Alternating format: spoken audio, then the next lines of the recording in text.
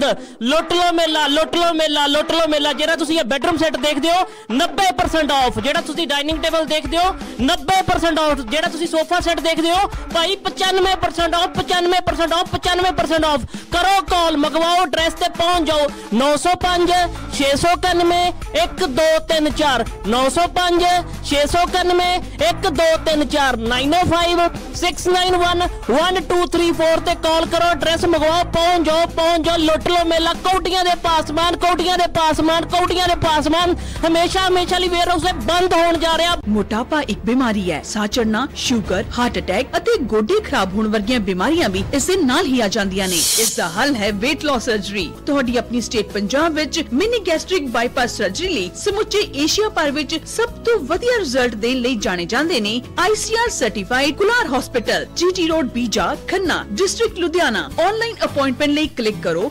www.kularhospital.com ਹਾਂਜੀ ਜ਼ਰਾ ਇੱਕ ਵੈਬਸਾਈਟ ਨੋਟ ਕਰੋ afcgrocery.com ਇਹ ਹੈ ਜੀ ਏਸ਼ੀਅਨ ਫੂਡ ਸੈਂਟਰ ਦੀ ਬ੍ਰਾਂਡ ਨਿਊ ਵੈਬਸਾਈਟ ਜਿੱਥੋਂ ਤੁਸੀਂ ਇੰਡੋ ਕੈਨੇਡੀਅਨ ਗਰੋਸਰੀ ਮਠਿਆਈਆਂ ਤਾਜ਼ੀਆਂ ਸਬਜ਼ੀਆਂ ਫਲ ਫਰੂਟ ਇੰਡੀਆ ਵਾਲੇ ਭਾਂਡੇ ਸਜਾਵਟ ਦਾ ਸਮਾਨ ਸਾਰਾ ਕੁਝ ਜੋ ਸਟੋਰ ਤੇ ਜਾ ਕੇ ਦੇਖਣਾ ਹੁਣ ਏਸ਼ੀਅਨ ਫੂਡ ਸੈਂਟਰ ਦੀ ਇਸ ਵੈਬਸਾਈਟ ਤੇ ਦੇਖੋ 100 ਡਾਲਰ ਜਾਂ ਇਸ ਤੋਂ ਜ਼ਿਆਦਾ ਦੇ ਆਰਡਰ ਤੇ ਪਾਓ free delivery in all GTA areas free curbside pickup available in all locations on same day visit afcgrocery.com ਹਾਂਜੀ ਲੀਫ ਜ਼ਰਾ ਦੇ ਆਸ਼ੀਸ਼ ਹੁਣ ਤੁਹਾਨੂੰ ਦਿਵਾਉਣਗੇ। ਤੁਹਾਡੀ ਪਸੰਦੀਦਾ ਪ੍ਰਾਪਰਟੀ ਰੀਕਨਸਟਰਕਸ਼ਨ ਦੇ ਬਾਦਸ਼ਾਹ ਟੀਮ ਲੀਫ ਤੇ ਆਸ਼ੀਸ਼ 905 207 ਪੂਰਾ 8000 ਕਿਸੇ ਵੀ ਤਰ੍ਹਾਂ ਦੀ ਰੀਅਲ ਏਸਟੇਟ ਦੀ ਲੋੜ ਹੋਵੇ ਖਰੀਦਣੀ ਜਾਂ ਵੇਚਣੀ ਹੋਵੇ ਆਪਣੀ ਪ੍ਰਾਪਰਟੀ ਟੀਮ ਲੀਫ ਤੇ ਦੋ ਤੁਹਾਡੀ ਕਰਨਗੇ ਮਦਦ। ਪੂਰੇ GTA ਦੇ ਵਿੱਚ ਬੈਸਟ ਡੀਲਸ ਲੈ ਕੇ ਦਿੰਦੇ ਨੇ ਤੇ ਰੀਕਨਸਟਰਕਸ਼ਨ ਦੇ ਵਿੱਚ ਤੁਹਾਨੂੰ ਬਹੁਤ ਹੀ ਵਧੀਆ ਇਨਕਮ ਬਣਵਾ ਕੇ ਦੇ ਸਕਦੇ ਨੇ। ਕਿਸੇ ਵੀ ਤਰ੍ਹਾਂ ਦੀ ਰੈਂਟਲ ਪ੍ਰਾਪਰਟੀ ਜਾਂ ਫਿਰ ਤੁਸੀਂ ਆਪਣੇ ਰਹਿਣ ਦੇ ਲਈ ਖਰੀਦਣਾ ਹੋਵੇ ਤਾਂ ਨੰਬਰ ਯਾਦ ਰੱਖੋ 905 207 8000 ਟੀਮ ਲੀਫ ਦੇ ਦੋ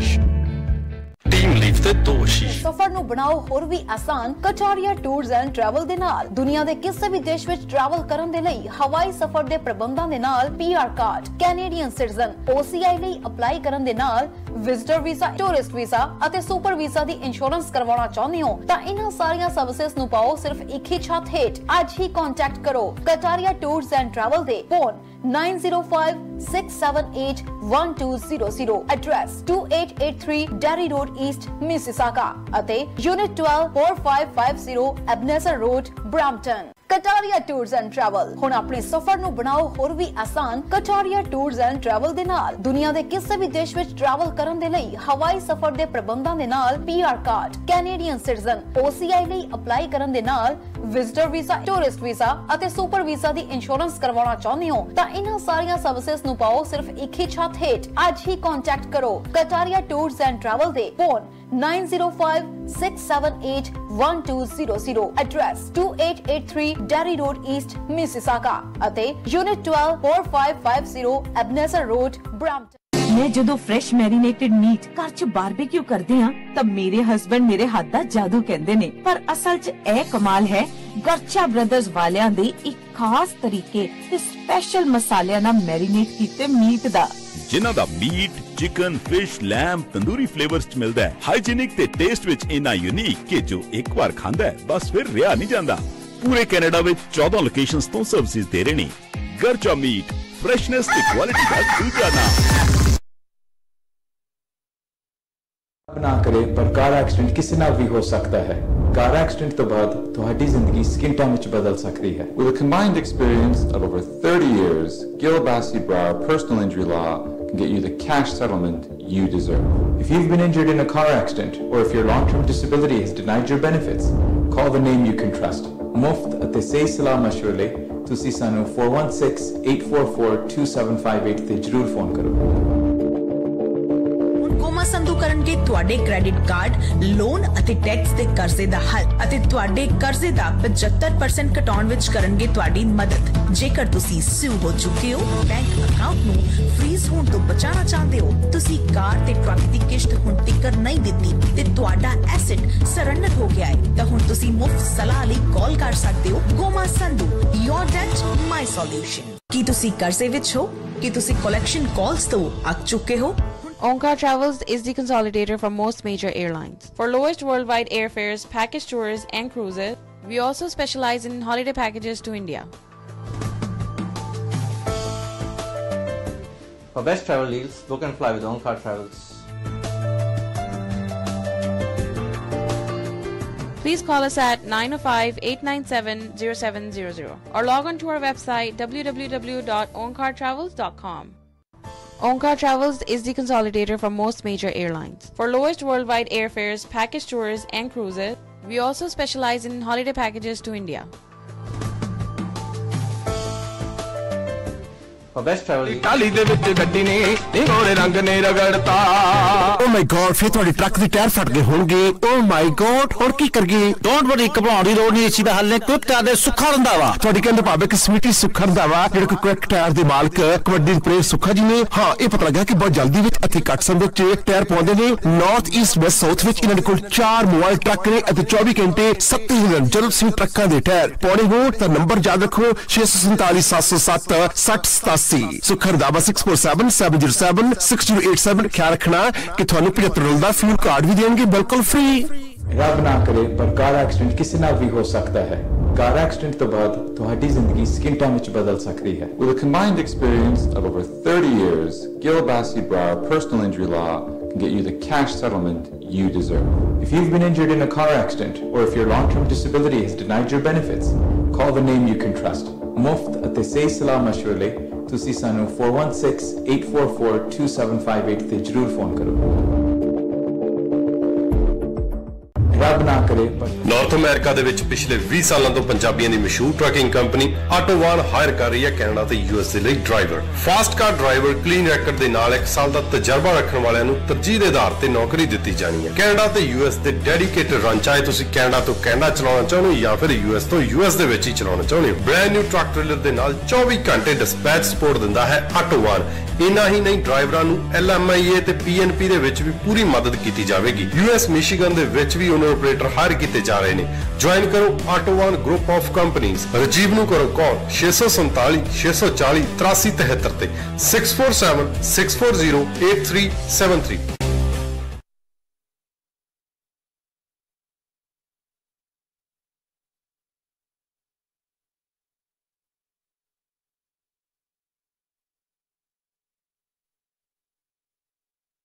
ਜਦੋਂ ਫਰੈਸ਼ ਮੈਰੀਨੇਟਡ ਮੀਟ ਘਰ 'ਚ ਬਾਰਬੀਕਿਊ ਕਰਦੇ ਆ ਤਾਂ ਮੇਰੇ ਹਸਬੰਡ ਮੇਰੇ ਹੱਥ ਦਾ ਜਾਦੂ ਕਹਿੰਦੇ ਨੇ। ਪਰ ਅਸਲ 'ਚ ਇਹ ਕਮਾਲ ਹੈ, ਗਰਚਾ ਬ੍ਰਦਰਜ਼ ਵਾਲਿਆਂ ਦੇ ਇੱਕ ਖਾਸ ਤਰੀਕੇ ਤੇ ਸਪੈਸ਼ਲ ਮਸਾਲਿਆਂ ਨਾਲ ਮੈਰੀਨੇਟ ਕੀਤੇ ਮੀਟ ਦਾ।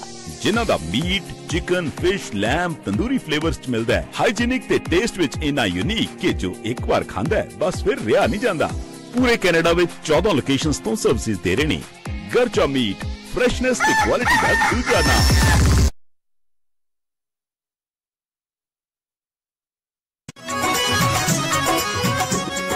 ਟਰੱਕ ਦਾ ਲਾਇਸੈਂਸ ਸਿਰਫ 4850 ਡਾਲਰ ਦੇ ਵਿੱਚ। ਸੱਤੇ ਦਿਨਾਂ ਵੀਕ ਖੁੱਲਣ ਵਾਲੀ ਇਹ company Toronto truck driving school ਤੁਹਾਨੂੰ ਆਫਰ ਕਰਦੀ ਹੈ ਈਵਨਿੰਗ ਤੇ ਵੀਕਐਂਡ ਕਲਾसेस ਵੀ, ਤਾਂ ਜੋ ਤੁਹਾਨੂੰ ਆਪਣਾ ਕੰਮ ਛੱਡਣਾ ਹੀ ਨਾ ਪਵੇ। ਤੇ ਵਧੀਆ ਸਿਖਲਾਈ ਨਾਲ ਟਰੱਕ ਲਾਇਸੈਂਸ ਦਿਵਾਉਣ ਤੋਂ ਬਾਅਦ ਇਹ ਤੁਹਾਨੂੰ ਆਫਰ ਕਰਦੇ ਨੇ ਜੌਬ ਪਲੇਸਮੈਂਟ ਤੇ ਨਾਲ ਨਵੇਂ ਡਰਾਈਵਰ ਦੇ ਲਈ ਇਹਨਾਂ ਕੋਲ TTSAO ਸਰਟੀਫਾਈਡ ਇੰਸ਼ੋਰੈਂਸ ਪੈਕੇਜ ਵੀ ਅਵੇਲੇਬਲ ਆ। ਤਾਂ ਹੁਣੇ ਚੱਕੋ ਫੋਨ ਕਾਲ ਕਰੋ 519 983 7500 ਜਾਂ ਫਿਰ ਵਿਜ਼ਿਟ ਕਰਨਾ ਤੁਸੀਂ 290 ਥਾਮਸਨ ਰੋਡ ਕੈਂਬਰਿਜ ਦੇ ਵਿੱਚ। ਘਰ ਵਾਲੇ ਨੇ ਨਾ ਕੰਮ ਤੇ ਜਾਣਾ। ਮੈਂ ਤੈਨੂੰ 10 ਮਿੰਟ ਬਾਅਦ ਫੋਨ ਕਰਾਂ ਮੈਂ ਬੜਾ ਬਿਜ਼ੀ ਹਾਂ। Sale sale sale bed bath and decor ਵਿਖੇ ਲੱਗ ਰਹੀ ਹੈ ਪ੍ਰੀ ਵਿੰਟਰ ਸੇਲ ਹੁਣ ਤੁਹਾਨੂੰ ਮਹਿੰਗਾਈ ਤੇ ਇਸ ਦੌਰ ਦੇ ਵਿੱਚ ਫालतू ਪੈਸੇ ਲਗਾਉਣ ਦੀ ਲੋੜ ਨਹੀਂ, ਕਿਉਂਕਿ ਬੈਟ ਬਾਥ ਐਂਡ ਡਿਕੋਰ ਵਿਖੇ ਤੁਹਾਨੂੰ ਮਿਲ ਰਹੀ ਹੈ।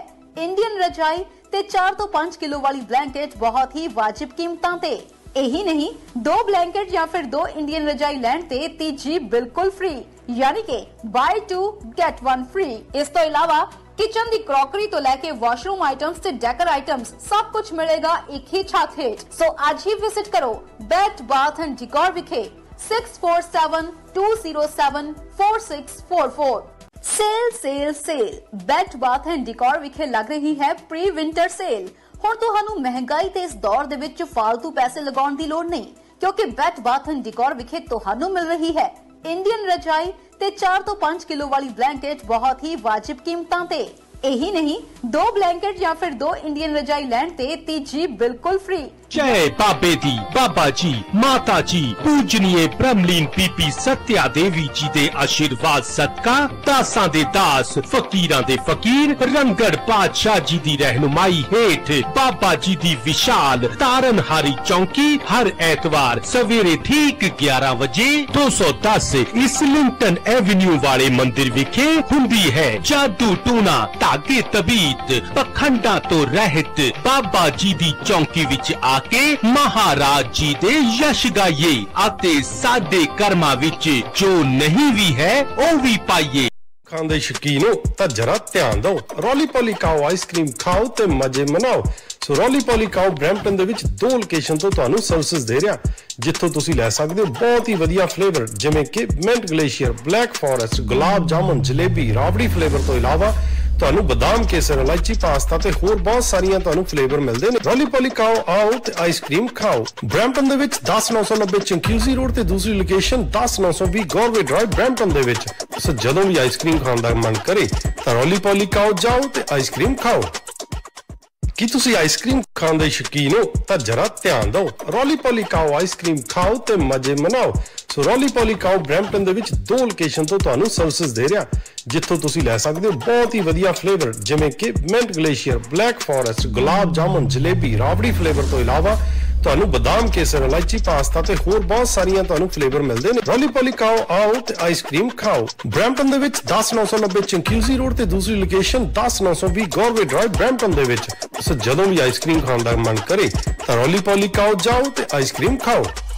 ਹੁਣ ਫਿਲਮਾਂ ਜਾਂ ਵੱਖੋ ਵੱਖਰੇ ਟੀਵੀ ਚੈਨਲ ਦੇਖਣ ਦੇ ਲਈ ਕਿਉਂ ਤੁਸੀਂ ਕਦੇ ਕਿਹੜੀ ਐਪ ਦੇ ਸਬਸਕ੍ਰਿਪਸ਼ਨ ਪੇ ਕਰੋ? ਕਦੇ ਤੁਸੀਂ ਕਿਸੇ ਬਾਕਸ ਦੇ ਪੈਸੇ ਪੇ ਕਰੋ? ਤੁਹਾਡੇ ਲਈ ਟਸ਼ਨ ਆਈਪੀਟੀਵੀ ਲੈ ਕੇ ਆਇਆ ਸੁਨਹਿਰੀ ਮੌਕਾ। 300 ਡਾਲਰ ਦੇ ਵਿੱਚ 5 ਸਾਲ ਟੀਵੀ ਦੇਖਣਾ ਤੁਸੀਂ ਬਿਲਕੁਲ ਫ੍ਰੀ ਤੇ ਨਵੀਆਂ ਨਕੋਰ ਦੇਖਣੀਆਂ ਫਿਲਮਾਂ ਵਿੱਚ ਹੀ ਤੁਹਾਨੂੰ ਬਾਕਸ ਦਾ ਪ੍ਰਾਈਸ ਇਨਕਲੂਡ ਆ, ਕੋਈ ਵੱਖਰੇ ਪੈਸੇ ਨਹੀਂ ਦੇਣੇ। ਸੋ ਵਰਲਡ ਵਾਈਡ ਚੈਨਲ ਤੁਹਾਡੇ ਲਈ ਅਵੇਲੇਬਲ ਹੋ ਜਾਣੇ ਟਸ਼ਨ ਆਈਪੀਟੀਵੀ ਬਾਕਸ ਤੇ।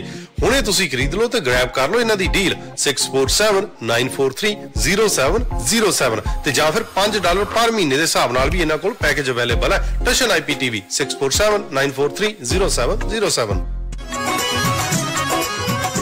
ਹੁਣ ਲਓ ਟਰੱਕ ਦਾ ਲਾਇਸੈਂਸ ਸਿਰਫ 4850 ਡਾਲਰ ਦੇ ਵਿੱਚ। ਸੱਤੇ ਦਿਨਾਂ ਵੀਕ ਖੁੱਲਣ ਵਾਲੀ ਇਹ company Toronto truck driving school ਤੁਹਾਨੂੰ ਆਫਰ ਕਰਦੀ ਹੈ ਈਵਨਿੰਗ ਤੇ ਵੀਕਐਂਡ ਕਲਾसेस ਵੀ ਤਾਂ ਜੋ ਤੁਹਾਨੂੰ ਆਪਣਾ ਕੰਮ ਛੱਡਣਾ ਹੀ ਨਾ ਪਵੇ। ਤੇ ਵਧੀਆ ਸਿਖਲਾਈ ਨਾਲ ਟਰੱਕ ਲਾਇਸੈਂਸ ਦਿਵਾਉਣ ਤੋਂ ਬਾਅਦ ਇਹ ਤੁਹਾਨੂੰ ਆਫਰ ਕਰਦੇ ਨੇ ਜੌਬ ਪਲੇਸਮੈਂਟ ਤੇ ਨਾਲ ਨਵੇਂ ਡਰਾਈਵਰ ਦੇ ਲਈ ਇਹਨਾਂ ਕੋਲ TTSAO ਸਰਟੀਫਾਈਡ ਇੰਸ਼ੋਰੈਂਸ ਪੈਕੇਜ ਵੀ ਅਵੇਲੇਬਲ ਆ।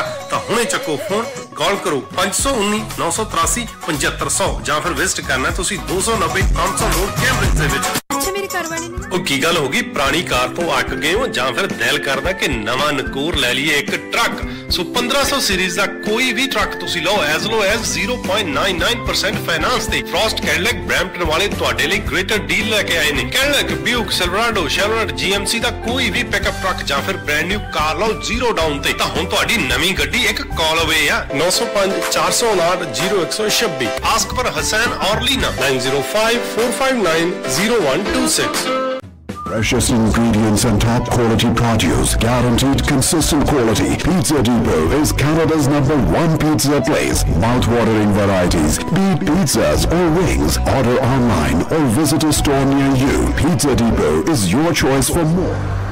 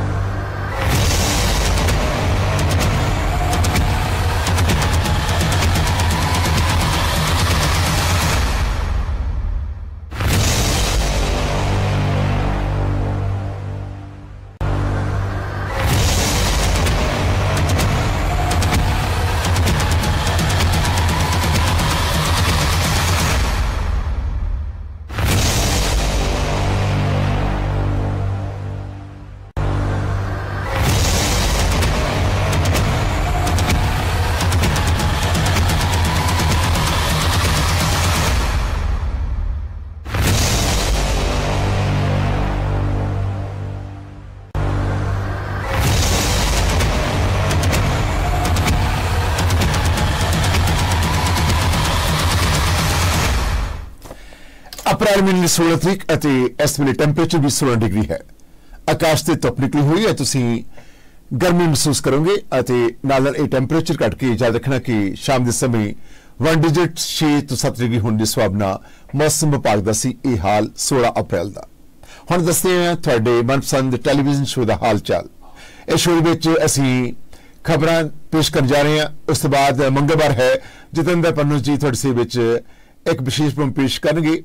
ਔਰ ਅਸੀਂ ਅਗਲੇ ਮਹੀਨੇ ਤੋਂ ਜਿਹੜਾ ਸਾਡਾ ਮਈ ਮਹੀਨਾ ਹੋਵੇਗਾ, ਔਰ 4 ਹਫ਼ਤੇ ਵਿੱਚ ਅਸੀਂ ਦੋ ਵਾਰ ਪ੍ਰੋਮ ਵਿੱਚ ਆਇਆ ਕਰਾਂਗੇ ਤਾਂ ਕਿ ਅਸੀਂ ਨਜ਼ਰੀਆ ਤੁਹਾਨੂੰ ਦੱਸਾਂਗੇ, ਔਰ ਕਿਹੜੀ ਪਾਰਟੀ ਦਾ ਉਮੀਦਵਾਰ ਜਿਹਦੇ ਜਤਨ ਦੇ ਅਸਾਰ ਵੱਧਦੇ ਜਾ ਰਹੇ ਨੇ ਜਾਂ ਫਿਰ ਘਟਦੇ ਜਾ ਰਹੇ ਨੇ, ਔਰ ਦਿਨ ਬ ਦਿਨ ਆਏ 24 ਘੰਟੇ ਵਿੱਚ ਕੋਈ ਨਾ ਕੋਈ ਸਿਆਸੀ ਤੂਫਾਨ ਆਉਣ ਦੇ ਨਾਲ ਇਹਨਾਂ ਦਾ ਅਤਰਾ ਝਾੜ ਜਿਹੜਾ ਪਾਰਾ ਉੱਪਰ ਥੱਲੇ ਜਾਣਾ ਆ, ਔਰ ਇਹ ਆਉਣ ਵਾਲਾ ਸਮਾਂ ਦੱਸੇਗਾ ਵੋਟਰ ਜਿਹੜੇ ਨੇ ਕਿਹਦੇ ਹੱਕ ਵਿੱਚ ਜਾ ਰਹੇ ਨੇ। ਪਰ ਇਸ ਚੈਨਲ ਦੇ ਵਿੱਚ ਅਸੀਂ ਹਰ ਪਾਰਟੀ ਦਾ ਸਤਿਕਾਰ ਕਰਦੇ ਹਾਂ ਅਤੇ ਭਾਰਤ ਦੇ ਵਿੱਚ ਹੋ ਰਹੀਆਂ ਚੋਣਾਂ ਨੂੰ ਅਪਡੇਟ ਕਰਦੇ ਹੋਏ ਅਸੀਂ ਵੱਖ ਕੈਂਡੀਡੇਟ ਨਾਲ ਗੱਲਬਾਤ ਕਰਾਂਗੇ। ਤੁਹਾਡਾ ਵੀ ਮਨਪਸੰਦ ਕੈਂਡੀਡੇਟ ਕੋਈ ਹੈ, ਤਾਂ ਚਾਹੁੰਦੇ ਹੋ ਅਸੀਂ ਗੱਲਬਾਤ ਕਰੀਏ? ਮਨੋ ਮਨੋ ਪ੍ਰੋਬਲਮ ਤੁਸੀਂ ਸਾਨੂੰ ਕਾਲ ਕਰਕੇ ਦੱਸ ਸਕਦੇ ਹੋ। ਤਾਂ ਬਾਕੀ ਦੀ ਅਸੀਂ ਆਪਣੇ ਆਪ ਜਿਹੜੀ ਹੈ, ਸਾਡੀ ਟੀਮ ਜਿਹੜੀ ਹੈ, ਤਾਲਮੇਲ ਕਰਕੇ ਉਸ ਕੈਂਡੀਡੇਟ ਦੇ ਨਾਲ ਗੱਲ ਕਰ ਸਕਦੀ ਹੈ। ਸੋ ਇਹ ਨਹੀਂ ਮਹਿਸੂਸ ਕਰਨਾ ਕਿ ਅਸੀਂ ਕਿਸੇ ਇੱਕ ਪਾਰਟੀ ਨੂੰ ਤਰਜੀਹ ਦੇ ਰਹੇ ਹਾਂ। ਔਰ ਅਸੀਂ ਹਰ ਕੈਂਡੀਡੇਟ ਹਰ ਪਾਰਟੀ ਦਾ ਸਤਿਕਾਰ ਕਰਦੇ ਹਾਂ। ਅਸੀਂ ਚਾਹੁੰਦੇ ਹਾਂ ਕਿ ਸ਼ਾਂਤੀਪੂਰਵ ਤਰੀਕੇ ਦੇ ਨਾਲ ਇਲੈਕਸ਼ਨ ਹੋਵੇ ਅਤੇ ਸਾਡੇ ਅਗਲੇ ਭਾਰਤ ਦੇ ਪ੍ਰਧਾਨ ਮੰਤਰੀ ਨਵੇਂ ਚੁਣੇ ਜਾਣ। ਸੋ ਭਾਰਤ ਜਿੰਦਾਬਾਦ। ਆਓ ਅਸੀਂ ਪ੍ਰੋਂਡ ਵਿੱਚ ਦੱਸੀਏ ਕਿ ਕਰਜ਼ਾ ਹੈ, ਮਾਫ ਕਰਾਉਣਾ ਹੈ ਉਹਦਾ ਡਿਸਟ੍ਰੀਬਿਊਸ਼ਨ ਜੋ ਕਿ ਫੀਸ ਬਾਰ ਵਿੱਚ ਚਾਰਜ ਕਰਦੇ ਨੇ, ਪਹਿਲਾ ਕਰਜ਼ਾ ਮਾਫ ਕਰ ਦੇਣੇ ਸੋ ਕਾਲ ਕਰੋ 888 888 9914 ਫਰਸਟ ਕੈਟਲਿਕ ਵਾਲੇ ਨਵੀਆਂ ਕਾਰਾਂ ਬ੍ਰਾਂਡ ਨਿਊ ਵੇਚ ਰਹੇ ਨੇ ਜ਼ੀਰੋ ਡਾਊਨ ਪੇਮੈਂਟ ਤੇ ਜਦ ਤੁਸੀਂ ਪੁਰਾਣੀਆਂ ਕਾਰਾਂ ਟ੍ਰੇਡ ਕਰ ਸਕਦੇ ਹੋ। ਫਰਸਟ ਕੈਟਲਿਕ ਹਾਈਵਟਨ ਬੀੜ ਦੇ ਕੋਲ ਹਸੈਨ ਅਤਲੀਨਾ ਦਾ ਨੰਬਰ ਹੈ 95 480126 ਕੀ ਤੁਸੀਂ ਜਾਣਦੇ ਹੋ ਕਿ ਖਾਣਾ ਖਾਣ ਲਈ ਸਵੀਟ ਮਿਲ ਦੇ ਸੁੱਖਾ ਜੀ ਦਾ ਨਾਮ? ਸੁੱਖਾ ਜੀ ਸੁੱਖ ਮੰਗਦੇ ਨੇ। ਹਰ ਵਿਆਹ ਸ਼ਾਦੀ ਵਾਸਤੇ ਮਠਿਆਈ ਦਾ ਪ੍ਰਬੰਧ ਅਤੇ ਪਾਰਟੀ ਦਾ ਪ੍ਰਬੰਧ ਕਰਨ ਲਈ ਪ੍ਰੈਜ਼ੀਡੈਂਟ ਕਨਵੈਨਸ਼ਨ ਸੈਂਟਰ ਹਾਲ ਹੈ ਅਤੇ ਇਹਨਾਂ ਦੇ 4-5 ਰਸੋਈ ਘਰ ਨੇ ਮੋਬਾਈਲ ਨੇ, ਇੱਕ ਨਵੀਂ ਟੈਕਨੋਲੋਜੀ ਨਾਲ ਤਿਆਰ ਕੀਤਾ ਹੋਇਆ ਰਸੋਈ ਘਰ ਵਿਖਣਯੋਗ ਹੈ। ਇੱਕ ਰਸੋਈ ਘਰ ਇਹਨਾਂ ਦੇ ਕੋਲ ਪਿਓਰ ਵੈਜ ਹੈ, ਜਦੋਂ ਤੁਸੀਂ ਵੈਜੀਟੇਰੀਅਨ ਹੀ ਸਰਵਿਸ ਲੈਣੀ ਹੋਵੇ ਤਾਂ ਇਹਨਾਂ ਦਾ ਇਹ ਰਸੋਈਕਾ ਘਰ ਤੁਹਾਡੀ ਸੇਵਾ ਵਿੱਚ ਹਾਜ਼ਰ ਹੈ। ਸੋ ਕਾਲ ਕੋ 406 91 ਹੁਣ ਅਸੀਂ ਆਪਣੇ ਸੋਤੇ ਸੇਵੇ ਦੱਸੀ ਕਿ ਮਹਿੰਦਰਾ ਜੁਲਨ ਨੂੰ ਕਦਮ ਪੱਲੋ ਜਿਨ੍ਹਾਂ ਨੇ ਗਹਿਣੇ ਤੁਹਾਡੇ ਪਹਿਨੇ ਹੋਏ, ਦੂਰੋਂ ਹੀ ਇਹ ਸਾਡੇ ਭੈਣ ਭਰਾ ਜੱਜ ਕਰ ਜਾਂਦੇ ਨੇ ਕਿ ਇਹ ਖਰੀਦਦਾਰੀ ਕੀਤੀ ਹੋਈ ਲੱਗਦੀ ਹੈ ਮਹਿੰਦਰ ਜੁਲਰ ਦੀ। ਹੁਣ ਅਸੀਂ ਪੇਸ਼ ਕਰਦੇ ਸਿਆਸੀ ਸਿਆਸੀ ਚੱਲਦੇ ਪੰਜਾਬ ਦਾ ਹਾਲ ਚਾਲ। ਜਸਵੀਰ ਜੀ ਪ੍ਰਬੰਧ ਵਿੱਚ ਵੈਲਕਮ ਸਾਰਿਆਂ ਨੂੰ ਹੀ ਸਤਿ ਸ੍ਰੀ ਅਕਾਲ, ਤੁਹਾਨੂੰ ਵੀ ਸਭ ਨੂੰ ਸਤਿ ਸ੍ਰੀ ਅਕਾਲ।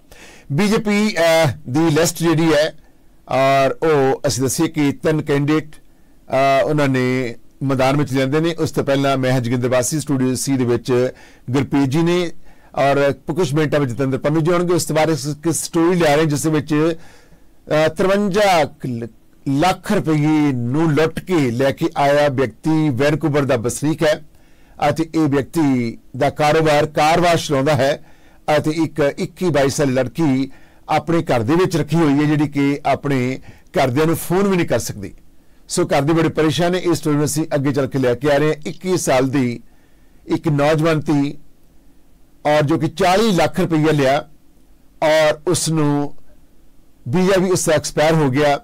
ਐਲਐਮਆਈ ਦੇਣ ਦੇ ਬਹਾਨੇ ਇੱਕ ਹੋਰ ਲੜਕੀ ਇਸ ਆਦਮੀ ਨੇ 13 ਲੱਖ ਰੁਪਇਆ ਕੈਸ਼ ਲਿਆ ਅਤੇ ਉਹ ਲੜਕੀ ਇਸ ਵੇਲੇ ਲੰਬੇ ਸਮੇਂ ਤੋਂ ਜਦੋਜਦ ਕਰ ਰਹੀ ਹੈ ਤੇ ਪੰਜਾਬ ਦੇ ਵਿੱਚ ਚੀਕਾ ਮਾਰ ਰਹੀ ਹੈ।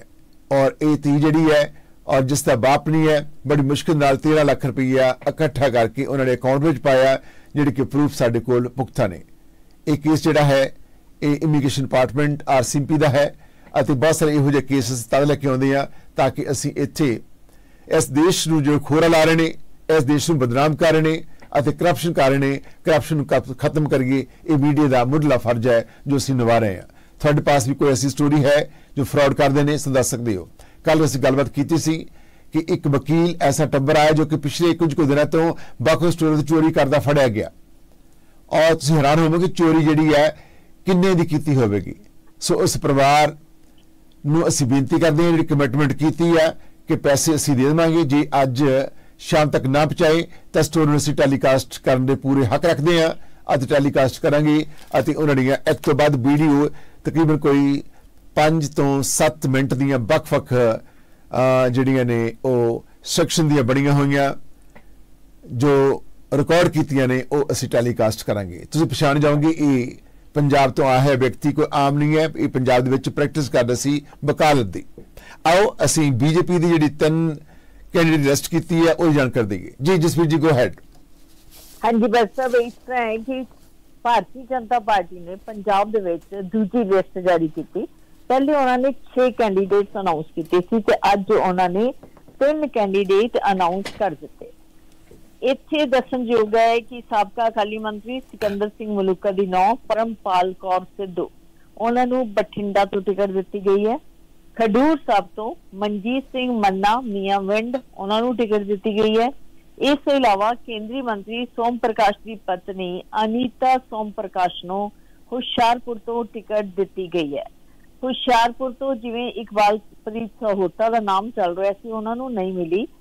ਜਿਹੜੇ ਸਾਬਕਾ ਐਮਪੀ ਰਹਿ ਚੁੱਕੇ ਹੈ, ਸੋਮ ਪ੍ਰਕਾਸ਼, ਉਹਨਾਂ ਦੀ ਵਾਈਫ ਅਨੀਤਾ ਸੋਮ ਪ੍ਰਕਾਸ਼ ਨੂੰ ਹੁਸ਼ਿਆਰਪੁਰ ਤੋਂ। ਤਿੰਨ ਟਿਕਟਾਂ ਅੱਜ ਬਠਿੰਡਾ, ਖਡੂਰ ਸਾਹਿਬ ਔਰ ਹੁਸ਼ਿਆਰਪੁਰ ਤੋਂ ਦਿੱਤੀਆਂ ਗਈਆਂ।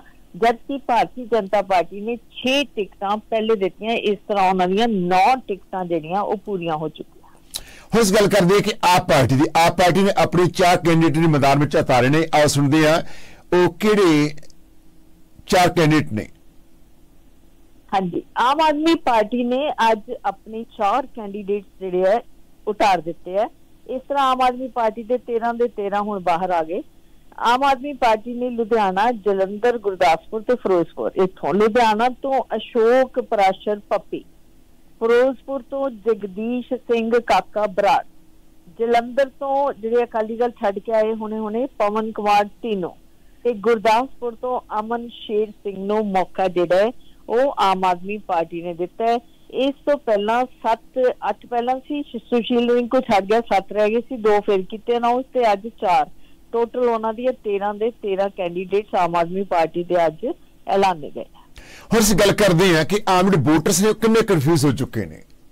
ਅੱਜ ਜ਼ਿਆਦਾ ਕਨਫਿਊਜ਼ਨ ਹੈ ਬਹੁਤ ਜ਼ਿਆਦਾ। ਜੀ। ਬਸ ਸਭ ਇਸ ਤਰ੍ਹਾਂ ਹੈਗਾ ਹੈ ਕਿ voter confused reporter confuse supporter confused ਤੇ ਕੈਂਡੀਡੇਟ ਆਪ ਵੀ ਕਨਫਿਊਜ਼ਡ ਤੇ ਉਹਨਾਂ ਦੇ ਸਾਰੇ ਜਿਹੜੇ ਹੈਗੇ ਇਲੈਕਸ਼ਨ ਦੇ ਨਿਸ਼ਾਨ ਦੇਖੋ ਨਾ ਹੁਣ ਰਵਨੀਤ ਬਿੱਟੂ। ਸਾਰੀ ਉਮਰ ਪੰਜੇ ਦੇ ਨਿਸ਼ਾਨ ਦੇ ਉੱਤੇ ਲੜਿਆ, ਜਿਹੜਾ ਕਿ ਕਾਂਗਰਸ ਦਾ ਨਿਸ਼ਾਨ ਸੀ। ਐਤਕੀ ਉਹ ਕਮਲ ਦੇ ਫੁੱਲ ਦੇ ਨਿਸ਼ਾਨ ਦੇ ਉੱਤੇ ਲੜੇਗਾ। ਕਿੰਨੀ ਕਨਫਿਊਜ਼ਨ ਪਈ ਹੈ ਲੋਕਾਂ 'ਚ ਵੀ ਸਪੋਰਟਰਾਂ 'ਚ ਵੀ ਵਰਕਰਾਂ 'ਚ ਵੀ। ਤੇਰੀ ਪਾਰਟੀ ਮੇਰੀ, ਉਸੇ ਕੈਂਡੀਡੇਟ ਦੇ, ਪਰਨੀਤ ਕੌਰ ਦੇ ਖਿਲਾਫ ਡਾਕਟਰ ਧਰਮਵੀਰ ਗਾਂਧੀ ਕਾਂਗਰਸ ਨੇ ਉਤਾਰ ਦਿੱਤੇ ਹੈ। ਇਹੀ ਡਾਕਟਰ ਧਰਮਵੀਰ ਗਾਂਧੀ ਨੇ ਕਦੀ ਪਰਨੀਤ ਕੌਰ ਨੂੰ ਆਮ ਆਦਮੀ ਪਾਰਟੀ ਦੀ ਟਿਕਟ ਤੋਂ ਹਰਾਇਆ ਸੀ। ਸੋ ਤੁਸੀਂ ਦੇਖੋ, ਇੱਧਰ ਸੁਸ਼ੀਲ ਕੁਮਾਰ ਰਿੰਕੂ ਜਲੰਧਰ ਤੋਂ ਇੱਕ ਸਾਲ ਪਹਿਲਾਂ ਜਦੋਂ ਇਲੈਕਸ਼ਨ ਹੋਈ, ਜਦੋਂ ਸੰਤੋਖ ਸਿੰਘ ਚੌਧਰੀ ਔਰ ਦਾ ਦੇਹਾਂਤ ਹੋ ਗਿਆ, ਤਾਂ ਉਸ ਵੇਲੇ ਚਰਨਜੀਤ ਚੰਨੀ ਇਹਨਾਂ ਦੀ ਸੁਸ਼ੀਲ ਕੁਮਾਰ ਰਿੰਕੂ ਦੀ ਸਪੋਰਟ ਕਰਨ ਲਈ ਆਏ ਸੀ। ਅੱਜ ਚਰਨਜੀਤ ਚੰਨੀ ਕਾਂਗਰਸ ਸੁਸ਼ੀਲ ਕੁਮਾਰ ਰਿੰਕੂ ਆਪ। ਸੋ ਤੁਸੀਂ ਸੋਚ ਸਕਦੇ ਹੋ ਕੜਮੱਚ ਜਿਹਾ ਮਚ ਗਿਆ, ਤੇਰੀ ਪਾਰਟੀ ਮੇਰੀ ਪਾਰਟੀ, ਤੇਰਾ ਵਿਰੋਧੀ ਮੇਰਾ ਵਿਰੋਧੀ।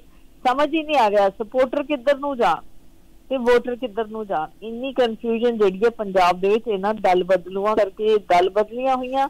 ਔਰ ਦਲ ਬਦਲੂਆਂ ਨੂੰ ਟਿਕਟਾਂ ਦਿੱਤੀਆਂ ਗਈਆਂ। ਇਹ ਸਭ ਤੋਂ ਵੱਡੀ ਜਸਵੀਰ ਜੀ, ਅਸੀਂ ਕਹਿ ਸਕਦੇ ਹਾਂ, ਤੁਸੀਂ ਕਹਿੰਦੇ ਹੋ ਕਿ ਸਪੋਰਟਰ ਕਿੱਧਰ ਨੂੰ ਜਾਣ, ਵੋਟਰ ਕਿੱਧਰ ਨੂੰ ਜਾਣ। ਅਤੇ ਵੱਡੀ ਗੱਲ ਹੈ ਕਿ ਜਿਹੜੇ ਰਿਪੋਰਟਰ ਰਿਪੋਰਟਿੰਗ ਕਰਦੇ ਆ, ਉਹ ਖੁਦ ਕਨਫਿਊਜ਼ ਹੋ ਜਾਂਦੇ ਆ ਕਿ ਅਸੀਂ ਕਿਹੜੇ ਕੈਂਡੀਡੇਟ ਨਾਲ ਗੱਲ ਕਰਦੇ, ਕਿ ਇਹ ਜਿਹੜਾ ਕੈਂਡੀਡੇਟ ਆ, ਇਹ ਕਿਹੜੇ ਪਾਰਟੀ ਵੱਲ ਲੜ ਰਿਹਾ ਆ ਤੇ ਆਉਣ ਵਾਲੇ ਘੰਟਿਆਂ ਵਿੱਚ ਕਿ ਵੀ ਇੰਟਰਵਿਊ ਚੱਲਦੇ ਚੱਲਦੇ ਵਿੱਚ ਉਹਨਾਂ ਦੇ ਕੰਨ ਵਿੱਚ ਫੂਕ ਵੱਜ ਜਾਂਦੀ ਹੈ ਕਿ ਇਹ ਕੈਂਡੀਡੇਟ ਜਿਹੜਾ ਹੈ, ਕਿਸੇ ਸਮੇਂ ਜਿਹੜਾ ਹੈ, ਆਉਣ ਵਾਲੇ ਘੰਟਿਆਂ ਵਿੱਚ ਦੂਜੀ ਪਾਰਟੀ ਵਿੱਚ ਸ਼ਮੂਲੀਅਤ ਕਰ ਦੇਵੇਗਾ। ਸੋ ਇਹ ਹਾਸੋਹੀਣ ਹੈ ਗੱਲ ਬਣੀ ਹੋਈ ਹੈ ਅਤੇ ਹੈਰਾਨੀ ਵਾਲੀ ਗੱਲ ਹੈ ਇਹ ਮੇਰੇ ਖਿਆਲ ਕਿ ਪਹਿਲੀ ਵਾਰੀ ਹੈ ਸਾਡੇ ਭਾਰਤ ਦੀ ਖਾਸ ਕਰਕੇ ਪੰਜਾਬ ਦੀ ਹਿਸਟਰੀ ਵਿੱਚ ਕਿ ਇੰਨੀ ਜਲਦੀ ਇਹ ਅਦਲਾ ਬਦਲੀ ਹੋਣਾ ਅਤੇ ਸਭ ਨੂੰ ਕਨਫਿਊਜ਼ ਕਰ ਦੇਣਾ। Reporter confuse supporter confuse voter confuse ਮੈਂ ਹੈਰਾਨ ਆ। ਹਾਂਜੀ? ਸਾਰੇ ਕਨਫਿਊਜ਼ ਹੋ ਗਏ ਔਰ ਵੈਸਾ ਜਦ ਤੱਕ ਨੋਮੀਨੇਸ਼ਨ ਨਹੀਂ ਹੋ ਜਾਣੀਆਂ ਤੇ ਨੋਮੀਨੇਸ਼ਨ ਵਾਪਸ ਲੈਣ ਦੀ ਤਰੀਕ ਨਹੀਂ ਲੰਘ ਜਾਣੀ। ਉਦੋਂ ਤੱਕ ਆਪਾਂ ਕੁਝ ਨਹੀਂ ਕਹਿ ਸਕਦੇ ਕਿ ਕਿੱਦਣ ਕੀ ਹੋਣਾ ਹੈ। ਸੁਖਪਾਲ ਖਹਿਰਾ ਨੂੰ ਸੰਗਰੂਰ ਤੋਂ ਦਿੱਤੀ ਗਈ। ਉੱਥੇ ਕਾਫੀ ਰਿਐਕਸ਼ਨ ਜਿਹੜਾ ਆਇਆ ਦਲਵੀਰ ਗੋਲਡੀ ਦਾ, ਉਹ ਸੀਨੀਅਰ ਹੈਗਾ, ਧੂਰੀ ਤੋਂ ਜਿੱਤਿਆ ਵੀ ਸੀ ਕਾਂਗਰਸ ਦਾ। ਸੋ ਇੱਧਰ ਤੁਸੀਂ ਦੇਖੋ, ਜੇ ਬੀਜੇਪੀ ਦੀ ਸੋਮ ਪ੍ਰਕਾਸ਼ ਦੀ ਪਤਨੀ ਨੂੰ ਹੁਸ਼ਿਆਰਪੁਰ ਤੋਂ ਦਿੱਤੀ, ਵਿਜੇ ਸਾਂਪਲਾ ਉਹ ਖੁੱਲ ਕੇ ਬਾਹਰ ਆ ਗਏ ਕਿ ਇਹ ਗਲਤ ਹੋ ਗਿਆ। ਸੋ ਅੰਦਰੋਂ ਅੰਦਰੀ ਲੋਕਾਂ ਦੇ ਵਿੱਚ ਨਾ ਰੰਜਿਸ਼ ਵੀ ਬਹੁਤ ਹੈ। ਇਸ ਕਰਕੇ ਇੱਕ ਤਾਂ ਨੰਬਰ 1 ਕਿ ਸਾਨੂੰ ਇਹ ਨਹੀਂ ਪਤਾ ਕਿ ਜਦ ਤੱਕ ਨੋਮੀਨੇਸ਼ਨਸ ਨਹੀਂ ਹੋ ਜਾਂਦੀਆਂ ਨੋਮੀਨੇਸ਼ਨ ਵਾਪਸ ਲੈਣ ਦੀ ਤਰੀਕ ਨਹੀਂ ਲੰਘ ਜਾਂਦੀ, ਤੇ ਕਿਹੜੇ ਕੈਂਡੀਡੇਟ ਮੈਦਾਨ 'ਚ ਹੈ ਤੇ ਕਿਹੜੇ ਨਹੀਂ ਹੈ। ਨੰਬਰ 2 ਕਿ ਉਸ ਤੋਂ ਬਾਅਦ ਵੀ ਇਹ ਨਹੀਂ ਪਤਾ ਕਿ ਅੰਦਰੋਂ ਕਿਹੜਾ ਬੰਦਾ ਕਿਹਨੂੰ ਸਪੋਰਟ ਕਰ ਰਿਹਾ ਹੈ। ਰੀਜ਼ਨ ਇਹ ਹੈ ਕਿ ਅੰਦਰੋਂ ਅੰਦਰੀ ਲੋਕ ਨਾਰਾਜ਼ਗੀ ਦੇ ਵਿੱਚ ਵੀ ਇੱਕ ਦੂਜੇ ਨਾਲ ਅਦਲਾ ਬਦਲੀ ਕਰਨਗੇ ਵੋਟਾਂ ਦੀ। ਜਸਵੀਰ ਜੀ ਇਹ ਵੀ ਹੋ ਸਕਦਾ ਕਿ ਨਾਮਜ਼ਦਗੀ ਜਦੋਂ ਵਾਪਸ ਹੋਣੀ ਆ ਉਦੋਂ ਤੱਕ ਕੋਈ ਵੀ ਵਿਅਕਤੀ ਜਿਹਨੇ ਚ ਨਾਮਜ਼ਦਗੀ ਫਾਰਮ ਨਹੀਂ ਭਰਦੇ ਇਹ ਕਿਸੇ ਵੇਲੇ ਵੀ ਵਾਪਸ ਜਾ ਸਕਦੇ ਨੇ। ਆ ਮੈਂ ਤੁਹਾਡੇ ਨਾਲ ਸ਼ਰਤ ਲਾਉਂਦਾ ਕਿ ਕੁਝ ਐਸੇ ਕੈਂਡੀਡੇਟ ਹੋਣੇ ਆ ਜਿਨ੍ਹਾਂ ਨੂੰ ਪਾਰਟੀਆਂ ਨੇ ਭੇਜਿਆ ਹੈ ਤੇ ਉਸ ਤੋਂ ਬਾਅਦ ਉਹਨਾਂ ਨੂੰ ਵਾਪਸ ਲੈ ਲੈਣਾ। ਤੁਸੀਂ ਦੇਖਦੇ ਜਾਓ ਕਿ ਹੋਣਾ ਕੀ ਹੈ। ਬਿਲਕੁਲ ਬਿਲਕੁਲ। ਬਸ ਇਸ ਵੇਲੇ ਕੋਈ ਸੇਵਾ ਭਾਵਨਾ ਵਾਲੀ ਗੱਲ ਤਾਂ ਸੱਚੀ ਦੱਸਾਂ ਹੈ ਨਹੀਂ। ਇਹ ਲੋਕਤੰਤਰ ਕਾਦਾ ਇਹ ਤਾਂ ਹੁਣ ਧਨ ਤੰਤਰ ਹੈ। ਵਾਜਪਾਈ ਸਾਹਿਬ ਨੇ ਬਹੁਤ ਸਾਲ ਪਹਿਲਾਂ ਕਿਹਾ ਸੀ। ਵਾਜਪਾਈ ਸਾਹਿਬ ਬੜੇ ਦੂਰਦਰਸ਼ੀ ਨੇਤਾ ਸੀਗੇ ਉਹਨਾਂ ਨੇ ਕਿਹਾ ਕਿ ਹੁਣ ਤਾਂ ਸਾਡਾ ਜਿਹੜਾ ਦੇਖੋ ਕੁਝ ਹੀ ਸਾਲਾਂ ਦੇ ਵਿੱਚ ਸਾਡੀ ਡੈਮੋਕ੍ਰੇਸੀ ਦਾ ਜੋ ਹਾਲ ਹੋਇਆ ਅਸੀਂ ਲੋਕਤੰਤਰ ਤੋਂ ਇੰਨੀ ਜਲਦੀ ਪੈਸੇ ਵੱਲ ਚਲੇ ਗਏ। ਇਹ ਸਾਰਾ ਕੁਝ ਪਾਵਰ ਪੈਸਾ ਕਾਫੀ ਇਹਨਾਂ ਦੀ ਲੋਕ ਸਭਾ ਦੇ ਜੇ ਮੈਂਬਰਾਂ ਦੀ ਕਿਸੇ ਦਿਨ ਗੱਲ ਕਰਾਂਗੇ ਕਿੰਨੀ ਤਨਖਾਹ ਹੁੰਦੀ ਹੈ ਕਿੰਨੀਆਂ ਇਹਨਾਂ ਨੂੰ ਸਹੂਲਤਾਂ ਮਿਲਦੀਆਂ ਔਰ ਕਿੰਨੀ ਇਹਨਾਂ ਦੀ ਪੈਨਸ਼ਨ ਲੱਗਦੀ ਹੈ, ਕਿੰਨੇ ਇਹਨਾਂ ਨੂੰ ਘਰ ਮਿਲਦੇ ਆ ਕੋਠੀਆਂ, ਕਾਰਾਂ ਦੇ ਪੈਸੇ ਮਿਲਦੇ ਆ ਔਰ ਚਾਹ ਪਾਣੀ ਦੇ ਪੀਏ ਦੇ ਪੈਸੇ, ਸਟੈਨੋ ਦੇ ਪੈਸੇ ਆਫਿਸ ਕਾਫੀ ਕੁਝ ਹੈ। ਸੋ ਉਸ ਤੋਂ ਇਲਾਵਾ ਵੀ ਤੁਹਾਨੂੰ ਪਤਾ ਹੀ ਹੈ ਜਿਸ ਤਰ੍ਹਾਂ ਦਾ ਦੇਸ਼ ਚੱਲ ਰਿਹਾ ਸੋ ਇਸ ਵੇਲੇ ਕਮਿਟਮੈਂਟ ਜਿਹੜੀ ਹੈ ਨਾ ਕਮਿਟਮੈਂਟ ਦੀ ਬੜੀ ਵੱਡੀ ਕਮੀ ਜੀ ਹਾਂ ਅਸੀਂ ਲੇਟ ਹੋ ਰਹੇ ਹਾਂ ਔਰ ਕੁਝ ਮਿੰਟਾਂ ਵਿੱਚ ਜਤਿੰਦਰ ਪੰਨੂ ਜਾ ਰਹੇ ਨੇ। ਪਰ ਹੁਣ ਜੁੜ ਰਹੋ ਜਤਿੰਦਰ ਪੰਨੂ ਜੀ ਤੋਂ ਤੁਹਾਨੂੰ ਅਸੀਂ ਸਮਾਂ ਦੇਵਾਂਗੇ। ਕਿ ਤੁਸੀਂ ਪੁੱਛੋਗੇ ਕਿਹੜੇ ਹਲਕੇ ਤੋਂ ਕਿਹੜਾ ਉਮੀਦਵਾਰ ਹੈ ਜਿੱਤਣ ਦੇ ਅਸਾਰ ਨੇ? ਭਾਵੇਂ ਕੁਝ ਹਲਕਿਆਂ ਵਿੱਚ ਹਾਲੇ ਉਮੀਦਵਾਰ ਉਹਨਾਂ ਨੇ ਐਲਾਨਣੇ ਨੇ, ਪਰ ਕੁਝ ਐਸੀ ਸੀਟਾਂ ਨੇ ਜਿੱਥੇ ਕਿ ਅਸੀਂ ਕਹਿ ਸਕਦੇ ਹਾਂ ਕਿ ਆ ਪਾਰਟੀ ਜਿਹੜੀ ਹੈ ਲੱਗਦਾ ਕਿ ਤੇ ਜਿੱਤ ਸਕਦੀ ਹੈ। ਸੋ ਇਹ ਜਤਿੰਦਰ ਪੰਨੂ ਜੀ ਦਾ ਨਜ਼ਰੀਆ ਔਰ ਆਉਣ ਵਾਲੇ ਦਿਨਾਂ ਵਿੱਚ ਜਸਵੀਰ ਕੌਰ ਜੀ ਵੀ ਇੱਕ ਘੰਟਾ ਦੱਸਣਗੇ 13 ਸੀਟਾਂ ਵਿੱਚੋਂ ਕਿਹੜਾ ਉਮੀਦਵਾਰ ਅੱਗੇ ਜਾਵੇਗਾ। ਦੇਖਾਂਗੇ ਕਿ ਕੰਪੀਟੀਸ਼ਨ ਜਰਨਲਿਸਟ ਦਾ ਵੀ ਹੋਵੇਗਾ ਸਾਡਾ ਵੀ ਹੋਵੇਗਾ ਰਿਪੋਰਟਰਾਂ ਦਾ ਵੀ ਹੋਵੇਗਾ ਵੱਖ-ਵੱਖ ਰਿਪੋਰਟਰ ਨੇ ਕੀ رائے ਪਾਈ ਜਾਵੇਗੀ ਕੁੱਲ ਮਿਲਾ ਕੇ ਰੋਜ਼ਾਨਾ ਹੀ ਆਏ ਦਿਨ ਤੁਹਾਨੂੰ ਇੰਨਾ ਨਸ਼ਾ ਹੋ ਜਾਵੇਗਾ ਤੁਹਾਨੂੰ ਐਡਿਕਸ਼ਨ ਅਸੀਂ ਕਰ ਦਿਆਂਗੇ ਕਿ ਤੁਸੀਂ 1 ਸੈਕਿੰਡ ਵੀ ਪ੍ਰੋਗਰਾਮ ਤੋਂ ਇੱਧਰ ਉੱਧਰ ਨਹੀਂ ਜਾਵੋਗੇ ਠੀਕ 10 ਵਜੇ ਔਨ ਕਰ ਲਿਆ ਕਰੋ ਜੇ ਤੁਸੀਂ ਘਰ ਵਿੱਚ ਬੈਠੇ ਹੋ ਤੁਹਾਨੂੰ ਬਾਹਰ ਜਾਣਾ ਪੈ ਰਿਹਾ ਘਬਰਾਓ ਨਾ ਤੁਸੀਂ 1610 AM 1610 AM ਰੋਜ਼ਾਨਾ 10 ਵਜੇ 1610 AM ਦੀ ਫ੍ਰੀਕੁਐਂਸੀ ਹੈ 10 ਵਜੇ ਔਨ ਕਰਨਾ ਦੁਪਹਿਰ ਦੇ 1 ਵਜੇ ਤੱਕ 3 ਘੰਟੇ ਮੰਡੇ ਟੂ ਸੈਟਰਡੇ ਰੇਡੀਓ ਰਾਹੀਂ ਸੁਣੋ 1610 AM ਤੇ BBC ਟਾਂਟੋ ਗਾਉਂਦਾ ਪੰਜਾਬ ਸ਼ੋ ਹੁਣ ਅਸੀਂ ਅਗਲੀ ਖਬਰ ਪਰ ਵਧਦੇ ਹਾਂ ਔਰ ਜਤਿੰਦਰ ਪੰਨੂ ਜੀ ਤਿਆਰ ਹੋ ਰਹੇ ਨੇ। ਭਗਵੰਤ ਮਾਨ ਜੀ ਸਾਡੇ ਆਨਰੇਬਲ ਪੰਜਾਬ ਦੇ ਮੁੱਖ ਮੰਤਰੀ ਸਾਹਿਬ ਗੁਜਰਾਤ ਵਿੱਚ ਰੂਟ ਸ਼ੋ ਵਿੱਚ ਗਏ ਅਤੇ ਉੱਥੇ ਅਹ, ਭਾਵੁਕ ਹੋਏ ਅਤੇ ਇਮੋਸ਼ਨਲ ਹੋਏ। ਔਰ ਇਮੋਸ਼ਨਲ ਅਤੇ ਭਾਵੁਕ ਹੋਣਾ ਉਹਨਾਂ ਦਾ ਸੁਭਾਵਕ ਹੈ। ਕਿਉਂਕਿ ਇਲੈਕਸ਼ਨ ਦੇ ਵਿੱਚ ਜੋ ਕੁਝ ਹੋਇਆ ਹੈ ਤੁਹਾਡੇ ਸਾਹਮਣੇ ਹੈ ਤੇ ਜੋ ਹੋ ਰਿਹਾ ਹੈ। ਹਮ ਵੈਸੇ ਉਹ ਮਿਲ ਕੇ ਗਏ ਸੀ ਹੁਣੇ ਹੁਣੇ ਕੇਜਰੀਵਾਲ ਸਾਹਿਬ ਨੂੰ ਤਾਂ ਨੈਚੁਰਲੀ ਅਗਲੇ ਦਿਨ ਹੀ ਜਦੋਂ ਗੁਜਰਾਤ ਚ ਗਏ ਤੇ ਉੱਥੇ ਜਦੋਂ ਡਿਸਕ੍ਰਾਈਬ ਕਰ ਰਹੇ ਸੀ ਕਿ ਮੈਂ ਅੱਖੀ ਦੇਖਿਆ ਹੈ ਕਿ ਕਿਸ ਤਰ੍ਹਾਂ ਕੇਜਰੀਵਾਲ ਸਾਹਿਬ ਦਾ ਉੱਥੇ ਹਾਲ ਹੈ ਤੇ ਅਸੀਂ ਚੰਗੇ ਹਸਪਤਾਲ ਜੋ ਉਹਨਾਂ ਨੇ ਬਣਾ ਦਿੱਤੇ ਦਿੱਲੀ ਚ ਸਕੂਲ ਬਣਾਤੇ ਸਹੂਲਤਾਂ ਦਿੱਤੀਆਂ ਤੇ ਕੀ ਇਹ ਹਸ਼ਰ ਹੋਣਾ ਸੀ। ਤਾਂ ਇਹ ਗੱਲ ਜਦੋਂ ਰੋਡ ਸ਼ੋਅ ਦੇ ਵਿੱਚ ਕਰ ਰਹੇ ਸੀ ਤਾਂ ਤੁਸੀਂ ਵੀ ਵੀਡੀਓ ਦੇਖੀ ਹੋਣਗੀ ਉਹ ਵਾਕਈ ਕਿਉਂਕਿ ਬੇਸਿਕਲੀ ਉਹ ਸੈਂਸਿਟਿਵ ਇੱਕ ਕਲਾਕਾਰ ਵੀ ਹੈ ਤੇ ਉਹ ਇਮੋਸ਼ਨਲ ਹੋ ਗਏ ਸੁਪਰੀਮ ਕੋਰਟ 'ਚ ਬਾਬਾ ਰਾਮਦੇਵ ਬਾਬਾ ਜਨਤਕ ਮਾਫੀ ਮੰਗੀ ਇਹ ਸੁਪਰੀਮ ਕੋਰਟ ਦੇ ਹੁਕਮ। ਸੁਪਰੀਮ ਕੋਰਟ 'ਚ ਫਿਰ ਗਏ ਬਾਬਾ ਰਾਮਦੇਵ ਤੇ ਉਹਨਾਂ ਨੇ ਕਿਹਾ ਸਾਨੂੰ ਮਾਫ ਕਰ ਦਿਓ। ਉਹਨਾਂ ਨੇ ਕਿਹਾ ਵੀ ਠੀਕ ਹੈ ਤੁਸੀਂ ਮਾਫੀ ਮੰਗ ਰਹੇ ਹੋ ਹਾਲੇ ਅਸੀਂ ਤੁਹਾਨੂੰ ਮਾਫੀ ਤੁਹਾਡੀ ਐਕਸੈਪਟ ਨਹੀਂ ਕਰਦੇ। ਤੁਸੀਂ ਨਾ ਜਨਤਕ ਤੌਰ ਦੇ ਉੱਤੇ ਮਾਫੀ ਮੰਗੋ। ਸਾਰੀ ਦੁਨੀਆ ਦੇ ਸਾਹਮਣੇ ਇੱਕ ਹਫ਼ਤੇ ਦਾ ਟਾਈਮ ਹੈ। ਮਾਫੀ ਮੰਗੋ ਕਿ ਤੁਸੀਂ ਰੋਂਗ ਗਲਤ ਇਸ਼ਤਿਹਾਰਬਾਜ਼ੀ ਕਰਕੇ ਦਵਾਈਆਂ ਜਿਹੜੀਆਂ ਉਹ ਵੇਚੀਆਂ। ਸ੍ਰੀਨਗਰ 'ਚ ਕਿਸ਼ਤੀ ਪਲਟੀ ਅਤੇ ਜਿਸ ਦੇ ਵਿੱਚ 6 ਲੋਕਾਂ ਦੀ ਮੌਤ ਦੱਸੀ ਜਾਂਦੀ ਹੈ। ਅੱਜ ਵੈਸੇ ਇਹ ਹਾਦਸਾ ਹੋਇਆ। ਹੈ ਜੇਹਲਮ ਨਦੀ ਦੇ ਵਿੱਚ ਔਰ ਜਿਹੜੇ ਕਾਫੀ ਜ਼ਿਆਦਾ ਲੋਕ ਜਿਹੜੇ ਆ ਅਜੇ ਵੀ ਲਾਪਤਾ ਦੱਸੇ ਜਾ ਰਹੇ ਆ। ਸਹੀ ਗਿਣਤੀ ਦਾ ਅਜੇ ਵੀ ਪਤਾ ਨਹੀਂ ਚੱਲ ਰਿਹਾ।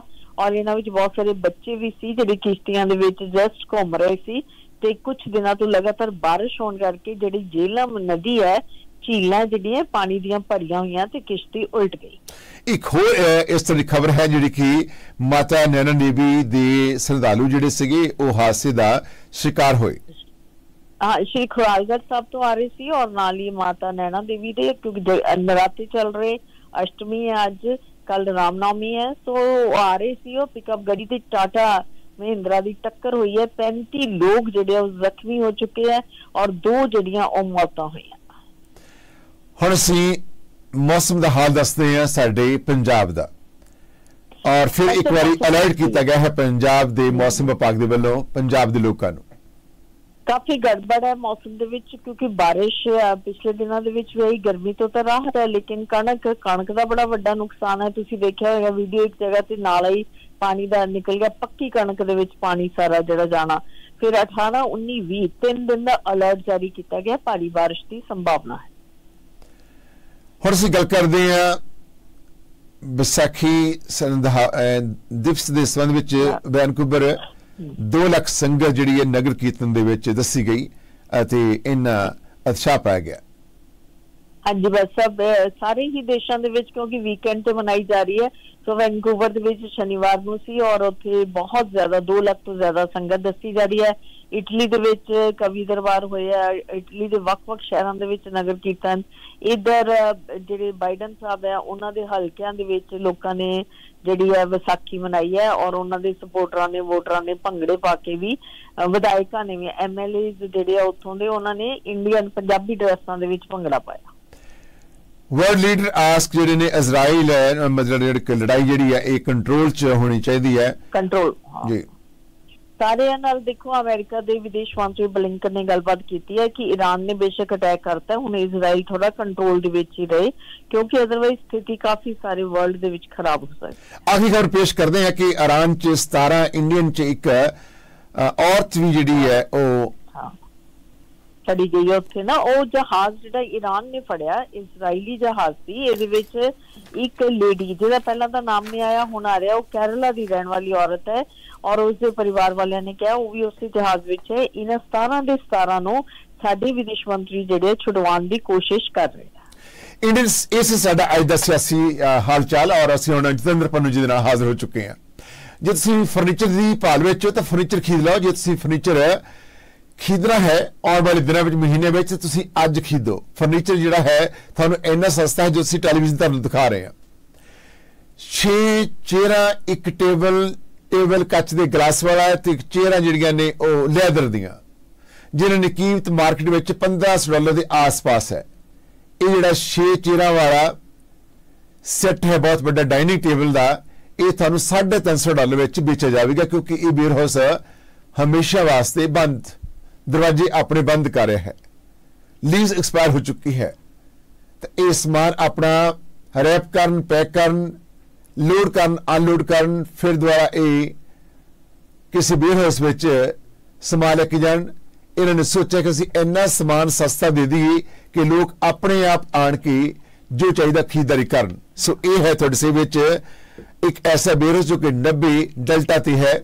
ਕਿ ਉਹਦੇ ਕੋਲ? ਜਿਹਨਾਂ ਦਾ ਨੰਬਰ ਹੈ ਜਿਨ੍ਹਾਂ ਦਾ ਨੰਬਰ ਤੇ ਹੋਰ ਵੇਰਵੇ ਦੇ ਲਈ ਵਿੱਕੀ ਜੀ ਲਾਈਨ ਤੇ ਆ ਚੁੱਕੇ ਨੇ ਜੀ। ਵਿੱਕੀ ਜੀ ਤੁਹਾਡੇ ਪਾਸ ਫਰਨੀਚਰ ਕਿੰਨਾ ਕੁ ਰਹਿ ਗਿਆ ਤੇ ਕਿੰਨਾ ਕੁ ਜਿਹੜਾ ਹੈ ਉਧਰ ਵਿਕਦਾ ਜਾ ਰਿਹਾ?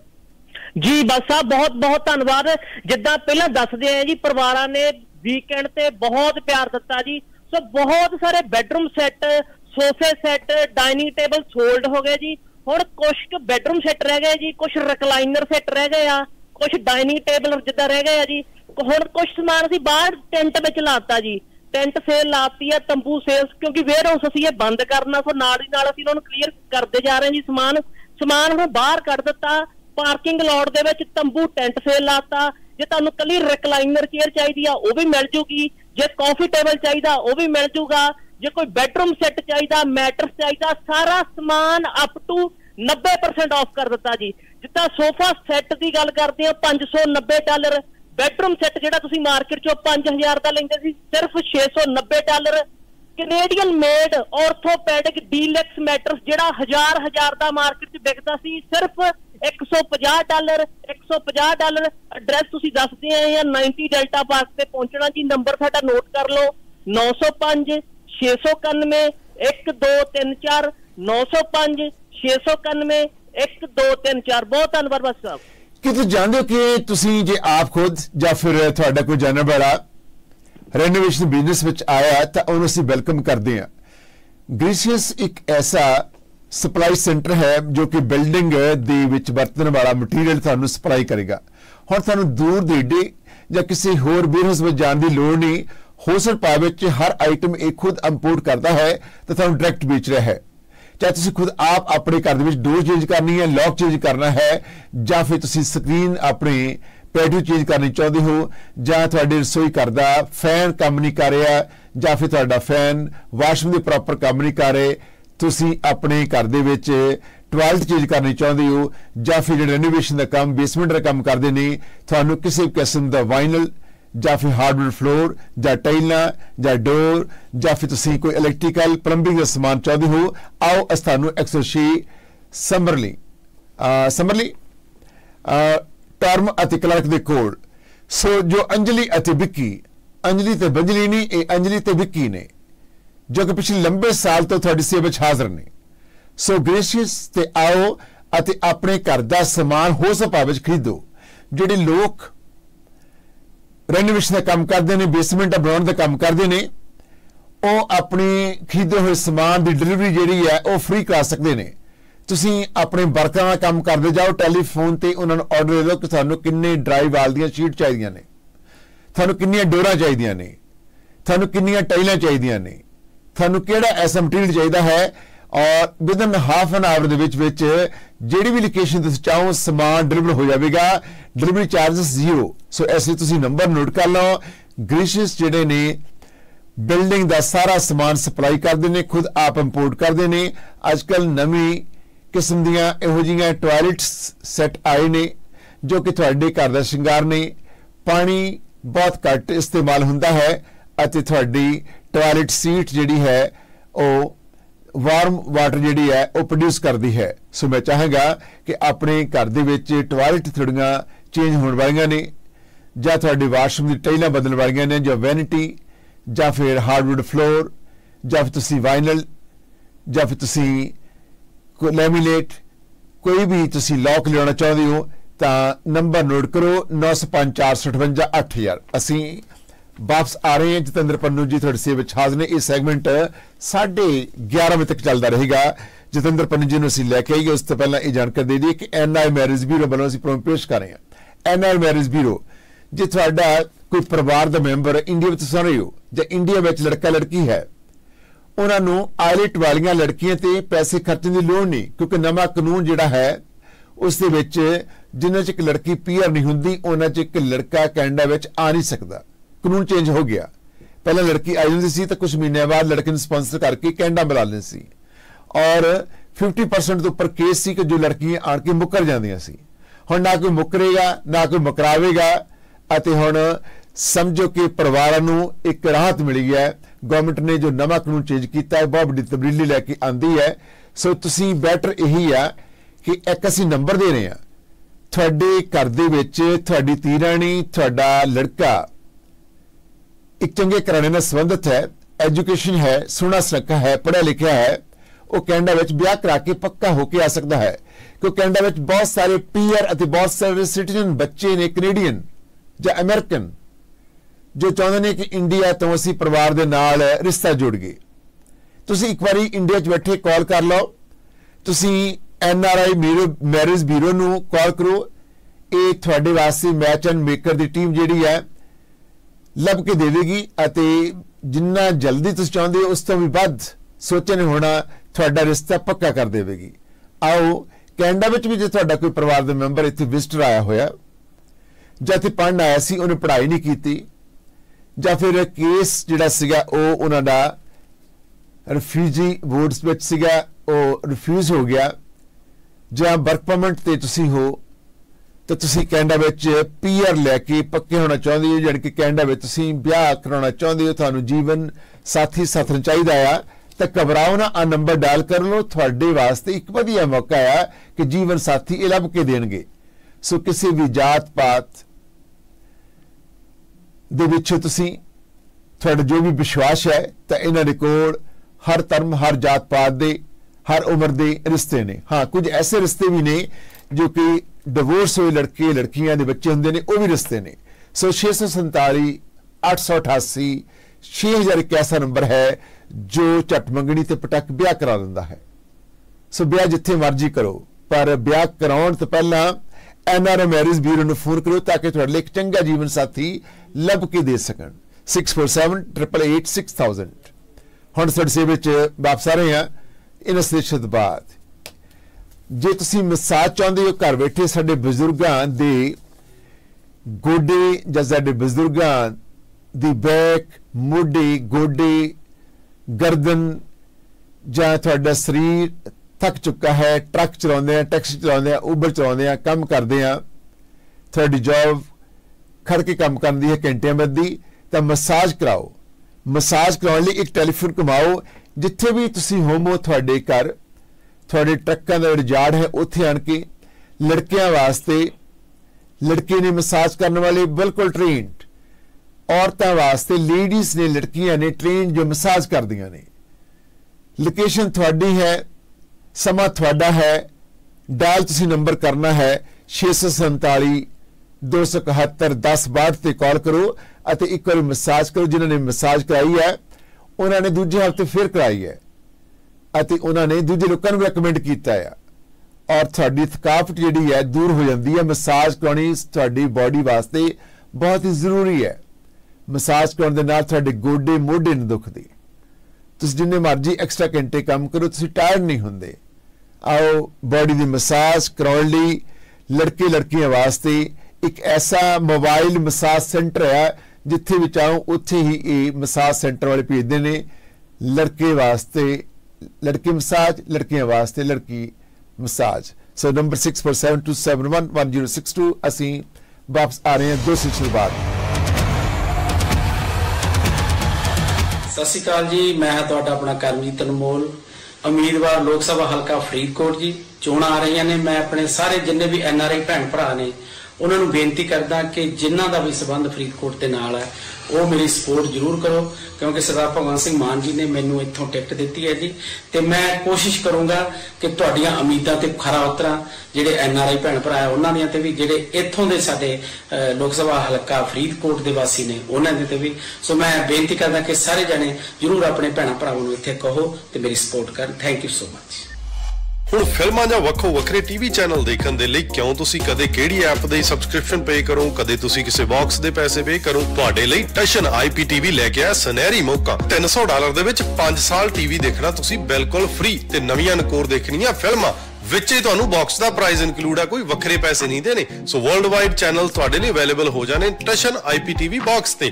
ਹੁਣੇ ਤੁਸੀਂ ਖਰੀਦ ਲਓ ਤੇ ਗ੍ਰੈਬ ਕਰ ਲਓ ਇਹਨਾਂ ਦੀ ਡੀਲ 6479430707 ਤੇ ਜਾਂ ਫਿਰ 5 ਡਾਲਰ ਪਰ ਮਹੀਨੇ ਦੇ ਹਿਸਾਬ ਨਾਲ ਵੀ ਇਹਨਾਂ ਕੋਲ ਪੈਕੇਜ ਅਵੇਲੇਬਲ ਹੈ ਟਸ਼ਨ ਆਈਪੀਟੀਵੀ 6479430707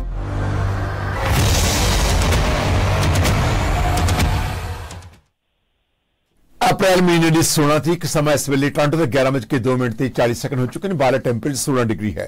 ਸਾਡੇ ਪੰਜਾਬ ਦਾ ਟੈਂਪਰੇਚਰ ਜਿਹੜਾ ਹੈ, ਉਹ ਗਰਮੀ, ਤੁਸੀਂ ਜਾਣਦੇ ਹੋ ਡੇ ਬਾਈ ਡੇ ਜਿਹੜੀ ਹੈ, ਹੁੰਦੀ ਜਾ ਰਹੀ ਹੈ ਬਾਡੀ ਸ਼ੁਰੂ ਹੋ ਚੁੱਕੀ ਹੈ। ਪਰ ਮੌਸਮ ਵਿਭਾਗ ਨੇ ਇੱਕ ਫਿਰ ਅਲਰਟ ਕੀਤਾ ਹੈ ਕਿ ਜਰਾ ਧਿਆਨ ਨਾਲ ਆਪਣੀਆਂ ਫਸਲਾਂ ਜਿਹੜੀਆਂ ਨੇ, ਜੇ ਕੱਟਣ ਵਾਲੀਆਂ, ਤੇ ਫਟਾਫਟ ਕੱਟ ਲਓ ਔਰ ਮੌਸਮ ਜਿਹੜਾ ਹੈ, ਫਿਰ ਦੁਬਾਰਾ ਵਿਗੜਨ ਦੀ ਸੰਭਾਵਨਾ ਹੈ। ਤੁਹਾਡੇ ਸ਼ਹਿਰ ਦਾ ਮੌਸਮ ਅੱਜ 16 ਡਿਗਰੀ ਖੂਬ ਧੁੱਪ ਨਿਕਲੇਗੀ, ਪਰ ਸ਼ਾਮ ਨੂੰ ਇਹ ਤਾਪਮਾਨ ਘਟ ਕੇ 6 ਡਿਗਰੀ ਹੋ ਜਾਵੇਗਾ। ਆਓ, ਅੱਜ ਮੰਗਲਵਾਰ ਹੈ। ਜਤਿੰਦਰ ਪੰਨੂ ਜੀ ਤੁਹਾਡੀ ਸੇਵਾ ਵਿੱਚ ਹਾਜ਼ਰ ਹੋ ਚੁੱਕੇ ਨੇ। ਮੱਕੀ ਰੋਟੀ ਸਾਨੂੰ ਦਾ ਸਾਥ ਤਿਆਰ ਹੋ ਚੁੱਕਾ ਹੈ। ਇਹ ਪ੍ਰੋਗਰਾਮ ਅਸੀਂ ਸਵੀਟ ਮਹਿਲ ਅਤੇ ਨਾਨਲ ਸਪਾਂਸਰ ਕੀਤੀ ਜਾ ਪੇਸ਼ ਕਰ ਰਹੇ ਹਾਂ। ਨਰਮਨ ਮਾਨ ਜੀ, ਜਿਹੜੇ ਕਿ ਤੁਹਾਡੇ ਕਰਜ਼ੇ ਸਿਰ ਤੇ ਚੜੇ ਹੋਏ ਨੂੰ ਮਾਫ ਕਰਦੇ ਨੇ। ਕੈਨੇਡਾ ਚੋਂ, ਅਮਰੀਕਾ ਚੋਂ ਕਰਜ਼ਾ ਮਾਫ ਕਰਾਓ, ਆਪਣੀ ਫੀਸ ਬਾਅਦ ਵਿੱਚ ਦਿਓ ਤੇ ਟੈਲੀਫੋਨ ਕਮਾਓ, ਉਠਾ ਕਰਕੇ 6888 888 ਨੜਰ 14 ਪੰਨੂ ਸਾਹਿਬ, ਆਪ ਜੀ ਦਾ ਸਵਾਗਤ ਹੈ। ਵੈਲਕਮ ਟੂ ਸ਼ੋ ਜੀ, ਸ਼ੁਕਰੀਆ ਬਖਸ਼ੀ ਜੀ ਗਾਉਂਦਾ ਪੰਜਾਬ ਦੇ ਸਰੋਤਿਆਂ ਦੀ ਸੇਵਾ ਚ ਮੈਂ ਦੱਸਦਾ ਅੱਜ ਭਾਰਤੀ ਜਨਤਾ ਪਾਰਟੀ ਨੇ ਤਿੰਨ ਸੀਟਾਂ ਤੇ ਉਮੀਦਵਾਰਾਂ ਦਾ ਐਲਾਨ ਕੀਤਾ। ਉਹਨਾਂ ਤਿੰਨ ਸੀਟਾਂ ਚੋਂ ਇੱਕ ਤਾਂ ਹੁਸ਼ਿਆਰਪੁਰ ਦੀ ਸੀਟ ਹੈ, ਜਿੱਥੇ ਉਹਨਾਂ ਨੇ ਬਾਬੂ ਸੋਮ ਪ੍ਰਕਾਸ਼ ਪਿਛਲੀ ਵਾਰੀ ਜਿੱਤੇ ਸੀ ਤੇ ਫਿਰ ਇਸ ਵਾਰੀ ਉਹ ਬਾਅਦ ਵਿੱਚ ਕੇਂਦਰੀ ਮੰਤਰੀ ਵੀ ਬਣੇ। ਇਸ ਵਾਰੀ ਉਹਨਾਂ ਦੀ ਪਤਨੀ ਅਨੀਤਾ ਸੋਮ ਪ੍ਰਕਾਸ਼ ਨੂੰ ਟਿਕਟ ਦੇ ਦਿੱਤੀ ਹੈ। ਦੂਸਰਾ ਉਹਨਾਂ ਨੇ ਬਠਿੰਡੇ ਤੋਂ ਟਿਕਟ ਦੇ ਦਿੱਤੀ ਹੈ ਬੀਬੀ ਪਰਮਪੋਲ ਪਾਲਕੌਰ ਮਲੂਕਾ ਨੂੰ ਜਿਹੜੀ ਰਾਜ ਪ੍ਰਕਾਸ਼ ਅਹ, ਸਿਕੰਦਰ ਸਿੰਘ ਮਲੂਕਾ ਦੀ ਨੂੰ ਅੱਛਾ ਇਹ ਮੁੱਖ ਖਬਰਾਂ ਤੇ ਇਹ ਆ ਉਦਾਂ ਉਹਨੂੰ ਖਡੂਰ ਸਾਹਿਬ ਤੋਂ ਜਿਹੜੀ ਤੀਸਰੀ ਸੀਟ ਦਿੱਤੀ ਆ ਉਹ ਸਾਬਕਾ ਅਕਾਲੀ ਐਮਐਲਏ ਮਨਜੀਤ ਸਿੰਘ ਮੰਨਾ ਨੂੰ ਦਿੱਤੀ ਹੈ ਅੱਜ ਆਮ ਆਦਮੀ ਪਾਰਟੀ ਨੇ ਵੀ ਤਿੰਨ ਸੀਟਾਂ ਦਾ ਐਲਾਨ ਕੀਤਾ। ਗੁਰਦਾਸਪੁਰ ਤੋਂ ਉਹਨਾਂ ਨੇ ਜਿਹੜਾ ਬਟਾਲੇ ਦਾ ਐਮਐਲਏ ਅਮਨਸ਼ੇਰ ਸਿੰਘ ਸ਼ੇਰੀ ਕਲਸੀ ਹੈ, ਉਹਨੂੰ ਟਿਕਟ ਦੇ ਦਿੱਤੀ ਹੈ। ਇਹਦੇ ਤੋਂ ਇਲਾਵਾ ਜਲੰਧਰ ਤੋਂ ਅਕਾਲੀ ਦਲ ਦੇ ਸਾਬਕਾ ਵਿਧਾਇਕ ਪਵਨ ਕੁਮਾਰ ਟੀਨੂ ਨੂੰ ਟਿਕਟ ਦੇ ਦਿੱਤੀ ਹੈ। ਲੁਧਿਆਣੇ ਤੋਂ ਐਮਐਲਏ ਅਸ਼ੋਕ ਪ੍ਰਾਸ਼ਰ ਪੱਪੀ ਨੂੰ ਟਿਕਟ ਦੇ ਦਿੱਤੀ ਹੈ। ਤੇ ਜਿਹੜੀ ਫਿਰੋਜ਼ਪੁਰ ਦੀ ਸੀਟ ਅਜੇ ਤੱਕ ਬਾਕੀ ਰਹਿੰਦੀ ਸੀ, ਉੱਥੋਂ ਮੁਕਤਸਰ ਸਾਹਿਬ ਦੇ ਐਮਐਲਏ ਜਗਦੀਪ ਸਿੰਘ ਕਾਕਾ ਬਰਾੜ ਨੂੰ ਟਿਕਟ ਦੇ ਦਿੱਤੀ ਹੈ। ਸੋ ਆਮ ਆਦਮੀ ਪਾਰਟੀ ਇਸ ਮਾਮਲੇ 'ਚ ਬਾਕੀਆਂ ਤੋਂ ਅੱਗੇ ਆ ਕੇ ਉਹਨੇ 13 ਦੀਆਂ 13 ਸੀਟਾਂ ਤੇ ਆਪਣਾ ਕੰਮ ਮੁਕਾ ਲਿਆ। ਜਿਹੜੀਆਂ ਬਾਕੀ ਸੀਟਾਂ ਤੇ ਪਹਿਲਾਂ ਟਿਕਟਾਂ ਦੇ ਚੁੱਕੇ, ਉਹਨਾਂ 'ਚ ਅੰਮ੍ਰਿਤਸਰ, ਕੁਲਦੀਪ ਸਿੰਘ, ਧਾਲੀਵਾਲ ਹੈ ਕਡੂਰ ਸਾਹਿਬ, ਲਾਲਜੀਤ ਸਿੰਘ ਭੁੱਲਰ, ਇਹ ਦੋਵੇਂ ਮੰਤਰੀ ਨੇ।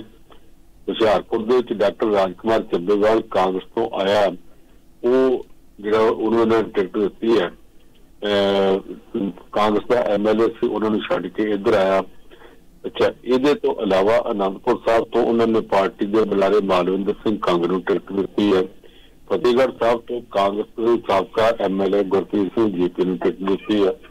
ਫਰੀਦਕੋਟ ਤੋਂ ਕਲਾਕਾਰ ਕਰਮਜੀਤ ਅਨਮੋਲ ਉਹਨੂੰ ਤੁਸੀਂ ਸਾਰੇ ਜਾਣਦੇ ਹੋ, ਉਹਨੂੰ ਟਿਕਟ ਦਿੱਤੀ ਹੈ।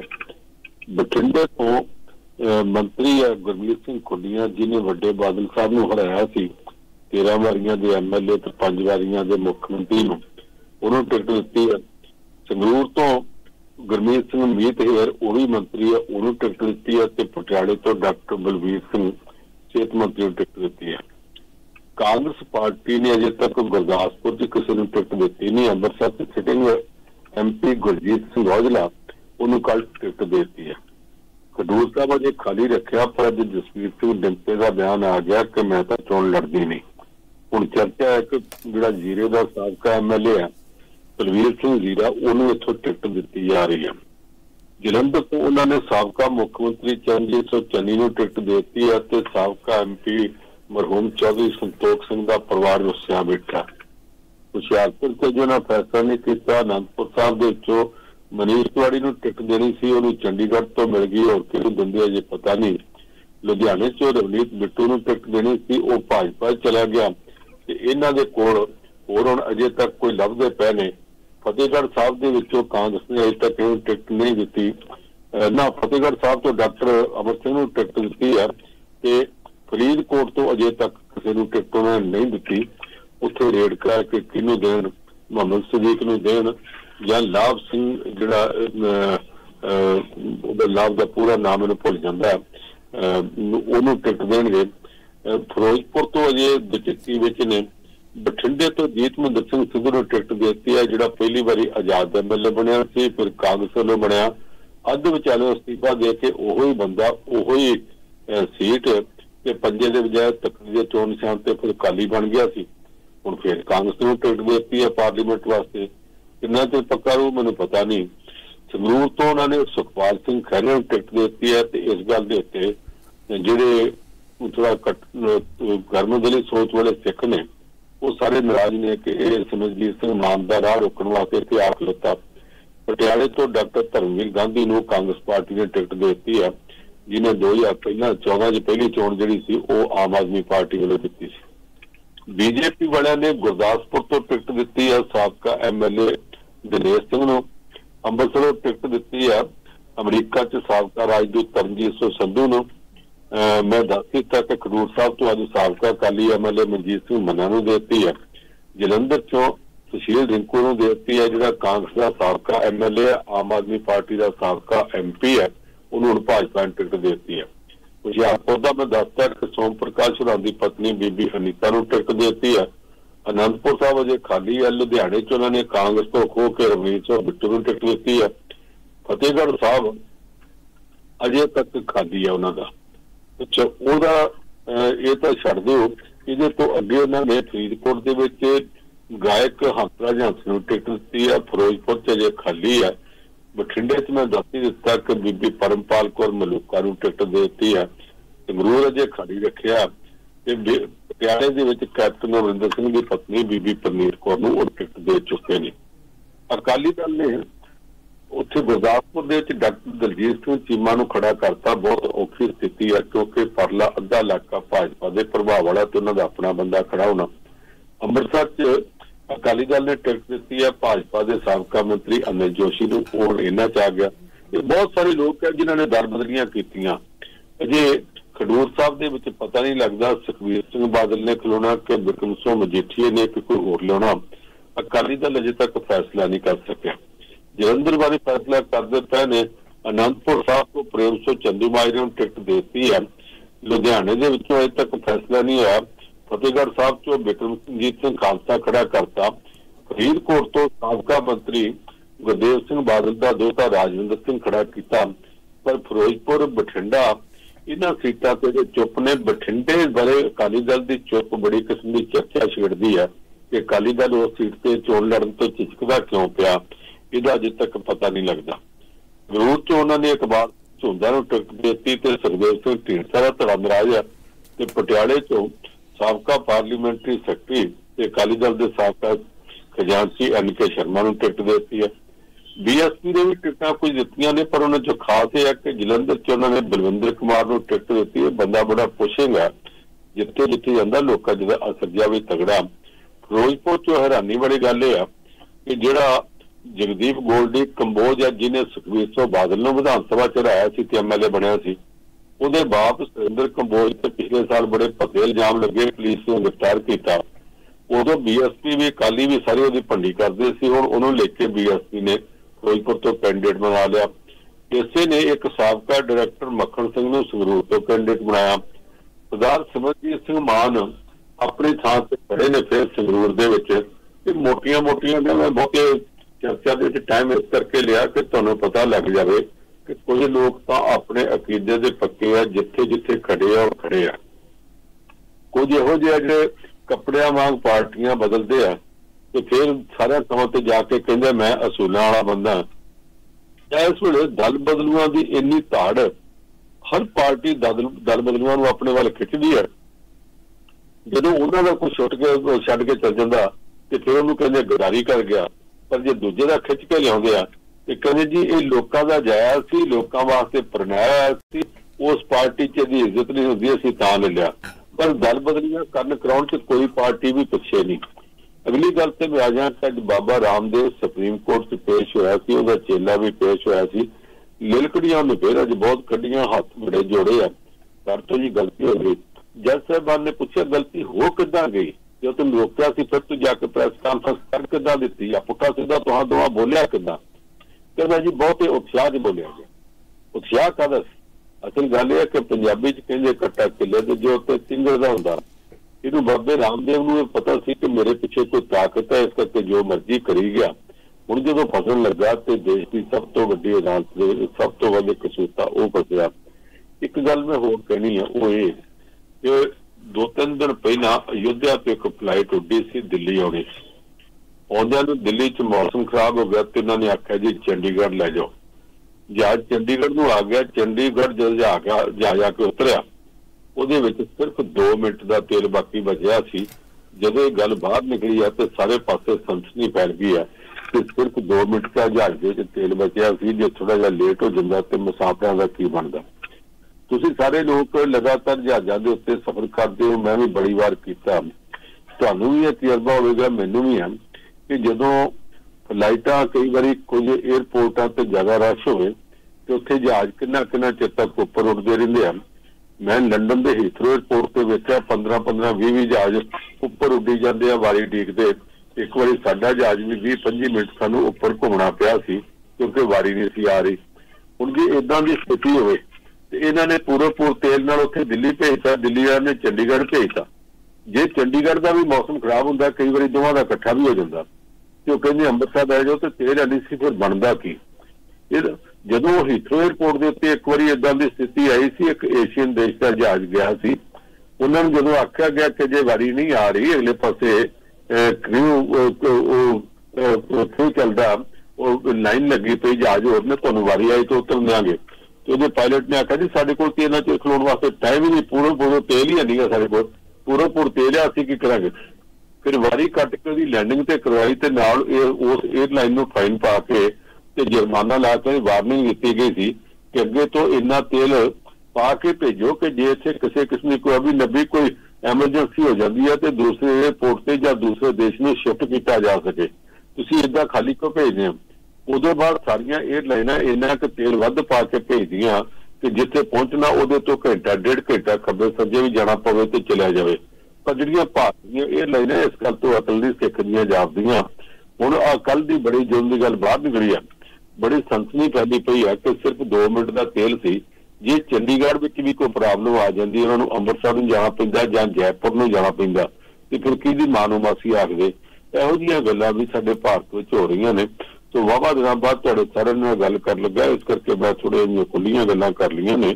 ਹੁਣ ਤੁਹਾਡੇ ਵਿੱਚੋਂ ਕਿਸੇ ਭਰਾ ਜਾਂ ਕਿਸੇ ਭੈਣ ਨੇ ਕੋਈ ਗੱਲ ਕਰਨੀ ਹੋਵੇ ਤੇ ਬਾਸੀ ਜਿਹਨੂੰ ਦੱਸ ਦਿਓ, ਉਹ ਮੇਰੇ ਤੋਂ ਸਵਾਲ ਪੁੱਛ ਲੈਣਗੇ।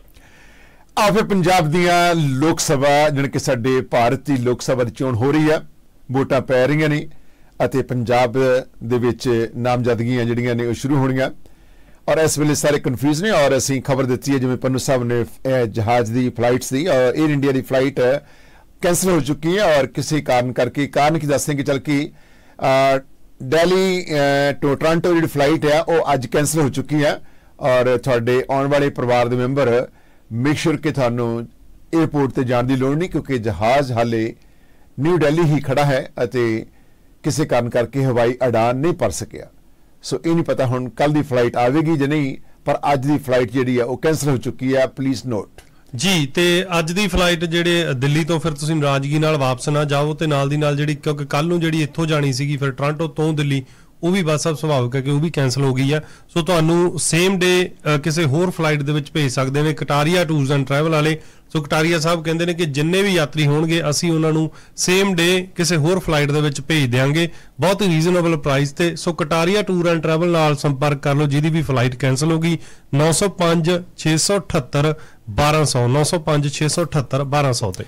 ਅੱਜ ਦੀ ਫਲਾਈਟ ਜਿਹੜੀ ਨਹੀਂ ਆਈ, ਅੱਛਾ ਸਮਝੋ ਕਿ ਫਲਾਈਟ ਜਿਹੜੀ ਹੈ ਉਹ ਫਿਰ ਅੱਜ ਜਿਹੜੀ ਆਉਣੀ ਸੀ ਉਹੀ ਜਾਣੀ ਸੀ। ਤੇ ਅੱਜ ਗਈ ਵੀ ਨਹੀਂ ਤੇ ਨਾ ਆਈ ਹੈ ਜੇ। ਹੁਣ ਕੱਲ ਦਾ ਪਤਾ ਨਹੀਂ ਕਿ ਕੱਲ ਨੂੰ ਆਉਣੀ ਹੈ ਤੇ ਜੇ ਆਊਗੀ ਤੇ ਜਾਊਗੀ ਪਰ ਅੱਜ ਜਿਹੜੀ ਫਲਾਈਟ ਨਾ ਆਈ ਹੈ ਤੇ ਨਾ ਹੀ ਹੁਣ ਜਾਣੀ ਹੈ ਮੇਕ ਸ਼ੋਰ ਅੱਜ ਫਲਾਈਟ ਜਿਨ੍ਹਾਂ ਨੇ ਜਹਾਣਾ ਹੈ ਜਹਾਜ਼ ਉਹ ਆਪਣੇ ਘਰੇ ਆਰਾਮ ਫਰਮਾਉਣ ਆਪਣੇ ਟਰੈਵਲ ਏਜੰਟ ਨੂੰ ਘੰਟੇ ਕਰਾਉਣ ਜਿਨ੍ਹਾਂ ਤੋਂ ਉਹਨੇ ਟਿਕਟ ਬਾਈ ਕੀਤੀ ਹੈ ਆਓ ਅਸੀਂ ਗੱਲ ਕਰਦੇ ਜਦੋਂ ਅੰਦਰ ਪਰਨੂ ਜੀ ਦੇ ਨਾਲ ਸਮਾਂ ਜਿਹੜਾ ਅੱਧ ਘੰਟੇ ਦਾ ਦਿੱਤਾ ਗਿਆ ਹੈ। ਤੁਸੀਂ ਤੁਹਾਡਾ ਕੋਈ ਵੀ ਸਵਾਲ ਹੈ ਤੁਹਾਡਾ ਕਿਹੜਾ ਹਲਕਾ ਹੈ? ਤੇਰਾ ਹਲਕੇ ਵਿੱਚ ਤੁਸੀਂ ਜਾਣਨਾ ਚਾਹੁੰਦੇ ਹੋ ਕਿ ਤੁਹਾਡੇ ਹਲਕੇ ਵਿੱਚ ਕਿਹੜਾ ਉਮੀਦਵਾਰ ਹੈ ਜਿਹਦੇ ਚਾਂਸ ਬਣ ਸਕਦੇ ਨੇ? ਭਾਵੇਂ ਕਿ ਕੁਝ ਇਲਾਕਿਆਂ, ਕੁਝ ਐਸੇ ਜਿਹੜੇ ਹਲਕੇ ਨੇ 13 ਲੋਕ ਸਭਾ ਦੇ ਵਿੱਚੋਂ, ਜਿਨ੍ਹਾਂ ਵਿੱਚੋਂ ਅਸੀਂ ਕਿਆਸ ਲਗਾਈਆਂ ਲਗਾ ਸਕਦੇ ਹਾਂ ਕਿ ਇਹ ਕੰਪੀਟੀਸ਼ਨ ਦੇ ਸਕਦੇ ਨੇ। ਪਰ ਇਹ ਸਾਡੇ ਵਾਸਤੇ ਬਹੁਤ ਕਨਫਿਊਜ਼ ਹੈ। ਹੈਰਾਨੀ ਵਾਲੀ ਗੱਲ ਇਹ ਆ ਕਿ ਰਿਪੋਰਟਰ ਵੀ ਕਨਫਿਊਜ਼ ਹੈ ਵੋਟਰ ਵੀ ਕਨਫਿਊਜ਼ ਹੈ ਤੇ ਸਪੋਰਟਰ ਵੀ ਕਨਫਿਊਜ਼ ਹੈ। ਤਾਂ ਕੈਂਡੀਡੇਟ ਆਪ ਵੀ ਖੁਦ ਕਨਫਿਊਜ਼ ਹੈ ਕੈਂਡੀਡੇਟ ਜਿਹੜਾ ਹੈ ਕਈ ਵਾਰੀ ਜਦੋਂ ਗੱਲਬਾਤ ਕਰਦਾ ਹੈ ਤਾਂ ਆਪਣੀ ਪਿਛਲੀ ਪਾਰਟੀ ਨੂੰ ਯਾਦ ਕਰਕੇ ਉਸ ਪਾਰਟੀ ਦੇ ਗੁਣ ਗਾਉਣ ਲੱਗ ਪੈਂਦਾ ਹੈ ਤੇ ਜਦੋਂ ਫਿਰ ਵੱਜਦੀ ਹੈ ਕਿ ਭਾਈ ਤੂੰ ਤਾਂ ਕੁਝ ਘੰਟੇ ਪਹਿਲਾਂ ਇਸ ਪਾਰਟੀ ਨੂੰ ਛੱਡ ਕੇ ਦੂਜੀ ਪਾਰਟੀ ਦਾ ਪੱਲਾ ਫੜ ਚੁੱਕਾ ਹੈ ਔਰ ਹੈਰਾਨੀ ਵਾਲੀ ਗੱਲ ਹੈ ਕਿ ਦਲ ਬਦਲੂ ਇਹ ਜੋ ਕੁਝ ਵੀ ਹੋਇਆ ਇਹਦੇ ਨਾਲ ਵੋਟਰ ਇੰਨੇ ਕਨਫਿਊਜ਼ ਨੇ ਸਪੋਰਟਰ ਇੰਨੇ ਕਨਫਿਊਜ਼ ਨੇ ਰਿਪੋਰਟਰ ਜਦੋਂ ਰਿਪੋਰਟ ਕਰਦੇ ਨੇ ਜਾਂ ਫਿਰ ਉਹਨਾਂ ਦਾ ਇੰਟਰਵਿਊ ਕਰਦੇ ਨੇ, ਉਹ ਖੁਦ ਕਨਫਿਊਜ਼ ਹੋ ਜਾਂਦੇ ਆ ਕਿ ਤੁਸੀਂ ਕਿਹੜੀ ਪਾਰਟੀ ਦੇ ਵਿੱਚੋਂ ਤੇ ਕਿਹੜੀ ਪਾਰਟੀ ਵਿੱਚ ਜਾ ਸਕਦੇ ਆ। ਪੰਨੂ ਸਾਹਿਬ, ਤੁਹਾਨੂੰ ਨਹੀਂ ਲੱਗਦਾ ਕਿਤੇ ਇਹ ਵੀ ਹੋ ਸਕਦਾ ਕਿ ਜਿੰਨੇ ਚ ਇੱਕ ਨਾਮਜ਼ਦਗੀ ਹੈ ਜਿੰਨੇ ਚ ਆਪਣੇ ਨਾਮ ਨਹੀਂ ਇਹ ਐਂਟਰ ਕਰਦੇ, ਉਹਨਾਂ ਚ ਫਿਰ ਦੁਬਾਰਾ ਇਹ ਆਪਣੀ ਕਿਸੇ ਹੋਰ ਪਾਰਟੀ ਨੂੰ ਛੱਡ, ਕਿਸੇ ਹੋਰ ਪਾਰਟੀ ਵਿੱਚ ਜਾਂ ਫਿਰ ਛੱਡੀ ਪਾਰਟੀ ਦੇ ਦੁਬਾਰਾ ਪੱਲਾ ਫੜ ਸਕਦੇ ਆ। ਤੁਹਾਨੂੰ ਲੱਗਦਾ ਕਿ ਇਹੋ ਜਿਹੇ ਵੀ ਚਾਂਸ ਬਣ ਸਕਦੇ ਆ? ਬਸ ਜੀ ਤੁਹਾਡੇ ਸਵਾਲ ਦਾ ਜਵਾਬ ਮੈਂ ਬਾਅਦ ਚ ਦਿੰਦਾ। ਪਹਿਲਾਂ ਇੱਕ ਗੱਲ ਕਲੀਅਰ ਕਰ ਦਿਆਂ ਕਿ ਮੈਂ ਅਯੁੱਧਿਆ ਦਿੱਲੀ ਚੰਡੀਗੜ੍ਹ ਫਲਾਈਟ ਦੀ ਗੱਲ ਕੀਤੀ ਸੀ ਤੇ ਉਹਦੇ ਮਗਰੇ ਕਿਉਂਕਿ ਤੁਸੀਂ ਜਿਹੜੀ ਕੈਨਸਲ ਹੋਈ ਫਲਾਈਟ ਹੈ 에ਅਰ ਇੰਡੀਆ ਦੀ, ਉਹਦੀ ਗੱਲ ਛੇੜ ਲਈ ਸੀ। ਉਹਦੇ ਤੋਂ ਸਾਡੇ ਸਰੋਤਿਆਂ ਨੂੰ ਇਹ ਕਨਫਿਊਜ਼ਨ ਨਹੀਂ ਹੋਣਾ ਚਾਹੀਦਾ ਕਿ ਜਿਹੜੀ ਅਯੁੱਧਿਆ ਦਿੱਲੀ ਚੰਡੀਗੜ੍ਹ ਵਾਲੀ ਫਲਾਈਟ ਉਹ ਵੀ 에ਅਰ ਇੰਡੀਆ ਦੀ ਸੀ, ਉਹ 에ਅਰ ਇੰਡੀਆ ਦੀ ਨਹੀਂ ਸੀ। ਉਹ ਜਿਹੜੀ ਖਬਰ ਆਈ ਉਹਦੇ ਮੁਤਾਬਕ ਇੰਡੀਗੋ ਦੀ ਸੀ। ਦੋਵੇਂ ਵੱਲੋਂ ਵੱਖ-ਵੱਖ ਨੇ, ਉਹ ਪ੍ਰਾਈਵੇਟ 에ਅਰਲਾਈਨ ਤੇ ਉਹ ਹੈ ਤਾਂ ਅੱਜਕੱਲ 에ਅਰ ਇੰਡੀਆ ਵੀ ਪ੍ਰਾਈਵੇਟ ਆ, ਪਰ ਉਹ ਵੱਖਰੀ ਆ, ਦੋਵਾਂ ਚ ਕਨਫਿਊਜ਼ ਨਾ ਹੋ ਜਾਏ ਹੁਣ ਬਸ ਜੀ ਤੁਸੀਂ ਦੂਸਰਾ ਸਵਾਲ ਜਿਹੜਾ ਪੁੱਛਿਆ ਕਿ ਅਜੇ ਵੀ ਬਦਲ ਸਕਦੇ ਨੇ ਕਿਉਂ ਨਹੀਂ ਬਦਲ ਸਕਦੇ। ਪੰਜਾਬ ਦੇ ਵਿੱਚ ਆਮ ਆਦਮੀ ਪਾਰਟੀ ਨੇ ਜਿਹੜੀ ਸਭ ਤੋਂ ਪਹਿਲੀ ਟਿਕਟ ਦਾ ਐਲਾਨ ਕੀਤਾ, ਜਲੰਧਰ ਚੋਂ ਸੁਸ਼ੀਲ ਰਿੰਕੂ ਦਾ ਸੀ। ਇਹ ਆਖਿਆ ਸੀ, ਸਾਡਾ ਇਸ ਵੇਲੇ ਮੌਜੂਦਾ ਜਿਹੜਾ ਪਾਰਲੀਮੈਂਟ ਮੈਂਬਰ ਹੈ, ਉਹ ਚੋਣ ਲੜੇਗਾ। ਔਰ ਇਹਨੇ ਉਸ ਪਾਰਟੀ ਦਾ ਧੰਨਵਾਦ ਵੀ ਕੀਤਾ। ਤੇ ਅਗਲੇ ਦਿਨ ਜਾ ਕੇ ਭਾਰਤੀ ਜਨਤਾ ਪਾਰਟੀ 'ਚ ਸ਼ਾਮਲ ਹੋ ਗਿਆ ਸੀ। ਹੁਣ ਤੱਕ ਯੂਪੀ ਦੇ ਵਿੱਚੋਂ ਸ਼ਾਇਦ 8 ਜਣਾਂ ਨੇ ਟਿਕਟ ਲੈ ਕੇ ਤੇ ਮੁੜ ਕੇ ਪਾਰਟੀ ਬਦਲੀ ਹੈ ਉਹਨਾਂ ਚੋਂ ਤਿੰਨ ਜਣਾਂ ਨੇ ਭਾਰਤੀ ਜਨਤਾ ਪਾਰਟੀ ਛੱਡੀ ਹੈ ਤੇ ਪੰਜਾਂ ਨੇ ਦੂਜੀਆਂ ਪਾਰਟੀਆਂ ਦੀ ਟਿਕਟ ਲੈ ਕੇ ਛੱਡੀ ਤੇ ਭਾਜਪਾ 'ਚ ਸ਼ਾਮਲ ਹੋਏ ਨੇ। ਇਸੇ ਤਰ੍ਹਾਂ ਗੁਜਰਾਤ ਵਿੱਚ ਭਾਜਪਾ ਦੇ ਤਿੰਨ ਬੰਦਿਆਂ ਨੇ ਟਿਕਟ ਮਿਲਣ ਤੋਂ ਬਾਅਦ ਕਹਿਤਾ ਸਾਡਾ ਮੂਡ ਨਹੀਂ ਜੀ, ਅਸੀਂ ਇਸ ਵਾਰੀ ਟਿਕਟ ਨਹੀਂ ਲੜਨੀ ਚੋਣ ਨਹੀਂ ਲੜਨੀ, ਅਸੀਂ ਟਿਕਟ ਨਹੀਂ ਲੈਣੀ। ਇਦਾਂ ਉਹਨਾਂ ਨੇ ਕੀਤਾ। ਕਈਆਂ ਥਾਵਾਂ ਤੇ ਹੋਇਆ ਇਹ ਪੰਜਾਬ ਵਿੱਚ ਅਗਲੇ ਦਿਨਾਂ 'ਚ ਵੀ ਹੋ ਸਕਦਾ। ਅੱਜ ਕੱਲ ਇਹ ਗੱਲ ਆਮ ਚਰਚਾ ਵਿੱਚ ਹੈ ਕਿ ਲੀਡਰ ਕੁਰਤੇ ਨਾਲੋਂ ਪਜਾਮੇ ਨਾਲੋਂ ਜ਼ਿਆਦਾ ਤੇਜ਼ੀ ਨਾਲ ਪਾਰਟੀਆਂ ਬਦਲਦੇ ਰਹੇ ਨੇ ਤੇ ਉਹ ਪਾਰਟੀਆਂ ਵੀ ਇਹੋ ਜੀਆਂ ਨੇ ਜਿਹੜੀਆਂ ਹਰ ਇੱਕ ਨੂੰ ਕਹਿੰਦੀਆਂ, ਆ ਜਾ, ਕੋਈ ਗੱਲ ਨਹੀਂ। ਸਭ ਤੋਂ ਮਾੜੀ ਗੱਲ ਇਹ ਆ ਕਿ ਹੁਣ ਸੁਸ਼ੀਲ ਰਿੰਕੂ ਵਰਗਾ ਜਿਹੜਾ ਕੱਲ ਤੱਕ ਕਾਂਗਰਸ ਵਿੱਚ ਹੁੰਦਿਆਂ ਵੀ ਤੇ ਆਮ ਆਦਮੀ ਪਾਰਟੀ ਚ ਹੁੰਦਿਆਂ ਵੀ ਭਾਜਪਾ ਨੂੰ ਗਾਲ ਕੱਢਦਾ ਰਿਹਾ ਹੋਵੇ, ਉਹ ਇੱਥੇ ਉਮੀਦਵਾਰ ਆ ਤੇ ਉਹਦੀ ਪ੍ਰੈਸ ਕਾਨਫਰੰਸ ਕਰਾਉਣ ਵਾਸਤੇ ਭਾਜਪਾ ਦਾ ਜਿਹੜਾ ਤਿੰਨ ਵਾਰੀ ਸਭ ਤੋਂ ਸੀਨੀਅਰ ਮੰਤਰੀ ਰਹਿ ਚੁੱਕਾ ਪੰਜਾਬ ਚ ਮਨੋਰੰਜਨ ਕਾਲੀਆ ਉਹ ਵਿਚਾਰਾ ਸੁਸ਼ੀਲ ਰਿੰਕੂ ਦੇ ਵਾਸਤੇ ਪ੍ਰੈਸ ਕਾਨਫਰੰਸ ਦਾ ਪ੍ਰਬੰਧ ਕਰਦਾ ਪਿਆ ਤੇ ਮੁੜ ਕੇ ਪ੍ਰੈਸ ਕਾਨਫਰੰਸ 'ਚ ਸੁਸ਼ੀਲ ਰਿੰਕੂ ਬੋਲਦਾ ਜਿਹੜਾ ਪਹਿਲਾਂ ਭਾਜਪਾ ਨੂੰ ਗਾਲਾਂ ਕੱਢਦਾ ਸੀ ਤੇ ਕਾਲੀਆ ਜੀ ਸਾਈਡ ਤੇ ਬੈਠੇ ਆ, ਜਿਹਦਾ ਬਾਪ ਵੀ ਪਹਿਲਾਂ ਭਾਜਪਾ ਦਾ ਐਮਐਲਏ ਹੁੰਦਾ ਸੀ ਤੇ ਬਾਪ ਦੇ ਦੇਹਾਂਤ ਤੋਂ ਬਾਅਦ ਮਨੋਰੰਜਨ ਕਾਲੀਆ ਐਮਐਲਏ ਵੀ ਬਣਦਾ ਰਿਹਾ। ਔਰ ਮੰਤਰੀ ਵੀ ਬਣਦਾ ਰਿਹਾ ਤੇ ਭਾਜਪਾ ਦੇ ਮੰਤਰੀਆਂ ਤੇ ਵਿਧਾਇਕਾਂ ਦਾ ਸਭ ਤੋਂ ਵੱਡਾ ਲੀਡਰ ਵੀ ਸੀ। ਇੱਕ ਵਾਰੀ ਭਾਜਪਾ ਇਸ ਗੱਲ ਤੇ ਕਾਲੀਆਂ ਨਾਲ ਲੜ ਪਈ ਕਿ ਇਹਨੂੰ ਡਿਪਟੀ ਮੁੱਖ ਮੰਤਰੀ ਕਿਉਂ ਨਹੀਂ ਬਣਾਉਂਦੇ। ਉਹ ਜਿਨ੍ਹਾਂ ਸਾਰੀ ਸਾਰੀ ਉਮਰ ਲਾਈ ਹੈ, ਉਹ ਪਿੱਛੇ ਹਟਾ ਕੇ ਤੇ ਨਵੇਂ ਬੰਦੇ ਲਿਆ ਕੇ ਰਾਤੋਂ ਰਾਤ ਜਿਸ ਤਰ੍ਹਾਂ ਭਾਜਪਾ ਉਹਨਾਂ ਨੂੰ ਉਹਨਾਂ ਦੇ ਸਿਰ ਤੇ ਸਵਾਰ ਕਰ ਰਹੀ ਹੈ, ਉਹਦੇ ਤੋਂ ਬਹੁਤ ਸਾਰੇ ਲੋਕਾਂ ਦੇ ਮਨ 'ਚ ਰੋਸ ਆਓ ਅਸੀਂ ਤੁਹਾਡਾ ਕੀ ਸਵਾਲ ਸਾਨੂੰ ਕਾਲ ਕਰੋ, ਅਸੀਂ ਅਗਲੀ ਕਾਲ ਜਾ ਰਹੇ ਹਾਂ। ਨੰਬਰ 4 ਕਾਲਰ, ਤੁਹਾਡਾ ਸਵਾਲ ਕੀ ਹੈ ਪੰਨੂ ਸਾਹਿਬ ਨੂੰ?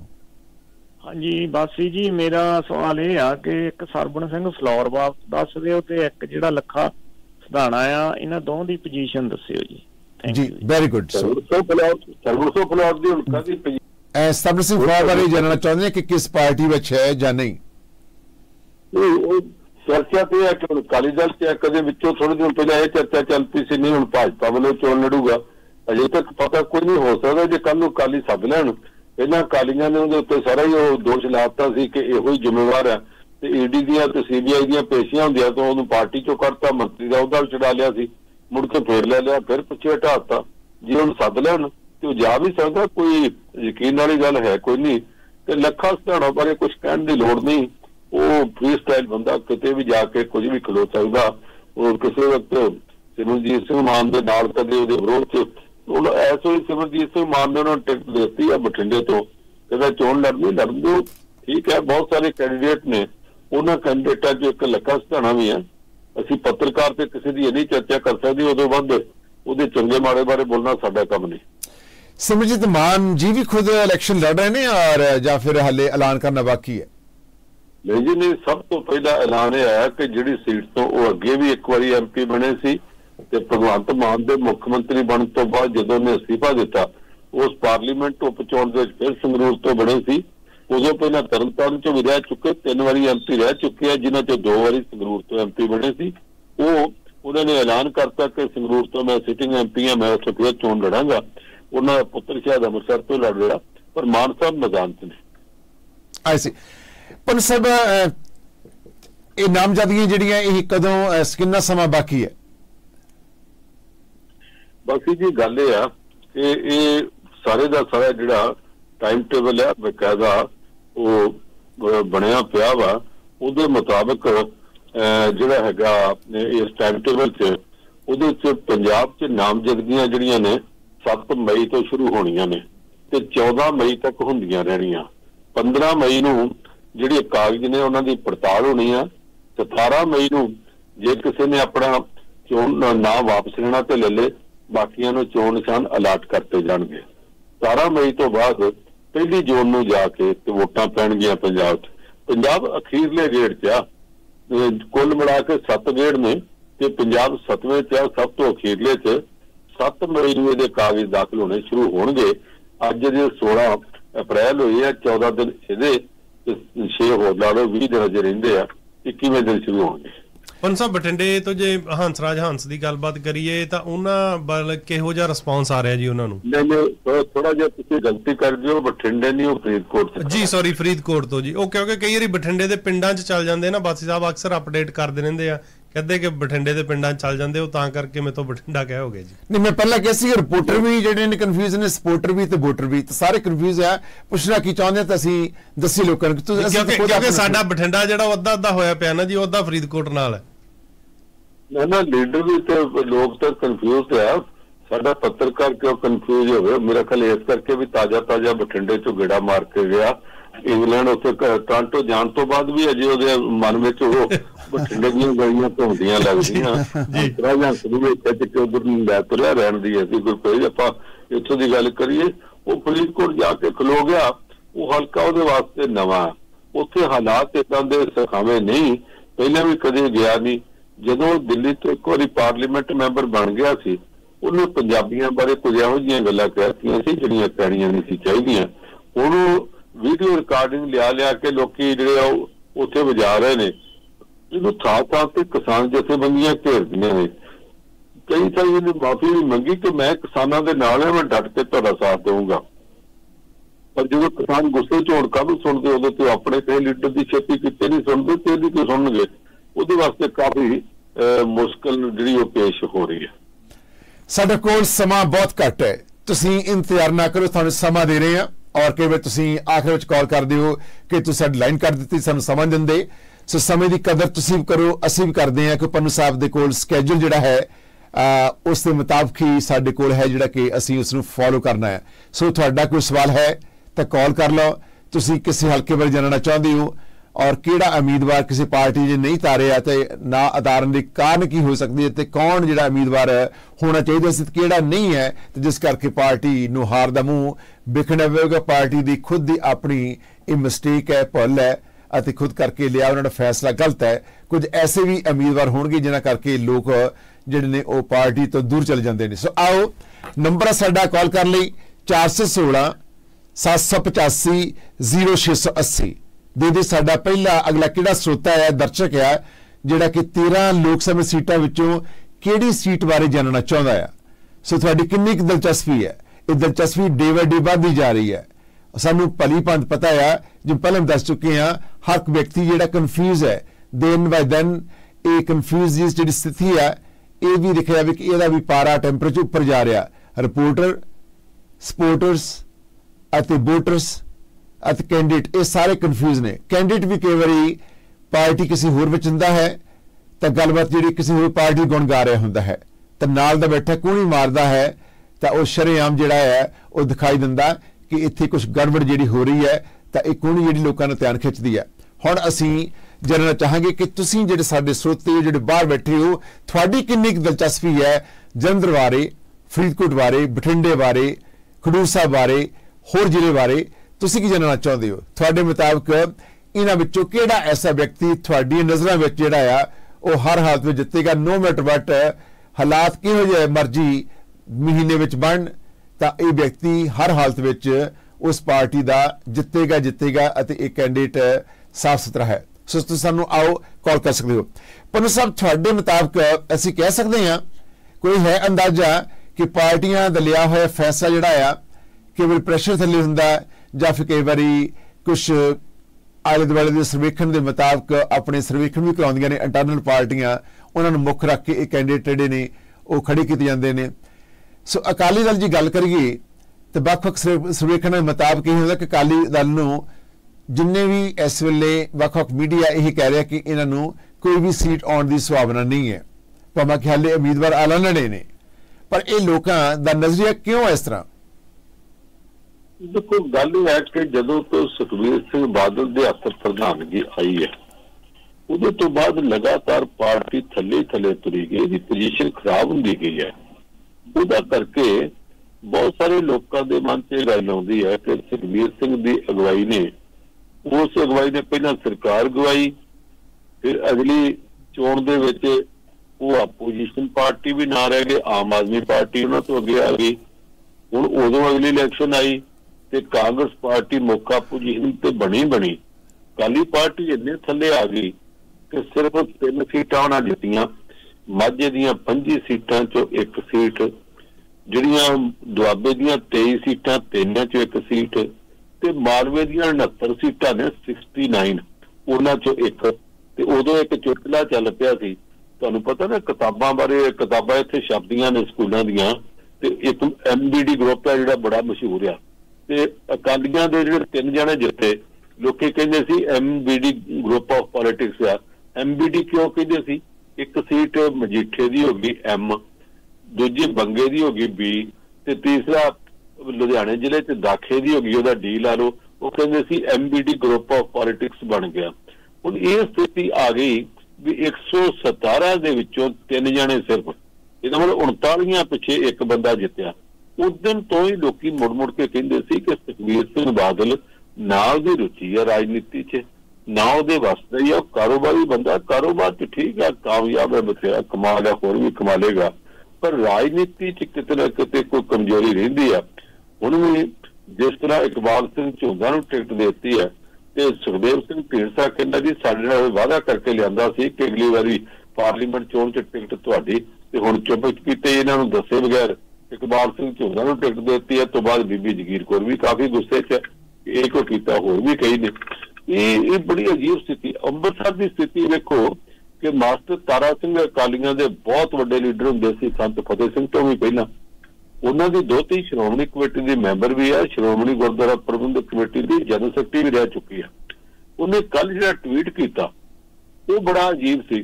ਕਹਿੰਦੇ ਵੀ ਅੰਮ੍ਰਿਤਸਰ ਦੇ ਵਿੱਚ ਜਿੱਥੇ ਦਰਬਾਰ ਸਾਹਿਬ ਹੈ ਸਾਡਾ ਉੱਥੇ ਜਿਹੜਾ ਇੱਕ ਬੜਾ ਪ੍ਰਮੁੱਖ ਸਿੱਖ ਲੀਡਰ ਸੀ, ਉਹਦਾ ਦੋਤਾ ਤਾਂ ਭਾਜਪਾ ਵੱਲੋਂ ਖੜਾ ਤੇ ਜਿਹੜਾ ਭਾਜਪਾ ਦਾ ਆਰਐਸਐਸ ਦੀ ਸ਼ਰਨ ਵਿੱਚ ਪੜਿਆ ਬੱਚਾ ਸੀ, ਉਹ ਕਾਲੀਆਂ ਨਾਲ ਖੋ ਗਿਆ। ਉਹਦਾ ਕਾਰਨ ਕੀ ਆ? ਕਿ ਤੇਜਾ ਸਿੰਘ ਸਮੁੰਦਰੀ ਹੋਰੀ ਹੁੰਦੇ ਸੀ, ਬਹੁਤ ਵੱਡੇ ਅਕਾਲੀ ਲੀਡਰ ਸੀ। ਸ਼੍ਰੋਮਣੀ ਗੁਰਦੁਆਰਾ ਪ੍ਰਬੰਧਕ ਕਮੇਟੀ ਦਾ ਹੈੱਡਕੁਆਟਰ ਬਣਾਉਣ ਲਈ ਜਿਹਨੂੰ ਤੇਜਾ ਸਿੰਘ ਸਮੁੰਦਰੀ ਹਾਲ ਕਹਿੰਦੇ ਆ, ਜਿੱਥੇ ਹਰ ਵਾਰ ਚੋਣ ਹੁੰਦੀ ਸ਼੍ਰੋਮਣੀ ਕਮੇਟੀ ਦੀ। ਉਹ ਬਣਾਉਣ ਦੇ ਵਿੱਚ ਵੀ ਉਹਨਾਂ ਦਾ ਬਹੁਤ ਵੱਡਾ ਯੋਗਦਾਨ ਸੀ, ਬੜਾ ਹਿੱਸਾ ਉਹਨਾਂ ਨੇ ਆਪਣੇ ਪਰਿਵਾਰ ਵੱਲੋਂ ਪਾਇਆ ਸੀ। ਬਾਅਦ ਵਿੱਚ ਉਹਨਾਂ ਦਾ ਪੁੱਤਰ ਤੇ ਬੜਾ ਸਿੱਖ ਵੱਡ- ਵਿਚਾਰਵਾਨ ਬੁੱਧੀਜੀਵੀ, ਅਹ ਗੁਰੂ ਨਾਨਕ ਦੇਵ ਯੂਨੀਵਰਸਿਟੀ ਦਾ ਵਾਈਸ ਚਾਂਸਲਰ ਰਿਹਾ ਸੀ।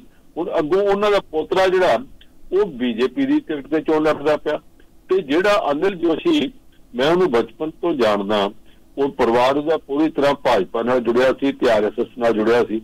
ਮੈਂ ਲੋਕਾਂ ਵਾਸਤੇ ਲੀਡਰ ਮੈਂ ਮੁੰਡਾ ਲਫ਼ਜ਼ ਇਸ ਕਰਕੇ ਵਰਤਣ ਲੱਗਾ ਕਿ ਮੈਂ ਉਹਨੂੰ ਮੁੰਡੇ ਨੂੰ ਉਹਦਾ ਜਾਣਦਾ।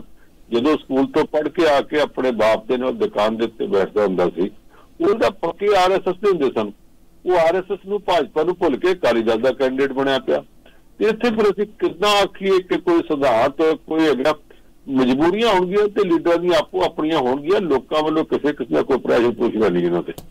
ਭਾਰਤੀ ਜਨਤਾ ਪਾਰਟੀ ਦੇ ਵਿੱਚ ਪਿਛਲੇ ਕੁਝ ਲਾਸਟ ਸਮੇਂ ਦੀ ਪਿਛਲੇ ਕੁਝ ਮਹੀਨਿਆਂ ਦੀ ਜਾਂ ਸਾਲ ਤੋਂ ਉੱਪਰ ਦੀ ਗੱਲ ਕਰੀਏ, ਤਾਂ ਜਿਹੜੇ ਐਸਸੀ ਵਿੰਗ ਦੇ ਪ੍ਰਧਾਨ ਬਲਵੰਤ ਰਾਮੂਵਾਲ ਦੀ ਧੀ ਰਾਣੀ ਨੂੰ ਬਣਾਇਆ ਗਿਆ ਸੀ, ਉਹਨਾਂ ਦਾ ਨਾਮ ਵੀ ਅਲੋਪ ਹੈ ਤੇ ਦੂਜੇ ਪਾਸੇ ਬਲਵੰਤ ਰਾਮੂਵਾਲੀਆ ਦਾ ਇਸ ਲੋਕ ਸਭਾ ਦੇ ਵਿੱਚ ਕੋਈ ਕਿਸੇ ਪਾਸੇ ਜ਼ਿਕਰ ਹੀ ਨਹੀਂ ਆਉਂਦਾ, ਉਹ ਕਿਹੜੀ ਪਾਰਟੀ ਵੱਲ ਹੈ ਜਾਂ ਫਿਰ ਉਹਨਾਂ ਦਾ ਧਿਆਨ ਜਿਹੜਾ ਆ ਜਾਂ ਕਿਸੇ ਪਾਰਟੀ ਦਾ ਉਹਨਾਂ ਤੋਂ ਲੋਕ ਆਪਣਾ ਮਨ ਖੱਟਾ ਕਰ ਚੁੱਕੇ ਨੇ ਪਾਰਟੀ ਦੇ ਜਿਹੜੇ ਲੀਡਰ ਸਹਿਬਾਨ ਨੇ। ਜਾਂ ਉਹਨਾਂ ਵਿੱਚ ਵਜਨ ਹੀ ਨਹੀਂ ਰਿਹਾ, ਉਹ ਉਹਨਾਂ ਦਾ ਭਾਰ ਹੀ ਹੈ ਨਹੀਂ ਸਿਆਸਤ ਵਿੱਚ।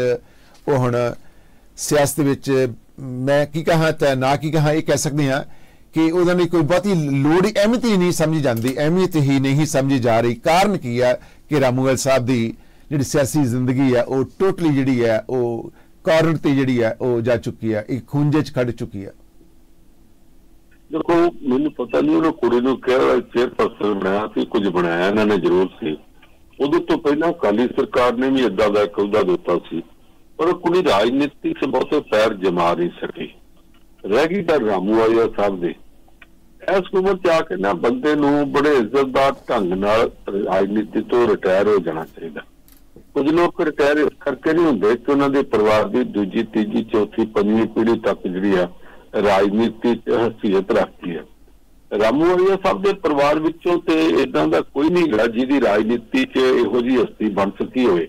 ਤੇ ਜੇ ਹੈ ਨਹੀਂ ਤੇ ਬਦੋ ਵਿੱਚ ਜਾਣ ਦੀ ਥਾਂ ਮੇਰਾ ਘਰ ਰਾਮੂਵਾਲੀਆ ਸਾਹਿਬ ਮੇਰੇ ਦੋਸਤ ਨੇ ਕਾਫੀ ਸਾਡੀ ਨੇੜਤਾ ਵੀ ਹੈ। ਮੈਂ ਸਮਝਦਾ ਕਿ ਹੁਣ ਰਾਜਨੀਤੀ 'ਚ ਇਸ ਤਰ੍ਹਾਂ ਦੀ ਹਾਸੋੜੀ ਸਥਿਤੀ ਨਾਲ ਥੋੜਾ ਜਿਹਾ ਰਿਟਾਇਰ ਹੋ ਜਾਣਾ ਚਾਹੀਦਾ। ਇੱਕ ਉਮਰ ਹੁੰਦੀ ਹੈ ਜਿੱਥੇ ਜਾ ਕੇ ਬੰਦਾ ਵੇਲੇ ਸਿਰ ਹੀ ਉਸ ਅਹ, ਜਿਹੜੇ ਭਰੇ ਮੇਰੇ ਨੂੰ ਛੱਡ ਕੇ ਤੇ ਪਾਸੇ ਹੋ ਜਾਵੇ ਤੇ ਲੋਕਾਂ ਦੀ ਗ੍ਰੇਸ ਬਣੀ ਰਹਿੰਦੀ ਹੈ। ਸਾਡੇ ਪਾਸ ਸਰ 2 ਮਿੰਟ ਦਾ ਸਮਾਂ ਹੈ। 2 ਮਿੰਟ ਦੇ ਵਿੱਚ ਵਿੱਚ ਤੁਹਾਨੂੰ ਅਸੀਂ ਟਾਈਮ ਦੇ ਰਹੇ ਹਾਂ। ਕਾਲ ਕਰ ਲਓ।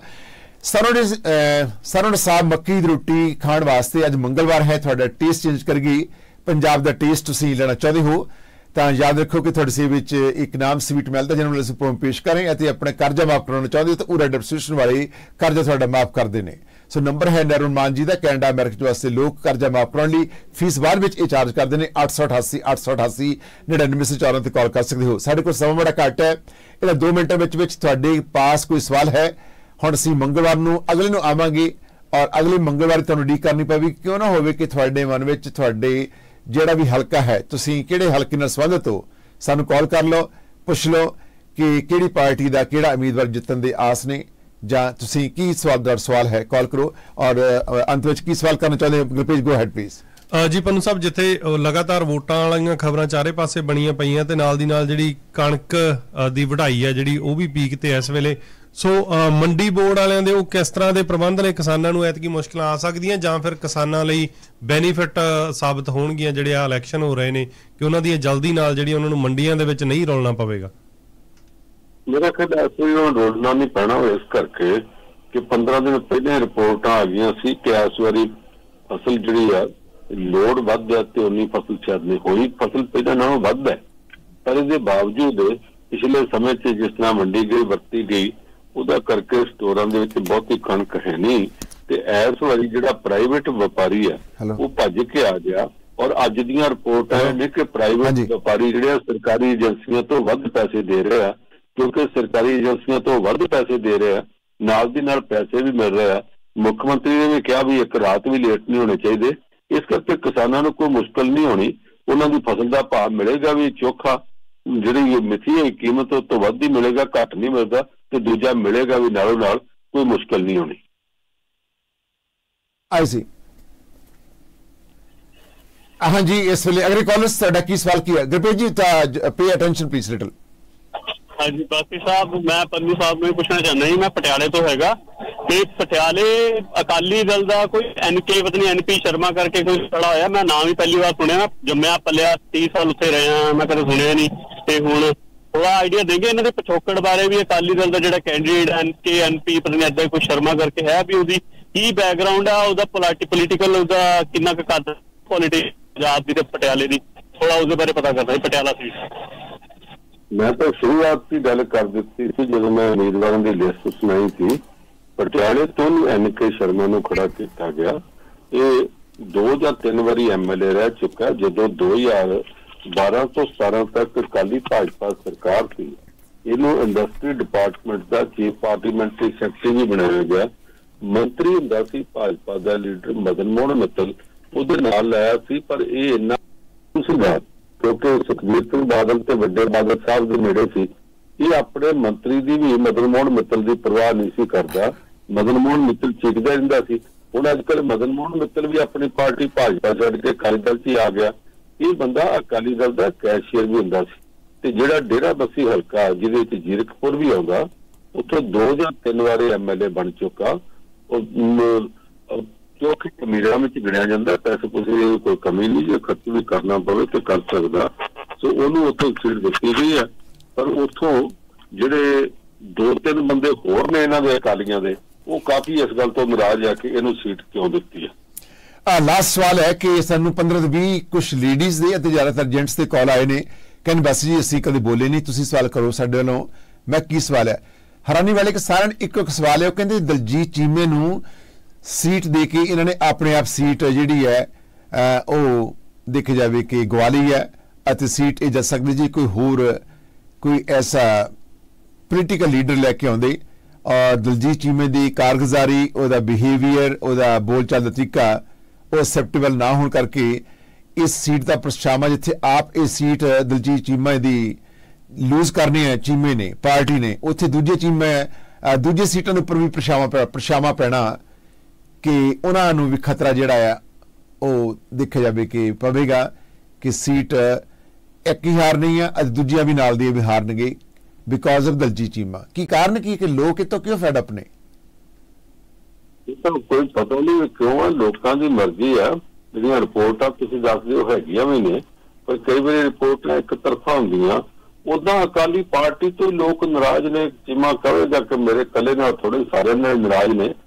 ਫਿਰ ਵੀ ਅਸੀਂ ਇਹ ਸਮਝਦੇ ਹਾਂ ਕਿ ਅਜੇ ਚੋਣ ਪੂਰੀ ਤਰ੍ਹਾਂ ਪੱਖੀ ਨਹੀਂ ਗੀ ਚੋਣ ਪੱਖੀ ਤੋਂ ਹੀ ਪਤਾ ਲੱਗੂਗਾ ਉਹਦੀ ਪੋਜੀਸ਼ਨ ਕੀ ਆ। ਮੁੱਢਲੇ ਤੌਰ ਤੇ ਜਿਹੜੀ ਗੱਲ ਤੁਹਾਂ ਆਖੀ, ਉਹ ਕਾਫੀ ਹੱਦ ਤੱਕ ਠੀਕ ਹੋ ਸਕਦੀ ਹੈ। ਚਰਚੇ ਤੇ ਬਹੁਤ ਨੇ, ਪਰ ਅਸੀਂ ਅਜੇ ਇਸ ਪੜਾਅ ਤੇ ਕੁਝ ਨਾ ਆਖੀਏ ਕਿਉਂਕਿ ਅਜੇ ਚੋਣ ਚੱਲੀ ਨਹੀਂ। ਜਿੱਥੇ ਪਾਰਟੀ ਦੇ ਵਿੱਚ ਜਿਨ੍ਹਾਂ ਨੂੰ ਟਿਕਟਾਂ ਦਾ ਐਲਾਨ ਕੀਤਾ ਆ ਔਰ ਇਹ ਛੱਡ ਕੇ ਜਾਣ ਦੇ ਆਸਾਰ ਹੋ ਸਕਦੇ ਨੇ, ਉੱਥੇ ਪਾਰਟੀ ਵੀ ਇਹਨਾਂ ਨੂੰ ਆਖਰ ਦੇ ਵਿੱਚ ਅਲਵਿਦਾ ਕਹਿ ਸਕਦੀ ਆ, ਆਪ ਵੀ ਜਵਾਬ ਦੇ ਸਕਦੀ ਆ, ਇਹ ਵੀ ਪੋਸੀਬਿਲਿਟੀ ਕਦੇ ਹੋਈ ਹੈ ਜਾਂ ਹੋ ਸਕਦੀ ਆ? ਨਹੀਂ ਤਾਂ ਹੁੰਦੇ ਰਹੀ ਰਾਜਨੀਤੀ ਇਹੋ ਜੀ ਚੀਜ਼ ਆ, ਖਾਸ ਕਰਕੇ ਭਾਰਤ ਵਿੱਚ ਤੇ ਭਾਰਤ ਦੇ ਵਿੱਚੋਂ ਪੰਜਾਬ ਵਿੱਚ ਵੀ, ਜਿੱਥੇ ਕੋਈ ਕਿਸੇ ਦਾ ਸਕਾ ਨਹੀਂ, ਹਰ ਕੋਈ, ਇੱਥੇ ਨਾ ਮਥੁਰਾ ਦੇ ਵਿੱਚ ਇੱਕ ਲੱਡੂ ਨੇ ਬਹੁਤ ਫੇਵਰਟ ਲੋਕੀ ਬੜਾ ਖਾਂਦੇ ਚਾਹ ਨਾਲ, ਤੇ ਉਹਦੀ ਲੱਡੂਆਂ ਦੀ ਦੁਕਾਨ ਉਹ ਹਲਵਾਈ ਨੇ ਉਹਦਾ ਨਾਮ ਰੱਖਿਆ ਠੱਗੂ ਕੇ ਲੱਡੂ। ਉਹ ਠੱਗੂ, ਉਹ ਆਪਣੇ ਆਪ ਨੂੰ ਪਹਿਲਾਂ ਹੀ ਠੱਗੂ ਕਹਿੰਦਾ ਤੇ ਉਹਨੇ ਲਿਖ ਕੇ ਲਾਇਆ ਉਹਦੇ ਉੱਤੇ ਹਿੰਦੀ 'ਚ, ਐਸਾ ਕੋਈ ਸਗਾ ਨਹੀਂ ਜਿਸ ਨੇ ਉਹ, ਜਿਸ ਕੋ ਹਮਨੇ ਠਗਾ ਨਹੀਂ। ਯਾਨੀ ਉਹ ਕਹਿੰਦਾ ਮੈਂ ਤੇ ਆਪਣੇ ਸਾਕੰਗ ਵੀ ਠੱਗ ਲਿਆ ਖੁੱਲ ਕੇ ਲਿਖਦਾ। ਹੁਣ ਇਹੀ ਹਾਲਤ ਰਾਜਨੀਤੀ 'ਚ ਮੂੰਹ ਕੋਈ ਆਖੇ ਜਾਂ ਨਾ ਆਖੇ, ਇਹ ਸਾਰੇ ਇੱਕ ਦੂਜੇ ਨਾਲ ਠੱਗੀ ਲਾਉਂਦੇ, ਇੱਕ ਦੂਜੇ ਨੂੰ ਠੱਗੀਆਂ ਮਾਰਦੇ, ਕੋਈ ਕਿਸੇ ਦਾ ਸਗਾ ਨਹੀਂ। ਕੱਲ ਸੂਰਜ ਕਿੱਦਾਂ ਦੀ ਖਬਰ ਲੈ ਕੇ ਆਊਗਾ, ਅਸੀਂ ਅਜੇ ਅੱਜ ਕੁਝ ਕਹਿ ਨਹੀਂ ਸਕਦੇ। ਲਾਸਟ ਕੁਐਸਚਨ ਸੌਰੀ ਇੱਕੋ ਇੱਕ ਸਵਾਲ ਹੈ। ਸਰ, ਸਿਕੰਦਰ ਸਿੰਘ ਮਲੂਕਾ ਜਿਹੜੇ ਕਿ ਮੰਤਰੀ ਸਹਿਬਾਨ ਰਹੇ ਨੇ ਅਤੇ ਉਹਨਾਂ ਦਾ ਸੁਪੁੱਤਰ ਅਤੇ ਉਹਨਾਂ ਦੀ ਨੂੰਹ ਰਾਣੀ ਉਹਨਾਂ ਨੇ ਅਸਤੀਫਾ ਦਿੱਤਾ, ਉਸ ਤੋਂ ਬਾਅਦ ਉਹਨਾਂ ਨੇ ਜੁਆਇਨ ਕਰ ਲਿਆ ਤੇ ਜੁਆਇਨ ਕਰਦੇ ਸਾਰੇ ਉਹਨਾਂ ਨੂੰ ਟਿਕਟ ਮਿਲ ਗਈ ਆ। ਸੋ ਕੀ ਇਸ ਵੇਲੇ ਜਿਹੜੀ ਸਿਚੁਏਸ਼ਨ ਹੈ ਸਿਚੁਏਸ਼ਨ ਜਿਹੜੀ ਆ, ਬਣੀ ਹੋਈ ਮਲੂਕਾ ਸਾਹਿਬ ਦੀ ਕੁਝ ਲੋਕ ਕਹਿੰਦੇ ਨੇ ਕਿ ਉਹ ਪਾਰਟੀ ਵਿੱਚ ਰਹਿਣਗੇ। ਅਤੇ ਦੂਜੇ ਪਾਸੇ ਕਹਿੰਦੇ ਨੇ ਕਿ ਉਹ ਪਾਰਟੀ ਨੂੰ ਅਲਵਿਦਾ ਕਹਿਣਗੇ ਤੇ ਕੱਲ ਨੂੰ ਉਹ ਜੁਆਇਨ ਕਰ ਲੈਣਗੇ। ਕੁਝ ਹੈ ਕੁਸਰ ਹੋ ਰਹੀ, ਕਿਉਂਕਿ ਉਹਨਾਂ ਨੂੰ ਦੇਖਿਆ ਜਾਵੇ ਕਿ ਆਪਣੇ ਵਾਂਝੇ ਕਰ ਦਿੱਤਾ ਆ, ਉਹਨਾਂ ਤੋਂ ਉਹ ਵੀ ਸਿਆਸੀ ਤਾਕਤ ਵਾਪਸ ਲੈ ਲਈ ਆ, ਹਲਕਾ ਇੰਚਾਰਜ ਜਿਹੜੇ ਸੀਗੇ, ਉਹ ਵੀ ਉਹਨਾਂ ਤੋਂ ਜਿਹੜੀ ਉਹਨਾਂ ਦਾ ਜੋ ਵੀ ਮੈਂ ਕਹਿ ਸਕਦਾ ਹਾਂ ਕਿ ਪਦ ਜੋ ਵੀ ਉਹ ਜਿਸ ਵੀ ਉਹਨਾਂ ਨੂੰ ਅਹੁਦੇ ਤੇ ਸੀਗੇ, ਉਹਨਾਂ ਤੋਂ ਵਾਪਸ ਉਹ ਲੈ ਲਿਆ ਗਿਆ। ਤੁਹਾਡਾ ਜਿਹੜਾ ਛੇਵਾਂ ਲਾਸਟ ਸਵਾਲ ਆਇਆ ਨਾ, ਇਹ ਇੰਟਰਸਟਿੰਗ ਹੈ। ਸਿਕੰਦਰ ਸਿੰਘ ਮਲੂਕਾ ਹੋਰੀ ਕਾਲੀ ਪਾਰਟੀ ਦੇ ਸੀਨੀਅਰ ਲੀਡਰ ਹੈ ਵੱਡੇ ਬਾਦਲ ਸਾਹਿਬ ਦੇ ਨਾਲ ਲੰਮਾ ਸਮਾਂ ਲਾਇਆ। ਪਰ ਛੋਟੇ ਬਾਦਲ ਸਾਹਿਬ ਨੇ ਜਿੱਦਾਂ ਉਹਨਾਂ ਨਾਲ ਪਿਛਲੀ ਵਿਧਾਨ ਸਭਾ ਚੋਣਾਂ 'ਚ ਕੀਤੀ, ਉਹਨਾਂ ਨੂੰ ਪਹਿਲਾਂ ਕਹਿ ਕੇ ਕਿ ਮੋੜ ਇਲਾਕੇ ਦੇ ਵਿੱਚ ਤੁਸੀਂ ਇੰਚਾਰਜ ਜਾਂ ਪਿਓ ਪੁੱਤਰ, ਦੋਵਾਂ ਨੂੰ ਤੁਹਾਨੂੰ ਰਾਮਪੁਰਾ ਪੁਲ ਤੇ ਮੋੜ ਦੇਣੇ ਆ। ਬਾਅਦ 'ਚ ਮੋੜ ਨੇ ਤੇ ਖੋਲਿਆ ਉਦੋਂ ਤੋਂ ਲੈ ਕੇ ਪ੍ਰਤਨਾ ਸੀ, ਉਹ ਪ੍ਰਤਨਾ ਹੁਣ ਬਾਹਰ ਆ ਗਈਆਂ ਨੇ। ਪੁੱਤਰ ਤੇ ਨੌ ਭਾਜਪਾ 'ਚ ਚਲੇ ਗਏ ਆ। ਪਰ ਮਲੂਕਾ ਸਾਹਿਬ ਦੀ ਮਰਜ਼ੀ ਤੋਂ ਬਗੈਰ ਥੋੜਾ ਗਿਆ ਉਹ ਕਹਿੰਦੇ ਆ, ਮੈਂ ਕਾਲੀ ਦਲ ਨਾਲ ਆ, ਪਰ ਕਾਲੀ ਦਲ ਉਹਨਾਂ ਕਿੱਦਾਂ ਮੰਨੂ ਕਿ ਸਾਡੇ ਨਾਲ ਨੇ? ਹੁਣ ਜਿਹੜੇ ਹਾਲਾਤ ਬਣੇ ਪਏ ਆ, ਮੈਨੂੰ ਲੱਗਦਾ ਕਿ ਬਾਦਲ ਪਰਿਵਾਰ ਜਾਂ ਬਾਦਲ ਅਕਾਲੀ ਦਲ ਦੀ ਉਮੀਦਵਾਰ ਜੇ ਬੀਬੀ ਹਰਸਿਮਰਤ ਕੌਰ ਬਾਦਲ ਹੋਈ ਉਹਦੇ ਵਾਸਤੇ ਸਭ ਤੋਂ ਵੱਡਾ ਅੜਿੱਕਾ ਇਹ ਹੋਣਾ ਕਿ ਬੀਬੀ ਪਰਮਪਾਲ ਕੌਰ ਜਿਹੜੀ ਆ, ਉਹਦੇ ਨਾਲ ਵੋਟਾਂ ਵੱਧ ਮਿਲਦੀਆਂ ਕਿ ਨਹੀਂ ਮਿਲਦੀਆਂ, ਹਾਰ ਜਿੱਤਣਾ ਵੱਡੀ ਉਹਨਾਂ ਵਾਸਤੇ ਸਟੇਕ ਇਹ ਬਣ ਸਕਦੀ। ਹੈ ਬੜੀ ਮਿਹਰਬਾਨੀ, ਆਉਣ ਵਾਲੇ ਮੰਗਲਵਾਰ ਨੂੰ। ਤੁਹਾਡੀ ਅਡੀਕ ਵਿੱਚ ਸਾਡੀ ਮਹਿਫਲ ਦੇ ਜਿਹੜੇ ਸਰੋਤੇ ਦਰਸ਼ਕ ਜਿਹੜੇ ਨੇ ਉਹ ਇੰਤਜ਼ਾਰ ਕਰਨਗੇ। ਧੰਨਵਾਦ ਸਮਾਂ ਦੇਣ ਲਈ। ਬਹੁਤ ਬਹੁਤ ਸ਼ੁਕਰੀਆ। ਜੀ ਮਿਹਰਬਾਨੀ ਸ਼ੁਕਰੀਆ।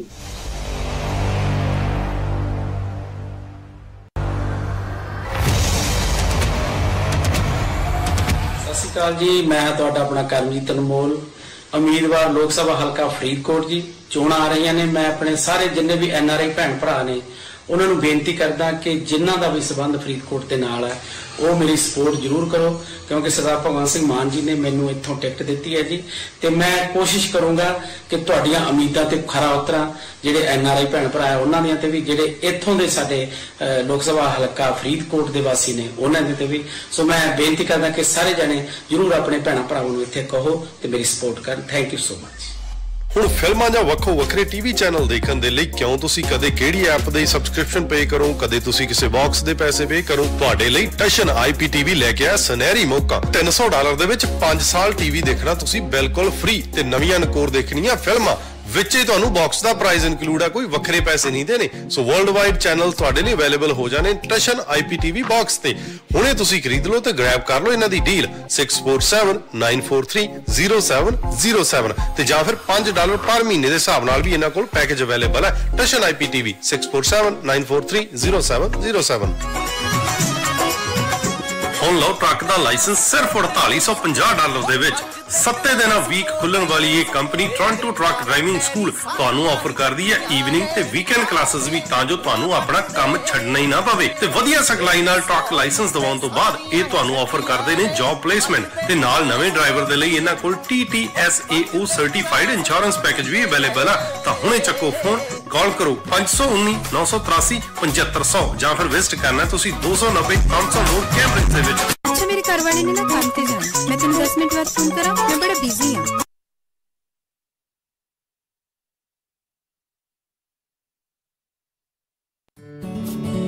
ਆਉਣ ਵਾਲੇ ਇਲੈਕਸ਼ਨਾਂ ਦੇ ਵਿੱਚ ਜੇ ਤੁਸੀਂ ਚਾਹੁੰਦੇ ਹੋ ਕਿ ਬ੍ਰੈਂਪਟਨ ਈਸਟ ਤੋਂ ਐਮਪੀ ਦਾ ਕੈਂਡੀਡੇਟ ਇੱਕ ਅਜਿਹਾ ਹੋਵੇ, ਜਿਹੜਾ ਕਿ ਤੁਹਾਡੀ cost of living auto theft ਤੇ ਤੁਹਾਡੇ ਬੱਚਿਆਂ ਦੇ ਆਉਣ ਵਾਲੇ ਫਿਊਚਰ ਦੇ ਲਈ ਧੜੱਲੇਦਾਰ ਆਵਾਜ਼ ਬਣ ਸਕੇ, ਤਾਂ ਜੈਫ ਲਾਲ ਤੁਹਾਡੇ ਕੋਲ ਇੱਕ ਆਪਸ਼ਨ ਹੈ। ਤਾਂ ਹੁਣ ਤੁਸੀਂ ਵੋਟ ਕਰ ਸਕਦੇ ਹੋ nomination candidate for MP Brampton East ਤੋਂ new voice bright future together for Brampton East. So Brampton East ਦੇ ਲਈ ਐਮਪੀ ਕੈਂਡੀਡੇਟ ਦੀ ਨੋਮੀਨੇਸ਼ਨ ਦੇ ਲਈ ਵੋਟ ਕਰੋ ਜੈਫ ਲਾਲ ਨੂੰ।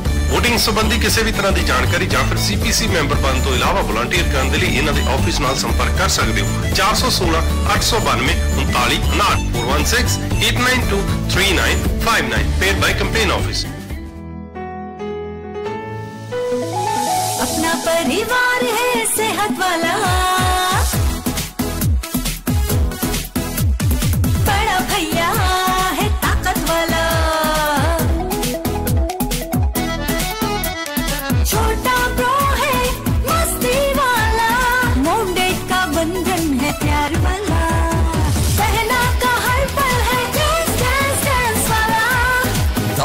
है ज्ञान वाला।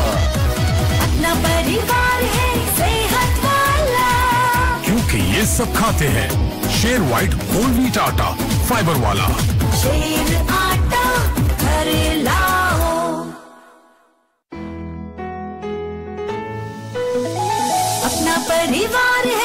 ਬੰਦ ਕਰਵਾਓ। 60% ਤੱਕ ਆਪਣਾ ਕਰਜ਼ਾ ਮਾਫ ਕਰਵਾਓ। ਤੇ ਲਾਇਰਸ ਤੁਹਾਨੂੰ ਆਊਟ ਆਫ ਕੋਰਟ ਸੈਟਲਮੈਂਟਸ ਲੈ ਕੇ ਦੇਣਗੇ। ਅਸੀਂ ਇੱਕ ਨਿੱਕਾ ਪੈਸਾ ਨਹੀਂ ਲੈਂਦੇ। ਜਦ ਤੱਕ ਤੁਹਾਡਾ ਕਰਜ਼ਾ ਮਾਫ ਨਹੀਂ ਕਰਵਾ ਦਿੰਦੇ। ਯੂਐਸ ਤੇ ਕੈਨੇਡਾ ਲਈ ਕਾਲ ਕਰੋ। 8888889914 ਕਲੈਕਸ਼ਨ ਕਾਲਸ ਇੱਕ ਬਿਮਾਰੀ ਹੈ। ਸਾਹ ਚੜਨਾ ਸ਼ੂਗਰ ਹਾਰਟ ਅਟੈਕ ਅਤੇ ਗੋਡੇ ਖਰਾਬ ਹੋਣ ਵਰਗੀਆਂ ਬਿਮਾਰੀਆਂ ਵੀ ਇਸ ਦੇ ਨਾਲ ਹੀ ਆ ਜਾਂਦੀਆਂ ਨੇ। ਇਸ ਦਾ ਹੱਲ ਹੈ weight loss ਸਰਜਰੀ ਤੁਹਾਡੀ ਆਪਣੀ ਸਟੇਟ ਪੰਜਾਬ ਵਿੱਚ ਮਿਨੀ ਗੈਸਟ੍ਰਿਕ ਬਾਈਪਾਸ ਸਰਜਰੀ ਲਈ ਸਮੁੱਚੇ ਏਸ਼ੀਆ ਭਰ ਵਿੱਚ ਸਭ ਤੋਂ ਵਧੀਆ ਰਿਜ਼ਲਟ ਦੇਣ ਲਈ ਜਾਣੇ ਜਾਂਦੇ ਨੇ ICR certified Kular hospital GT road Bija Khanna district Ludhiana online appointment ਲਈ ਕਲਿੱਕ ਕਰੋ www.kularhospital.com ਤੰਗ ਆ ਗਈ ਮੈਂ ਤਾਂ ਪੁਰਾਣੇ ਬਾਥਰੂਮਾਂ ਤੋਂ।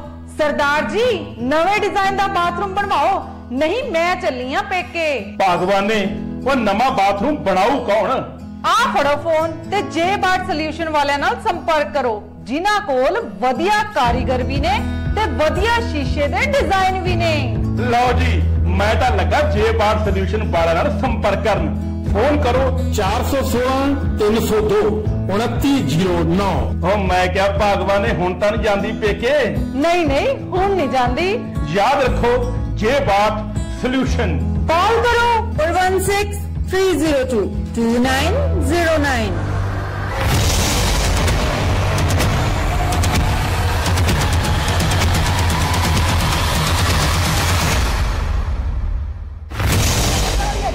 ਟਰੈਵਲ ਹੁਣ ਆਪਣੇ ਸਫ਼ਰ ਨੂੰ ਬਣਾਓ ਹੋਰ ਵੀ ਆਸਾਨ ਕਟਾਰੀਆ ਟੂਰਸ ਐਂਡ ਟਰੈਵਲ ਦੇ ਨਾਲ। ਦੁਨੀਆ ਦੇ ਕਿਸੇ ਵੀ ਦੇਸ਼ ਵਿੱਚ ਟਰੈਵਲ ਕਰਨ ਦੇ ਲਈ ਹਵਾਈ ਸਫ਼ਰ ਦੇ ਪ੍ਰਬੰਧਾਂ ਦੇ ਨਾਲ PR card Canadian citizen OCI ਲਈ ਅਪਲਾਈ ਕਰਨ ਦੇ ਨਾਲ ਵਿਜ਼ਟਰ ਵੀਜ਼ਾ ਟੂਰਿਸਟ ਵੀਜ਼ਾ ਅਤੇ ਸੁਪਰ ਵੀਜ਼ਾ ਦੀ ਇੰਸ਼ੋਰੈਂਸ ਕਰਵਾਉਣਾ ਚਾਹੁੰਦੇ ਹੋ ਤਾਂ ਇਹਨਾਂ ਸਾਰੀਆਂ ਸਰਵਿਸਿਜ਼ ਨੂੰ ਪਾਓ ਸਿਰਫ ਇੱਕ ਹੀ ਛੱਤ ਹੇਠ। ਅੱਜ ਹੀ ਕੰਟੈਕਟ ਕਰੋ ਕਟਾਰੀਆ ਟੂਰਸ ਐਂਡ ਟਰੈਵਲ ਦੇ। Phone 9056781200 address 2883 Derry Road East Mississauga ਅਤੇ unit 12 4550 Ebenezer Road Brampton Kataria tours and travel ਹੁਣ ਆਪਣੀ ਸਫ਼ਰ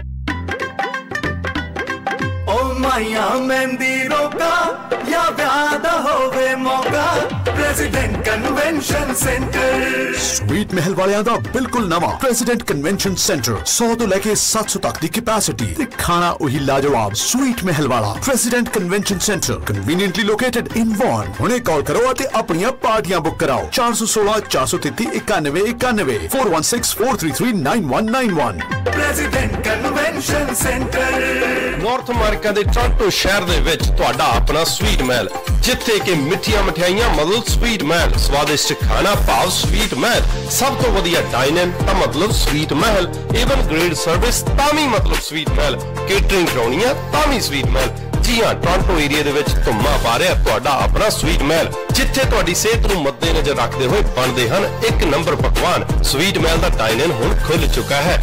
ਤਾਂ ਬ੍ਰੇਕਫਾਸਟ ਲੰਚ ਡਿਨਰ ਜਦੋਂ ਵੀ ਕਰਨਾ, ਤਾਂ ਜੀਵ ਤੇ ਖਾਣਾ ਸਿਰਫ ਸਵੀਟ ਮਹਿਲ ਦਾ ਹੀ ਕਰਨਾ ਛੋਟੀ ਵੱਡੀ ਹਰ ਤਰ੍ਹਾਂ ਦੀ ਪਾਰਟੀ ਦੇ ਲਈ ਕੇਟਰਿੰਗ ਵੀ ਓਪਨ ਹੈ। ਕਾਲ ਕਰੋ 416 679 9191 ਜਾਂ ਫਿਰ ਰੈਕਟੇਲ ਦੇ ਵਿੱਚ ਜਾ ਸਕਦੇ ਹੋ 680 ਰੈਕਟੇਲ ਬੁਲੇਵਰਡ ਸਵੀਟ ਮਹਿਲ ਮੈਂ ਜਦੋਂ ਫਰੈਸ਼ ਮੈਰੀਨੇਟਡ ਮੀਟ ਘਰ 'ਚ ਬਾਰਬੀਕਿਊ ਕਰਦੇ ਆ ਤਾਂ ਮੇਰੇ ਹਸਬੰਡ ਮੇਰੇ ਹੱਥ ਦਾ ਜਾਦੂ ਕਹਿੰਦੇ ਨੇ। ਪਰ ਅਸਲ 'ਚ ਇਹ ਕਮਾਲ ਹੈ, ਗਰਚਾ ਬ੍ਰਦਰਜ਼ ਵਾਲਿਆਂ ਦੇ ਇੱਕ ਖਾਸ ਤਰੀਕੇ ਤੇ ਸਪੈਸ਼ਲ ਮਸਾਲਿਆਂ ਨਾਲ ਮੈਰੀਨੇਟ ਕੀਤੇ ਮੀਟ ਦਾ।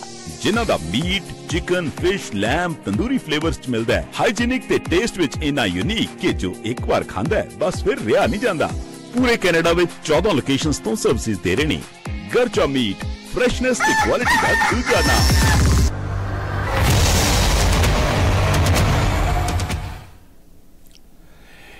ਪਿੰਡ ਵਿੱਚ ਅਸੀਂ ਇੱਕ ਸਟੋਰੀ ਲੈ ਕੇ ਆ ਰਹੇ ਹਾਂ ਔਰ ਤੁਸੀਂ ਆਪਣੇ ਆਲੇ ਦੁਆਲੇ ਦੇ ਜਿੰਨੇ ਵੀ ਤੁਹਾਡੇ ਪਰਿਵਾਰ ਦੇ ਮੈਂਬਰ ਨੇ ਆਲੇ ਦੁਆਲੇ ਤੁਹਾਡੇ ਗਵਾਂਢ ਜਾਂ ਤੁਹਾਡੇ ਦੋਸਤ ਮਿੱਤਰ ਨੇ ਤੁਹਾਡੇ, ਸਾਡੀ ਸਤਿਕਾਰਯੋਗ ਭੈਣਾਂ ਦੀ ਸਹੇਲੀਆਂ ਨੇ ਜਾਂ ਸਾਡੇ ਭਰਾਵਾਂ ਦੇ ਮਿੱਤਰ ਨੇ, ਦੋਸਤ ਨੇ, ਉਹਨਾਂ ਨੂੰ ਫਾਰਮ ਕਰ ਦਿਓ। ਕਾਫੀ ਲੰਬੇ ਸਮੇਂ ਬਾਅਦ ਇੱਕ ਅਸੀਂ ਸਟੋਰੀ ਲੈ ਕੇ ਆ ਰਹੇ ਜਿਸ ਦੇ ਵਿੱਚ ਇੱਕ ਕੈਨੇਡਾ ਵਿੱਚ ਬਸਦੇ ਵਿਅਕਤੀ ਨੇ, ਦੋ ਪਰਿਵਾਰਾਂ ਦੇ ਕੋਲੋਂ ਤਕਰੀਬਨ ਕੋਈ 53 ਲੱਖ ਤੋਂ ਉੱਪਰ ਦਾ ਅਮਾਉਂਟ ਲੈ ਲਿਆ। ਐਲਐਮਆਈ ਦੇਣ ਦੇ ਬਹਾਨੇ ਤੇ ਨਾ ਉਹ ਹੁਣ ਪੈਸੇ ਦਿੰਦਾ ਹੈ ਤੇ ਨਾ ਹੀ ਉਹਨਾਂ ਨੂੰ ਉਹ ਸਪਾਂਸਰ ਕਰਦਾ ਹੈ ਅਤੇ ਇੱਕ ਜਿਹੜੀ ਲੜਕੀ ਆਈ ਹੈ 40 ਲੱਖ ਰੁਪਏ ਦੇ ਕੇ, ਉਹ ਘਰ ਦੇ ਵਿੱਚ ਉਹਨਾਂ ਨੇ ਪਰਿਵਾਰ ਕਹਿ ਰਹੇ ਨੇ ਕਿ ਉਹਨਾਂ ਨੇ ਬੰਦੀ ਬਣਾ ਕੇ ਰੱਖੀ ਹੋਈ ਹੈ। ਇਹ ਅਸੀਂ ਇਥਨ ਪੁਲਿਸ ਨੂੰ ਇਨਫਾਰਮ ਕਰ ਰਹੇ ਹਾਂ। ਔਰ ਜੇ ਤੁਸੀਂ ਵੀ ਜਾਣਦੇ ਹੋ ਤਾਂ ਮਸਟ ਇਨਫਾਰਮ ਕਰੋ, ਕੋਈ ਵੀ ਕਿਸੇ ਵਿਅਕਤੀ ਨੂੰ, ਕਈ ਵਾਰ ਲੋਕ ਜਿਹੜੇ ਨਵੇਂ ਆਉਂਦੇ ਨੇ, ਉਹਨਾਂ ਨੂੰ, ਉਹਨਾਂ ਦੇ ਰਾਈਟਸ ਦਾ ਪਤਾ ਨਹੀਂ ਹੁੰਦਾ ਕਿ ਅਸੀਂ ਕੀ ਕਰ ਸਕਦੇ ਹਾਂ। 91 ਬਰਤਨ ਵਿੱਚ ਲਿਆਓ ਜੇ ਐਮਰਜੈਂਸੀ ਹੈ। 911 ਐਮਰਜੈਂਸੀ ਤੋਂ ਬਗੈਰ ਨਾ ਡਾਲ ਕਰੋ ਕਿਉਂਕਿ 911 ਕਈ ਵਾਰ ਲੋਕ ਮਹਿਸੂਸ ਕਰਦੇ ਨੇ। ਕਈ ਵਾਰ ਐਮਰਜੈਂਸੀ ਬਹੁਤ ਜ਼ਿਆਦਾ ਹੁੰਦੀ ਹੈ, ਤਾਂ 911 ਕਈ ਲੋਕ ਇੰਨਾ ਯੂਜ਼ ਕਰਦੇ ਨੇ, ਜਿੱਥੇ ਕਿ ਜ਼ਰੂਰਤ ਨਹੀਂ ਹੁੰਦੀ, ਜਿਸ ਕਰਕੇ ਐਮਰਜੈਂਸੀ ਜਗ੍ਹਾ ਪੁਲਿਸ ਫਾਇਰ ਬ੍ਰਿਗੇਡ ਐਂਬੂਲੈਂਸ ਪਹੁੰਚਣ ਵਿੱਚ ਦੇਰੀ ਹੋ ਸਕਦੀ ਹੈ। ਸੋ ਸਿਸਟਮ ਮਹਿਸੂਸ ਨਾ ਕਰੋ। 911 ਐਮਰਜੈਂਸੀ ਨੰਬਰ ਜਿਹੜਾ ਹੈ ਐਮਰਜੈਂਸੀ ਵਿੱਚ ਹੀ ਇਸਤੇਮਾਲ ਕੀਤਾ ਜਾਵੇ। ਸਾਡੀ ਗੱਡੀ ਚੋਰੀ ਹੋ ਗਈ ਹੈ ਤੁਹਾਡੇ ਘਰ ਦੇ ਕੋਈ ਦਰਵਾਜ਼ੇ, ਕੋਈ ਤੋੜ ਕੇ ਚਲੇ ਗਿਆ ਦੈਟਸ ਨਾਟ ਐਮਰਜੈਂਸੀ ਸੋ ਤੁਸੀਂ ਸਿਰਫ ਲੋਕਲ ਨੰਬਰ ਡਾਲ ਕਰੋ ਐਮਰਜੈਂਸੀ ਉਸ ਵੇਲੇ ਤੁਸੀਂ ਨੰਬਰ ਡਾਲ ਕਰੋ, ਜਦੋਂ ਐਮਰਜੈਂਸੀ ਹੋਵੇ, ਬਹੁਤ ਖਤਰਾ ਹੋਵੇ। ਸੋ ਇਹ ਬੇਨਤੀਆਂ ਕੁਝ ਕਬੂਲ ਕਰੋ, ਆਉਣ ਵਾਲੇ ਦਿਨਾਂ ਵਿੱਚ ਅਸੀਂ ਪੁਲਿਸ ਨਾਲ ਇੱਕ ਪ੍ਰੋਮ ਕਰਾਂਗੇ ਕਿ ਲੋਕ ਜਿਹੜੇ ਨਵੇਂ ਆਏ ਨੇ ਜਾਂ ਪੁਰਾਣੇ ਨੇ, ਉਹਨਾਂ ਨੂੰ ਅਵੇਅਰਨੈਸ ਦੇਣੀ ਚਾਹੁੰਦੇ ਆ ਕਿ ਐਮਰਜੈਂਸੀ ਜਿਹੜੀ ਸਰਵਿਸ ਆ ਉਸ ਨੂੰ ਡਿਲੇ ਵਿੱਚ ਨਾ ਲੈ ਕੇ ਜਾਓ ਕਿ ਵਾਰੀ ਤੁਸੀਂ 911 ਕਰਦੇ ਹੋ, ਉਹ ਵੀ ਨੰਬਰ ਕਈ ਵਾਰ ਬਿਜ਼ੀ ਆਉਂਦਾ ਕਿਉਂਕਿ ਲੋਕ ਉਸ ਨੂੰ ਆਮ ਕਬਾਰ ਕਰ ਬੈਠੇ ਡਾਲ ਕਰ ਲਾ ਪੈਂਦੇ ਨੇ। ਛੋਟੀ ਮੋਟੀ ਲੜਾਈ, ਝਗੜਾ ਕਰ ਵਿੱਚ ਹੋਇਆ 911 ਕਰ ਲੈਂਦੇ ਨੇ। ਸੋ 911 ਡਾਇਲ ਕਰਨਾ ਉਸ ਵੇਲੇ ਚਾਹੀਦਾ ਜਦੋਂ ਐਮਰਜੈਂਸੀ ਹੈ। ਪਲੀਜ਼ ਇਹ ਮੇਰੀ ਬੇਨਤੀ ਨੂੰ ਕਬੂਲ ਕਰੋ। ਅਸੀਂ ਪੁਲਿਸ ਫੋਰਸ ਦਾ ਪੂਰਾ ਪੂਰਾ ਤੁਸੀਂ ਸਾਥ ਦਿਓ, ਸਤਕਾਰ ਦਿਓ, ਸਹਿਯੋਗ ਦਿਓ। ਤੁਹਾਡੀ ਸੇਫਟੀ ਵਾਸਤੇ ਬਹੁਤ ਹੀ ਜ਼ਰੂਰੀ ਹੈ। ਕੁਝ ਨੰਮੇ, ਨਕੰਮੇ, ਨਲਾਇਕ ਲੋਕ ਮਿਸਯੂਜ਼ ਕਰਦੇ ਨੇ ਸਿਸਟਮ ਨੂੰ। ਤੁਸੀਂ ਜਾਣਦੇ ਹੋ ਕਿ ਸਾਡੇ ਇੱਥੇ ਪੋਲੀਟੀਸ਼ੀਅਨ ਕਿੰਨੇ ਕੁ ਚੰਗੇ ਨੇ, ਕਿੰਨੇ ਕੁ ਲਾਇਕ ਨੇ, ਨਲਾਇਕ ਨੇ। ਔਰ ਅਸੀਂ ਇੱਕ ਸਾਬਤ ਕਰਨਾ ਕਿ ਅਸੀਂ ਚੰਗੇ ਨਾਗਰਿਕ ਹਾਂ। ਪੁਲਿਸ ਫੋਰਸ ਦੇ ਵੀ ਪਰਿਵਾਰ ਨੇ, ਸਾਡਾ ਫਰਜ਼ ਬਣਦਾ ਉਹਨਾਂ ਨੇ ਸਤਿਕਾਰ ਕਰੀਏ। ਤੁਸੀਂ ਕਿਸੇ ਵੀ ਉਲਝਣ ਦੇ ਵਿੱਚ ਕੋਈ ਪ੍ਰੋਬਲਮ ਆਇਆ ਤਾਂ ਤੁਸੀਂ ਪੁਲਿਸ ਦੇ ਨਾਲ ਸੰਪਰਕ ਕਰਨ ਲਈ ਬਹੁਤ ਹੀ ਦੇਖਿਆ ਜਾਵੇ ਕਿ ਚੰਗੇ ਮੈਨਰਸ ਦੇ ਨਾਲ ਗੱਲ ਕਰੋ ਕਿਸੇ ਵੀ ਅਥਾਰਟੀ ਨਾਲ, ਆਮ ਵਿਅਕਤੀ ਨਾਲ ਵੀ। ਚਾਹੇ ਕੋਈ ਕਲੀਨਿੰਗ ਦਾ ਕੰਮ ਕਰਦਾ ਹੈ, ਚਾਹੇ ਕੋਈ ਵੀ ਨੌਕਰੀ ਕਰਦਾ ਹੈ, ਤਾਂ ਤੁਹਾਡੇ ਕੋਲ ਇੱਕ ਸਲੀਕਾ ਹੋਣਾ ਚਾਹੀਦਾ ਹੈ, ਜਿਸ ਦੀ ਤੁਸੀਂ ਵਰਤੋਂ ਕਰੋ, ਦੁਰਵਰਤੋਂ ਨਾ ਕਰੋ। ਜਿਸ ਕਰਕੇ ਸਾਡੇ ਕੁਝ ਲੋਕ ਕੋਟਾ ਕਚਹਿਰੀਆਂ ਦੇ ਵਿੱਚ ਮੇਲੇ ਕਿਉਂ ਲੱਗਦੇ ਨੇ, ਕਿਉਂਕਿ ਉਹਨਾਂ ਦਾ ਬਿਹੇਵੀਅਰ ਉਹਨਾਂ ਦਾ ਤੌਰ ਤਰੀਕਾ ਠੀਕ ਨਹੀਂ ਹੈ। ਉਹ ਸੋਚਦੇ ਆ ਕਿ ਅਸੀਂ ਜੋ ਕਹਿ ਰਹੇ ਆ, ਉਹੀ ਠੀਕ ਹੈ ਤੇ ਜੋ ਅਸੀਂ ਚਾਹੁੰਦੇ ਆ, ਉਹੀ ਹੋਣਾ ਚਾਹੀਦਾ ਹੈ। ਖੈਰ, ਅਸੀਂ ਇਸ ਵੇਲੇ ਸਟੂਡੀਓ ਵਿੱਚ ਪਹੁੰਚ ਚੁੱਕੇ ਨੇ।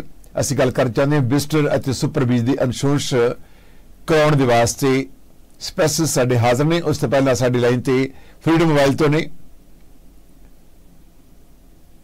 ਫਰੀडम ਮੋਬਾਈਲ ਤੋਂ ਸਾਡੀ ਲਾਈਨ ਤੇ ਇਸ ਵੇਲੇ ਆ ਚੁੱਕੇ ਨੇ। ਗੁਰਪ੍ਰੀਤ ਜੀ ਥੋੜੇ ਜਿਹਾ ਤੁਸੀਂ ਸਾਥ ਦਿਓ। ਗੁਰਪ੍ਰੀਤ ਜੀ, ਹਾਂਜੀ ਪਲੀਜ਼ ਰਾਬੀ ਜੀ ਲਾਈਨ ਤੇ ਤੁਸੀਂ ਗੋ ਹੈਡ ਜੀ, ਸਤਿ ਸ਼੍ਰੀ ਅਕਾਲ ਜੀ ਸਾਰਿਆਂ ਨੂੰ। ਸੋ ਫਰੀडम ਮੋਬਾਈਲ ਤੇ ਸਪੈਸ਼ਲ ਆਫਰ ਚੱਲ ਰਹੀਆਂ ਨੇ ਆਈਫੋਨ 15 Pro ਤੇ Pro Max ਦੇ 15 Pro ਮੰਥਲੀ 70 ਡਾਲਰ ਤੇ Pro Max 80 ਡਾਲਰ ਇਹ ਜ਼ੀਰੋ ਡਾਊਨ ਤੇ ਨੇ। ਇਹਨਾਂ ਵਿੱਚ 75 GB ਡੇਟਾ ਵੀ ਮਿਲ ਰਿਹਾ, ਜੋ ਕਿ ਕੈਨੇਡਾ ਤੇ ਯੂਐਸ ਵੀ ਹੈ। ਤੇ ਇਸ ਦੇ ਨਾਲ ਇੰਡੀਆ ਕਾਲਿੰਗ ਲਈ ਵੀ 1000 ਮਿੰਟ ਹਰ ਮਹੀਨੇ ਫ੍ਰੀ ਮਿਲ ਰਹੇ ਨੇ। ਜੇਕਰ ਤੁਸੀਂ ਕੱਲੀ ਸਿਮ ਲੈਣਾ ਚਾਹੁੰਦੇ ਹੋ, ਤਾਂ 34 ਡਾਲਰਸ ਦੇ ਵਿੱਚ 50 GB ਤੇ 40 ਡਾਲਰ ਦੇ ਵਿੱਚ 75 GB ਡਾਟਾ ਪਲਾਨਸ ਨੇ। ਇਹ ਪਲਾਨਸ ਵੀ ਕੈਨੇਡਾ ਤੇ ਯੂਐਸ ਲਈ ਨੇ, ਤੁਸੀਂ ਰੋਮ ਅਰਾਊਂਡ ਕਰ ਸਕਦੇ ਹੋ, ਕੋਈ ਵੀ ਐਕਸਟਰਾ ਚਾਰजेस ਨਹੀਂ ਹੋਣਗੇ। ਤੇ ਇਸ ਦੇ ਨਾਲ ਨਾਲ ਇੰਡੀਆ ਕਾਲਿੰਗ ਲਈ ਵੀ 1000 ਮਿੰਟ ਹਰ ਮਹੀਨੇ ਫ੍ਰੀ ਮਿਲਣਗੇ। ਸਾਰੀਆਂ ਪ੍ਰੋਮੋਸ਼ਨਸ ਲਿਮਿਟਿਡ ਟਾਈਮ ਲਈ ਅਵੇਲੇਬਲ ਨੇ।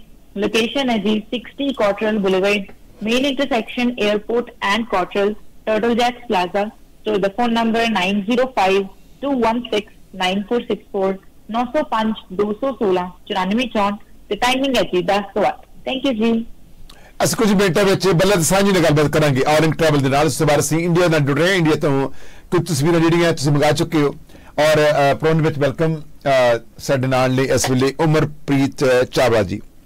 ਉਮਰਪ੍ਰੀਤ ਜੀ ਨੇ ਉਮਰ ਲੰਬੀ ਹੈ। ਤੁਹਾਡੀ ਲੰਬੀ ਉਮਰ ਦੀ ਅਰਦਾਸ ਕਰਦੇ ਨੇ। ਤੰਦਰੁਸਤੀ ਅਰਦਾਸ ਕਰਦੇ ਹੋਏ ਸੁਪਰ ਵੀਜ਼ਾ ਤੁਸੀਂ ਕੈਨੇਡਾ ਵਿੱਚ ਆ ਰਹੇ ਹੋ ਜਾਂ ਵਿਜ਼ਟਰ ਵੀਜ਼ੇ ਤੇ ਤੁਹਾਡੀ ਇੰਸ਼ੋਰੈਂਸ ਹੋਣੀ ਜ਼ਰੂਰੀ ਹੈ। ਜੇ ਟੂਰਿਸਟ ਵੀਜ਼ਾ ਜੇ ਤੁਸੀਂ ਆਪ ਛੁੱਟੀਆਂ ਜੂਨ ਜੁਲਾਈ ਦੀਆਂ ਹੋਣੀਆਂ ਤੇ ਬੱਚਿਆਂ ਨੂੰ ਘੁੰਮਣ ਫਿਰਨ ਲੈ ਕੇ ਜਾਣਾ, ਤੁਹਾਡੀ ਵੀ ਇੰਸ਼ੋਰੈਂਸ ਹੋਵੇਗੀ ਇਨ ਕੇਸ ਤੁਹਾਡਾ ਸਮਾਨ ਗਵਾਚ ਜਾਂਦਾ ਫਲਾਈਟ ਮਿਸ ਕਰ ਜਾਂਦੇ ਹੋ ਜਾਂ ਫਿਰ ਹੋਰ ਕੋਈ ਪ੍ਰੋਬਲਮ ਪੈ ਜਾਂਦੀ ਹੈ ਤਾਂ ਤੁਹਾਡੇ ਹੋਟਲ ਦਾ ਖਰਚਾ, ਤੁਹਾਡੇ ਖਾਣ ਪੀਣ ਦਾ ਖਰਚਾ, ਤੁਹਾਡੀ 에ਅਰਲਾਈਨ ਦਾ ਖਰਚਾ ਜਾਂ ਫਿਰ ਤੁਹਾਨੂੰ ਡੇਟ ਚੇਂਜ ਕਰਨੀ ਪੈਂਦੀ ਹੈ ਜੀ ਇੰਸ਼ੋਰੈਂਸ ਹੈ ਤਾਂ ਆਪਣੀ ਆਪ ਇੰਸ਼ੋਰੈਂਸ ਕੰਪਨੀ ਇਹ ਸਾਰਾ ਖਰਚਾ ਕਵਰ ਕਰੇਗੀ। ਜ਼ਰੂਰੀ ਹੈ। ਆਓ ਅਸੀਂ ਕੁਝ ਸਟੈਪਸ ਦਿੰਦੇ ਹਾਂ ਉਮਰਪ੍ਰੀਤ ਜੀ ਤੋਂ ਜੋ ਕਿ ਲੰਬੇ ਸਮੇਂ ਤੋਂ ਐਕਸਪੀਰੀਅੰਸ ਹੈ ਜੀ ਤੁਸੀਂ ਖੁਦ ਆਪ ਜਦੋਂ ਟਰੈਵਲ ਕਰਦੇ ਹੋ ਜੀ ਬਸ ਜੀ। ਸੋ ਤੁਸੀਂ ਖੁਦ ਵੀ ਇੰਸ਼ੋਰੈਂਸ ਲੈਂਦੇ ਹੋ। ਜੀ। ਸੋ ਤੁਹਾਡੇ ਲੈਣ ਦਾ ਮਨ ਦੇ ਵਿੱਚ ਕੀ ਮਕਸਦ ਹੁੰਦਾ? ਬਸ ਜੀ ਦੇਖੋ ਕੋਈ ਵੀ ਚਾਹੇ ਆਪਾਂ ਕੰਟਰੀ ਤੋਂ ਬਾਹਰ ਜਾ ਰਹੇ ਹਾਂ ਚਲੋ ਉਹਨੂੰ ਟਰੈਵਲ ਇੰਸ਼ੋਰੈਂਸ ਕਹਿੰਦੇ ਆ। ਮੇਨ ਇਹ ਹੁੰਦਾ ਵੀ ਦੇਖੋ ਨਵੇਂ ਕੰਟਰੀ 'ਚ ਆਪਾਂ ਜਾ ਰਹੇ ਆ ਜਾਂ ਘੁੰਮਣ ਫਿਰਨ ਜਾ ਰਹੇ ਚਾਹੇ ਆਪਾਂ ਬੈਕ ਹੋਮ ਜਾ ਰਹੇ ਆ ਇੰਡੀਆ ਪਾਕਿਸਤਾਨ ਕਿਤੇ ਵੀ ਜਾ ਰਹੇ ਆ ਮੇਨ ਇਹ ਹੁੰਦਾ ਵੀ ਸਾਡੀ ਹੈਲਥ ਠੀਕ ਰਹੇ ਪਹਿਲੀ ਗੱਲ ਕਿ ਉੱਥੇ ਜਾ ਕੇ ਜੇ ਕੋਈ ਪ੍ਰੋਬਲਮ ਹੋ ਜਾਂਦੀ ਹੈ ਪਤਾ ਨਹੀਂ ਸਾਨੂੰ ਕਿੰਨਾ ਖਰਚਾ ਹੋਣਾ ਹੈ ਕੀ ਹੋਣਾ ਹੈ, ਉਹ ਚੀਜ਼ਾਂ ਕਵਰ ਹੋਣ ਬਾਕੀ ਇਹ ਹੈ ਵੀ ਜੇ ਤੁਸੀਂ ਟਰੈਵਲ ਕਵਰ ਕਰਨਾ ਚਾਹੁੰਦੇ ਹੋ ਸਾਰੀ ਫਲਾਈਟ ਡਿਲੇ ਤੁਹਾਡਾ ਬੈਗੇਜ ਉਹ ਚੀਜ਼ਾਂ ਦੀ ਔਨ ਟਾਪ ਜਿਹੜੀ ਕਵਰੇਜ ਹੈਗੀ ਐਡ ਹੋ ਜਾਂਦੀ ਹੈ ਸੋ ਉਹ ਟਰੈਵਲ ਇੰਸ਼ੋਰੈਂਸ ਅੰਦਰ ਆਉਂਦੀ ਹੈ ਦੂਜਾ ਪਾਸੇ ਇਹਨੇ ਜਿਵੇਂ ਕਿਹਾ ਵੀ ਵਿਜ਼ਟਰ ਜਾਂ ਸੁਪਰ ਵੀਜ਼ਾ ਇੰਸ਼ੋਰੈਂਸ ਇਹਨੂੰ ਐਮਰਜੈਂਸੀ ਮੈਡੀਕਲ ਇੰਸ਼ੋਰੈਂਸ ਵੀ ਕਹਿੰਦੇ ਆ। ਮਤਲਬ ਕਿ ਕੋਈ ਕੈਨੇਡਾ ਚ ਆ ਰਿਹਾ ਹੈ, ਇਹ ਉਹਦੀ ਇੰਸ਼ੋਰੈਂਸ ਹੁੰਦੀ ਆ। ਕਾਫੀ ਤਰੀਕੇ ਨਾਲ ਇਹ ਯੂਜ਼ ਹੁੰਦੀ ਹੈ। ਪਹਿਲੇ ਹੈਗਾ ਸੁਪਰ ਲਈ, ਮਤਲਬ ਕਿ ਤੁਸੀਂ ਪੇਰੈਂਟਸ ਨੂੰ ਗ੍ਰੈਂਡ ਪੇਰੈਂਟਸ ਨੂੰ ਸੁਪਰ ਤੇ ਸਪਾਂਸਰ ਕਰਨਾ ਹੈ। ਮੈਂਡੇਟਰੀ ਇੰਸ਼ੋਰੈਂਸ ਹੈ। ਤੁਹਾਡੇ ਕੋਲ 1 ਲੱਖ ਦੀ ਕਵਰੇਜ ਹੋਣੀ ਚਾਹੀਦੀ ਹੈ ਤੇ ਮਿਨੀਮਮ 1 ਸਾਲ ਦੀ ਹੋਣੀ ਚਾਹੀਦੀ ਹੈ। ਹੁੰਦੀ ਇਹ ਵੀ ਐਮਰਜੈਂਸੀ ਮੈਡੀਕਲ ਕਵਰੇਜ ਹੈ, ਲੇਕਿਨ ਮੈਂਡੇਟਰੀ ਹੈ। ਸੋ ਇਹਨੂੰ ਆਪਾਂ ਐਨੂਅਲ ਵੀ ਪੇ ਕਰ ਸਕਦੇ ਆ ਇਹਨੂੰ ਆਪਾਂ ਮੰਥਲੀ ਪੇਮੈਂਟ ਵੀ ਕਰ ਸਕਦੇ ਆ ਦੂਜਾ ਹੈਗਾ ਵੀ ਤੁਹਾਡੇ ਕਿਸੇ ਵਿਜ਼ਿਟਰ ਨੇ ਇੱਥੇ ਆਉਣਾ ਹੈ, ਤੁਹਾਡੇ ਫੈਮਿਲੀ ਚੋਂ ਫਰੈਂਡਸ ਚੋਂ ਇਵਨ ਪੇਰੈਂਟਸ ਨੇ ਸੁਪਰ ਤੇ ਨਹੀਂ ਆਣਾ ਵਿਜ਼ਿਟਰ ਵੀਜ਼ੇ ਤੇ ਆਣਾ ਤਾਂ ਵੀ ਮੇਕ ਸ਼ੋਰ ਵੀ ਉਹਨਾਂ ਦੀ ਐਮਰਜੈਂਸੀ ਮੈਡੀਕਲ ਇੰਸ਼ੋਰੈਂਸ ਜ਼ਰੂਰ ਕੀਤੀ ਹੋਏ। ਤੇ ਤੀਜਾ ਹੈਗਾ ਵੀ ਤੁਸੀਂ ਸਟੂਡੈਂਟ ਹੋ ਜਾਂ ਵਰਕ ਪਰਮਿਟ ਤੇ ਹੋ, ਤੁਹਾਡੇ ਕੋਲ ਹੈਲਥ ਕਾਰਡ ਨਹੀਂ ਹੈਗਾ। ਤਾਂ ਵੀ ਇਹ ਇੰਸ਼ੋਰੈਂਸ ਕੰਮ ਕਰਦੀ ਆ। ਸੋ ਡਾਕਟਰ ਦੀ ਵਿਜ਼ਿਟ ਤੋਂ ਲੈ ਕੇ ਕੋਈ ਵੀ ਵੱਡਾ ਖਰਚਾ ਜਿਵੇਂ ਤੁਸੀਂ ਵਾਕ ਇਨ ਕਲੀਨਿਕ ਤੇ ਗਏ, ਖਾਂਸੀ ਜ਼ੁਕਾਮ, ਬੁਖਾਰ ਲਈ, ਤੁਸੀਂ ਡਾਕਟਰ ਤੋਂ ਮੈਡੀਸਨ ਲਈ, ਤੁਸੀਂ ਟੈਸਟ ਕਰਾਏ, ਸਾਰਾ ਕੁਝ ਕਵਰ ਹੋਣਾ ਇਸ ਇੰਸ਼ੋਰੈਂਸ ਅੰਡਰ ਸੋ ਇੱਕ ਚੀਜ਼ ਧਿਆਨ ਰੱਖਿਆ ਕਰੋ ਵੀ ਐਮਰਜੈਂਸੀ ਮੈਡੀਕਲ ਹੈ ਮਤਲਬ ਕੋਈ ਹੈਲਥ ਇਸ਼ੂ ਆਉਂਦਾ ਤਾਂ ਆਪਾਂ ਇੰਸ਼ੋਰੈਂਸ ਇਹ ਕੰਮ ਕਰਦੀ ਹੈ ਪਰ ਤੁਸੀਂ ਆਪਣੀ ਮਰਜ਼ੀ ਨਾਲ ਤੁਸੀਂ ਟ੍ਰੀਟਮੈਂਟ ਆਪ ਕਰਵਾਉਣ ਕੈਨੇਡਾ ਚ ਆ ਰਹੇ ਹੋ, ਫਿਰ ਇੰਸ਼ੋਰੈਂਸ ਨੇ ਨਹੀਂ ਕਵਰ ਕਰਨਾ ਹੁੰਦਾ, ਜੋ ਸਾਨੂੰ ਕਈ ਵਾਰ ਬਹੁਤ ਕਨਫਿਊਜ਼ਨ ਹੁੰਦੀ ਇਸ ਚੀਜ਼ ਦੇ ਵਿੱਚ। ਸੋ ਐਮਰਜੈਂਸੀ ਮੈਡੀਕਲ ਇੰਸ਼ੋਰੈਂਸ ਕਿਸੇ ਤਰ੍ਹਾਂ ਵੀ ਤੁਸੀਂ ਲੈਣੀ ਹੈ ਇੱਕ ਚੀਜ਼ ਦਾ ਧਿਆਨ ਰੱਖੋ ਵੀ ਜਿਹੜੇ ਵੀ ਤੁਹਾਡੇ ਆ ਰਹੇ ਆ ਚਾਹੇ ਤੁਸੀਂ ਆਪ ਇੱਥੇ ਵਿਜ਼ਿਟ ਕਰਨ ਆਣਾ ਹੈ ਤੁਹਾਡੀ ਜੋ ਵੀ ਹੈਲਥ ਕੰਡੀਸ਼ਨ ਹੈ ਜ਼ਰੂਰ ਐਡਵਾਈਜ਼ਰ ਨਾਲ ਡਿਸਕਸ ਕਰੋ ਤਾਂ ਕਿ ਉਹ ਜ਼ਰੂਰ ਕਵਰ ਹੋਏ। ਉਹਦੇ ਨਾਲ ਰਿਲੇਟਡ ਜੇ ਕੋਈ ਇੱਥੇ ਕੰਡੀਸ਼ਨ ਆਂਦੀ ਹੈ ਤਾਂ ਇੰਸ਼ੋਰੈਂਸ ਕੰਪਨੀ ਜ਼ਰੂਰ ਪੇ ਕਰੇ। ਸੋ ਕੋਈ ਵੀ ਕੁਐਸਚਨ ਤੁਹਾਡਾ ਵਿਜ਼ਟਰ ਮੈਡੀਕਲ ਇੰਸ਼ੋਰੈਂਸ ਜਾਂ ਸੁਪਰ ਵੀਜ਼ਾ ਮੈਡੀਕਲ ਇੰਸ਼ੋਰੈਂਸ ਦੇ ਰਿਲੇਟਡ ਨੰਬਰ ਹੈ ਜੀ ਮੇਰਾ 647446 1616 647 446 1616 ਓਕੇ ਹੋਲਡ ਔਨ ਅਸੀਂ ਇੱਕ ਅਹ, ਗੱਲਬਾਤ ਕਰਦੇ ਹਾਂ ਔਰ ਗੁਰਪ੍ਰੀਤ ਜੀ ਅਹ, ਕਾਫੀ ਲੰਬਾ ਸਮਾਂ ਬਿਜ਼ਨਸ ਨੂੰ ਹੋਲਡ ਕਰਨਾ ਠੀਕ ਨਹੀਂ ਹੈ ਔਰ ਸਾਡੀ ਲਾਈਨ 'ਚ ਇਸ ਵੇਲੇ ਆਲ ਇਨ ਟਰੈਵਲ ਤੋਂ ਬੱਲਾ ਜੀ ਆ ਚੁੱਕੇ ਨੇ ਤੁਸੀਂ ਲਾਈਨ ਸਾਡੇ ਜੀ, ਸਟੂਡੀਓ 'ਚ ਰਹੋਗੇ ਜੀ। ਬੱਲਾ ਜੀ ਵੈਲਕਮ ਟੂ ਸ਼ੋ ਹਾਂਜੀ ਸਤਿ ਸ਼੍ਰੀ ਅਕਾਲ ਜੀ ਮੈਸੇਜ ਆਓ ਹੋ ਕੀ ਹਾਲ ਚਾਲ ਜੀ? ਮੇਰੇ ਵੱਲੋਂ ਵੀ ਸਾਰਿਆਂ ਨੂੰ ਸਤਿ ਸ਼੍ਰੀ ਅਕਾਲ ਜੀ। ਜੀ ਆਲ ਟਰੈਵਲ ਦੇ ਸੀਈਓ ਬੱਲਾ ਦਸਾਨ ਜੀ ਹਾਜ਼ਰ ਨੇ। ਅਸੀਂ ਗੱਲਬਾਤ ਕਰਨੀ ਚਾਹਾਂਗੇ, ਗੱਲਬਾਤ ਪਹਿਲਾਂ ਦੱਸਿਆ ਚਾਹਾਂਗੇ ਸਾਡੇ ਜਿਹੜੇ ਸੁਣਨ ਵਾਲੇ, ਦੇਖਣ ਵਾਲੇ ਦਰਸ਼ਕ ਨੇ ਕਿ ਆਲ ਟਰੈਵਲ ਇੱਕ ਐਸੀ ਟਰੈਵਲ ਏਜੰਸੀ ਹੈ ਜੋ ਕਿ ਤੁਹਾਡੇ ਸਫ਼ਰ ਦੀਆਂ ਸਾਰੀ ਜ਼ਰੂਰਤਾਂ ਨੂੰ ਪੂਰਾ ਕਰਦੀ ਹੈ ਔਰ ਆਪਣੀ ਜ਼ਿੰਮੇਵਾਰੀ ਨਾਲ ਕੰਮ ਕਰਦੀ ਹੈ। ਸਿਰਫ ਕੁਝ ਲੋਕ ਜਿਸ ਬਿਜ਼ਨਸ ਵਿੱਚ ਹੁੰਦੇ ਨੇ, ਕਹਿੰਦੇ ਕਿ ਸਾਡਾ ਕੰਮ ਤਾਂ ਟਿਕਟਾਂ ਵੇਚਣਾ ਹੀ ਹੈ, ਪਰ ਉਹ ਜ਼ਿੰਮੇਵਾਰੀ ਨਹੀਂ ਲੈਂਦੇ। ਔਰ ਜ਼ਿੰਮੇਵਾਰੀ ਇਹ ਹੁੰਦੀ ਹੈ ਕਿ ਟਰੈਵਲ ਏਜੰਟ ਦੀ ਜਿਹੜਾ ਟਰੈਵਲ ਏਜੰਟ ਤੁਸੀਂ ਕਾਲ ਕਰੋ, ਤਾਂ ਉਹਨੂੰ ਪੁੱਛੋ ਕਿ ਅਸੀਂ ਕਿੱਥੇ ਜਾਣਾ ਆ, ਕਦੋਂ ਜਾਣਾ ਆ, ਤਾਂ ਇਹ ਟਰੈਵਲ ਏਜੰਟ ਤੁਹਾਨੂੰ ਆਪਸ਼ਨ ਦਿੰਦਾ ਹੈ। ਉਹਨਾਂ ਤੋਂ ਆਪਸ਼ਨ ਮੰਗੋ ਕਿ ਦੱਸੋ ਕਿ ਕਿਹੜੀ ਡੇਟ ਹੋ ਸਕਦਾ ਕਿ ਇੱਕ ਡੇਟ ਪਹਿਲਾਂ ਜਾਓ ਜਾਂ ਦੋ, ਦਿਨ ਅਟ ਕੇ ਜਾਓ, ਤਾਂ ਤੁਹਾਨੂੰ ਕਿੰਨਾ ਫਾਇਦਾ ਹੋ ਸਕਦਾ ਹੈ। ਔਰ ਤੁਸੀਂ ਜੇ ਰੂਟ 1 ਘੰਟਾ ਕਿਤੇ ਸਟੇ ਵੀ ਕਰ ਲਓ, ਤਾਂ ਤੁਹਾਨੂੰ ਕਿੰਨੇ ਪੈਸੇ ਬਚਦੇ ਨੇ? ਜੇ ਚਾਰ ਜਾਣੇ ਹੋ ਤਾਂ ਮਲਟੀਪਲਾਈ ਕਰ ਲਓ, ਤਾਂ ਤੁਹਾਨੂੰ ਮੇਰੇ ਕੋਲ 1000 ਡਾਲਰ ਤੋਂ ਉੱਪਰ ਪੈ ਸਕਦਾ ਹੈ। ਸੋ ਉਸ ਤੋਂ ਬਾਅਦ ਟਰੈਵਲ ਏਜੰਟ ਉਹ ਆ ਜਿਹੜਾ ਕਿ ਤੁਹਾਡੀ ਸਫ਼ਰ ਦੀ ਹਰ ਜ਼ਰੂਰਤ ਨੂੰ ਪੂਰਾ ਕਰੇ, ਆਪਣੀ ਜ਼ਿੰਮੇਵਾਰੀ ਸਮਝੇ ਕਿ ਇਨ ਕੇਸ ਜਿਸ ਤਰ੍ਹਾਂ ਅੱਜ 에ਅਰ ਇੰਡੀਆ ਫਲਾਈਟ ਆਈ ਨਹੀਂ ਤੇ ਜਾਣੀ ਕਿਵੇਂ ਆ, ਜਾਣੀ ਨਹੀਂ, ਜਹਾਜ਼ ਆਉ ਤਾਂ ਜਾਊਗਾ। ਤਾਂ ਤੁਹਾਨੂੰ ਟਰੈਵਲ ਏਜੰਟ ਕਾਲ ਕਰੇ ਕਿ ਭਾਈ ਤੁਸੀਂ ਅੱਜ ਜਾਣਾ ਸੀ ਕਿ ਜਹਾਜ਼ ਕਿਸੇ ਕਾਰਨ ਕਰਕੇ ਆਇਆ ਨਹੀਂ ਤਾਂ ਨਹੀਂ ਜਾਵੇਗਾ। ਤਾਂ ਇਹ ਆਲ ਇਨ ਟਰੈਵਲ ਦੇ ਵੱਲੋਂ ਤੁਹਾਡੇ ਘਰ ਵਿੱਚ ਫੋਨ ਆਇਆ ਹੋਵੇਗਾ, ਜ਼ਰੂਰ। ਉਹਨਾਂ ਦੇ ਘਰ ਵਿੱਚ ਆਇਆ ਹੋਵੇਗਾ, ਜਿਨ੍ਹਾਂ ਨੇ ਟੈਕਟ ਇੰਡੀਆ ਨੂੰ ਖਰੀਦੀ ਆ ਆਲ ਇਨ ਟਰੈਵਲ ਤੋਂ, ਜਿਨ੍ਹਾਂ ਨੇ ਅੱਜ ਜਾਣਾ ਸੀ। ਉਹਨਾਂ ਦੇ ਘਰ ਵਿੱਚ ਫੋਨ ਆਇਆ ਹੋਵੇਗਾ ਕਿ ਅਸੀਂ ਟਰੈਵਲ ਕਰਨਾ ਸੀ, ਤੇ ਸਾਨੂੰ ਫੋਨ ਆ ਗਿਆ ਟਰ- ਆਪਣੇ ਆਲ ਇੰਕ ਤੋਂ ਕਿ ਤੁਸੀਂ ਜਾ ਨਹੀਂ ਸਕਦੇ। ਜੂਸੀ ਉਹਨਾਂ ਰਿਸਪੌਂਸਿਬਿਲਟੀ ਲੈਂਦੇ ਨੇ। ਕੁਝ ਟਰੈਵਲ ਏਜੰਟ ਟਿਕਟ ਵੇਚੀ ਸਾਨੂੰ ਕੀ ਖਸਮਾਂ ਨੂੰ ਖਾਵੇ, ਜਾਵੇ, ਨਾ ਆਵੇ, ਜਹਾਜ਼, ਉਹ ਕਹਿੰਦੇ ਟਿਕਟ ਵੇਚੀ ਪੈਸੇ ਬਣਾ ਲੈ। ਇਹੀ ਕਾਰਨ ਹੈ ਕਿ ਲੋਕਾਂ ਦੇ ਦਿਲਾਂ ਵਿੱਚ ਇੱਕ ਵਾਰੀ ਕਸਟਮਰ ਇਹਨਾਂ ਨੂੰ ਬਣ ਗਿਆ, ਉਹ ਆਪ ਵੀ ਕਸਟਮਰ ਰਹਿੰਦਾ ਹੈ ਅਤੇ ਆਂਢ ਗੁਆਂਢ ਰਿਸ਼ਤੇਦਾਰਾਂ ਨੂੰ ਵੀ ਬਣਾਉਂਦਾ ਹੈ।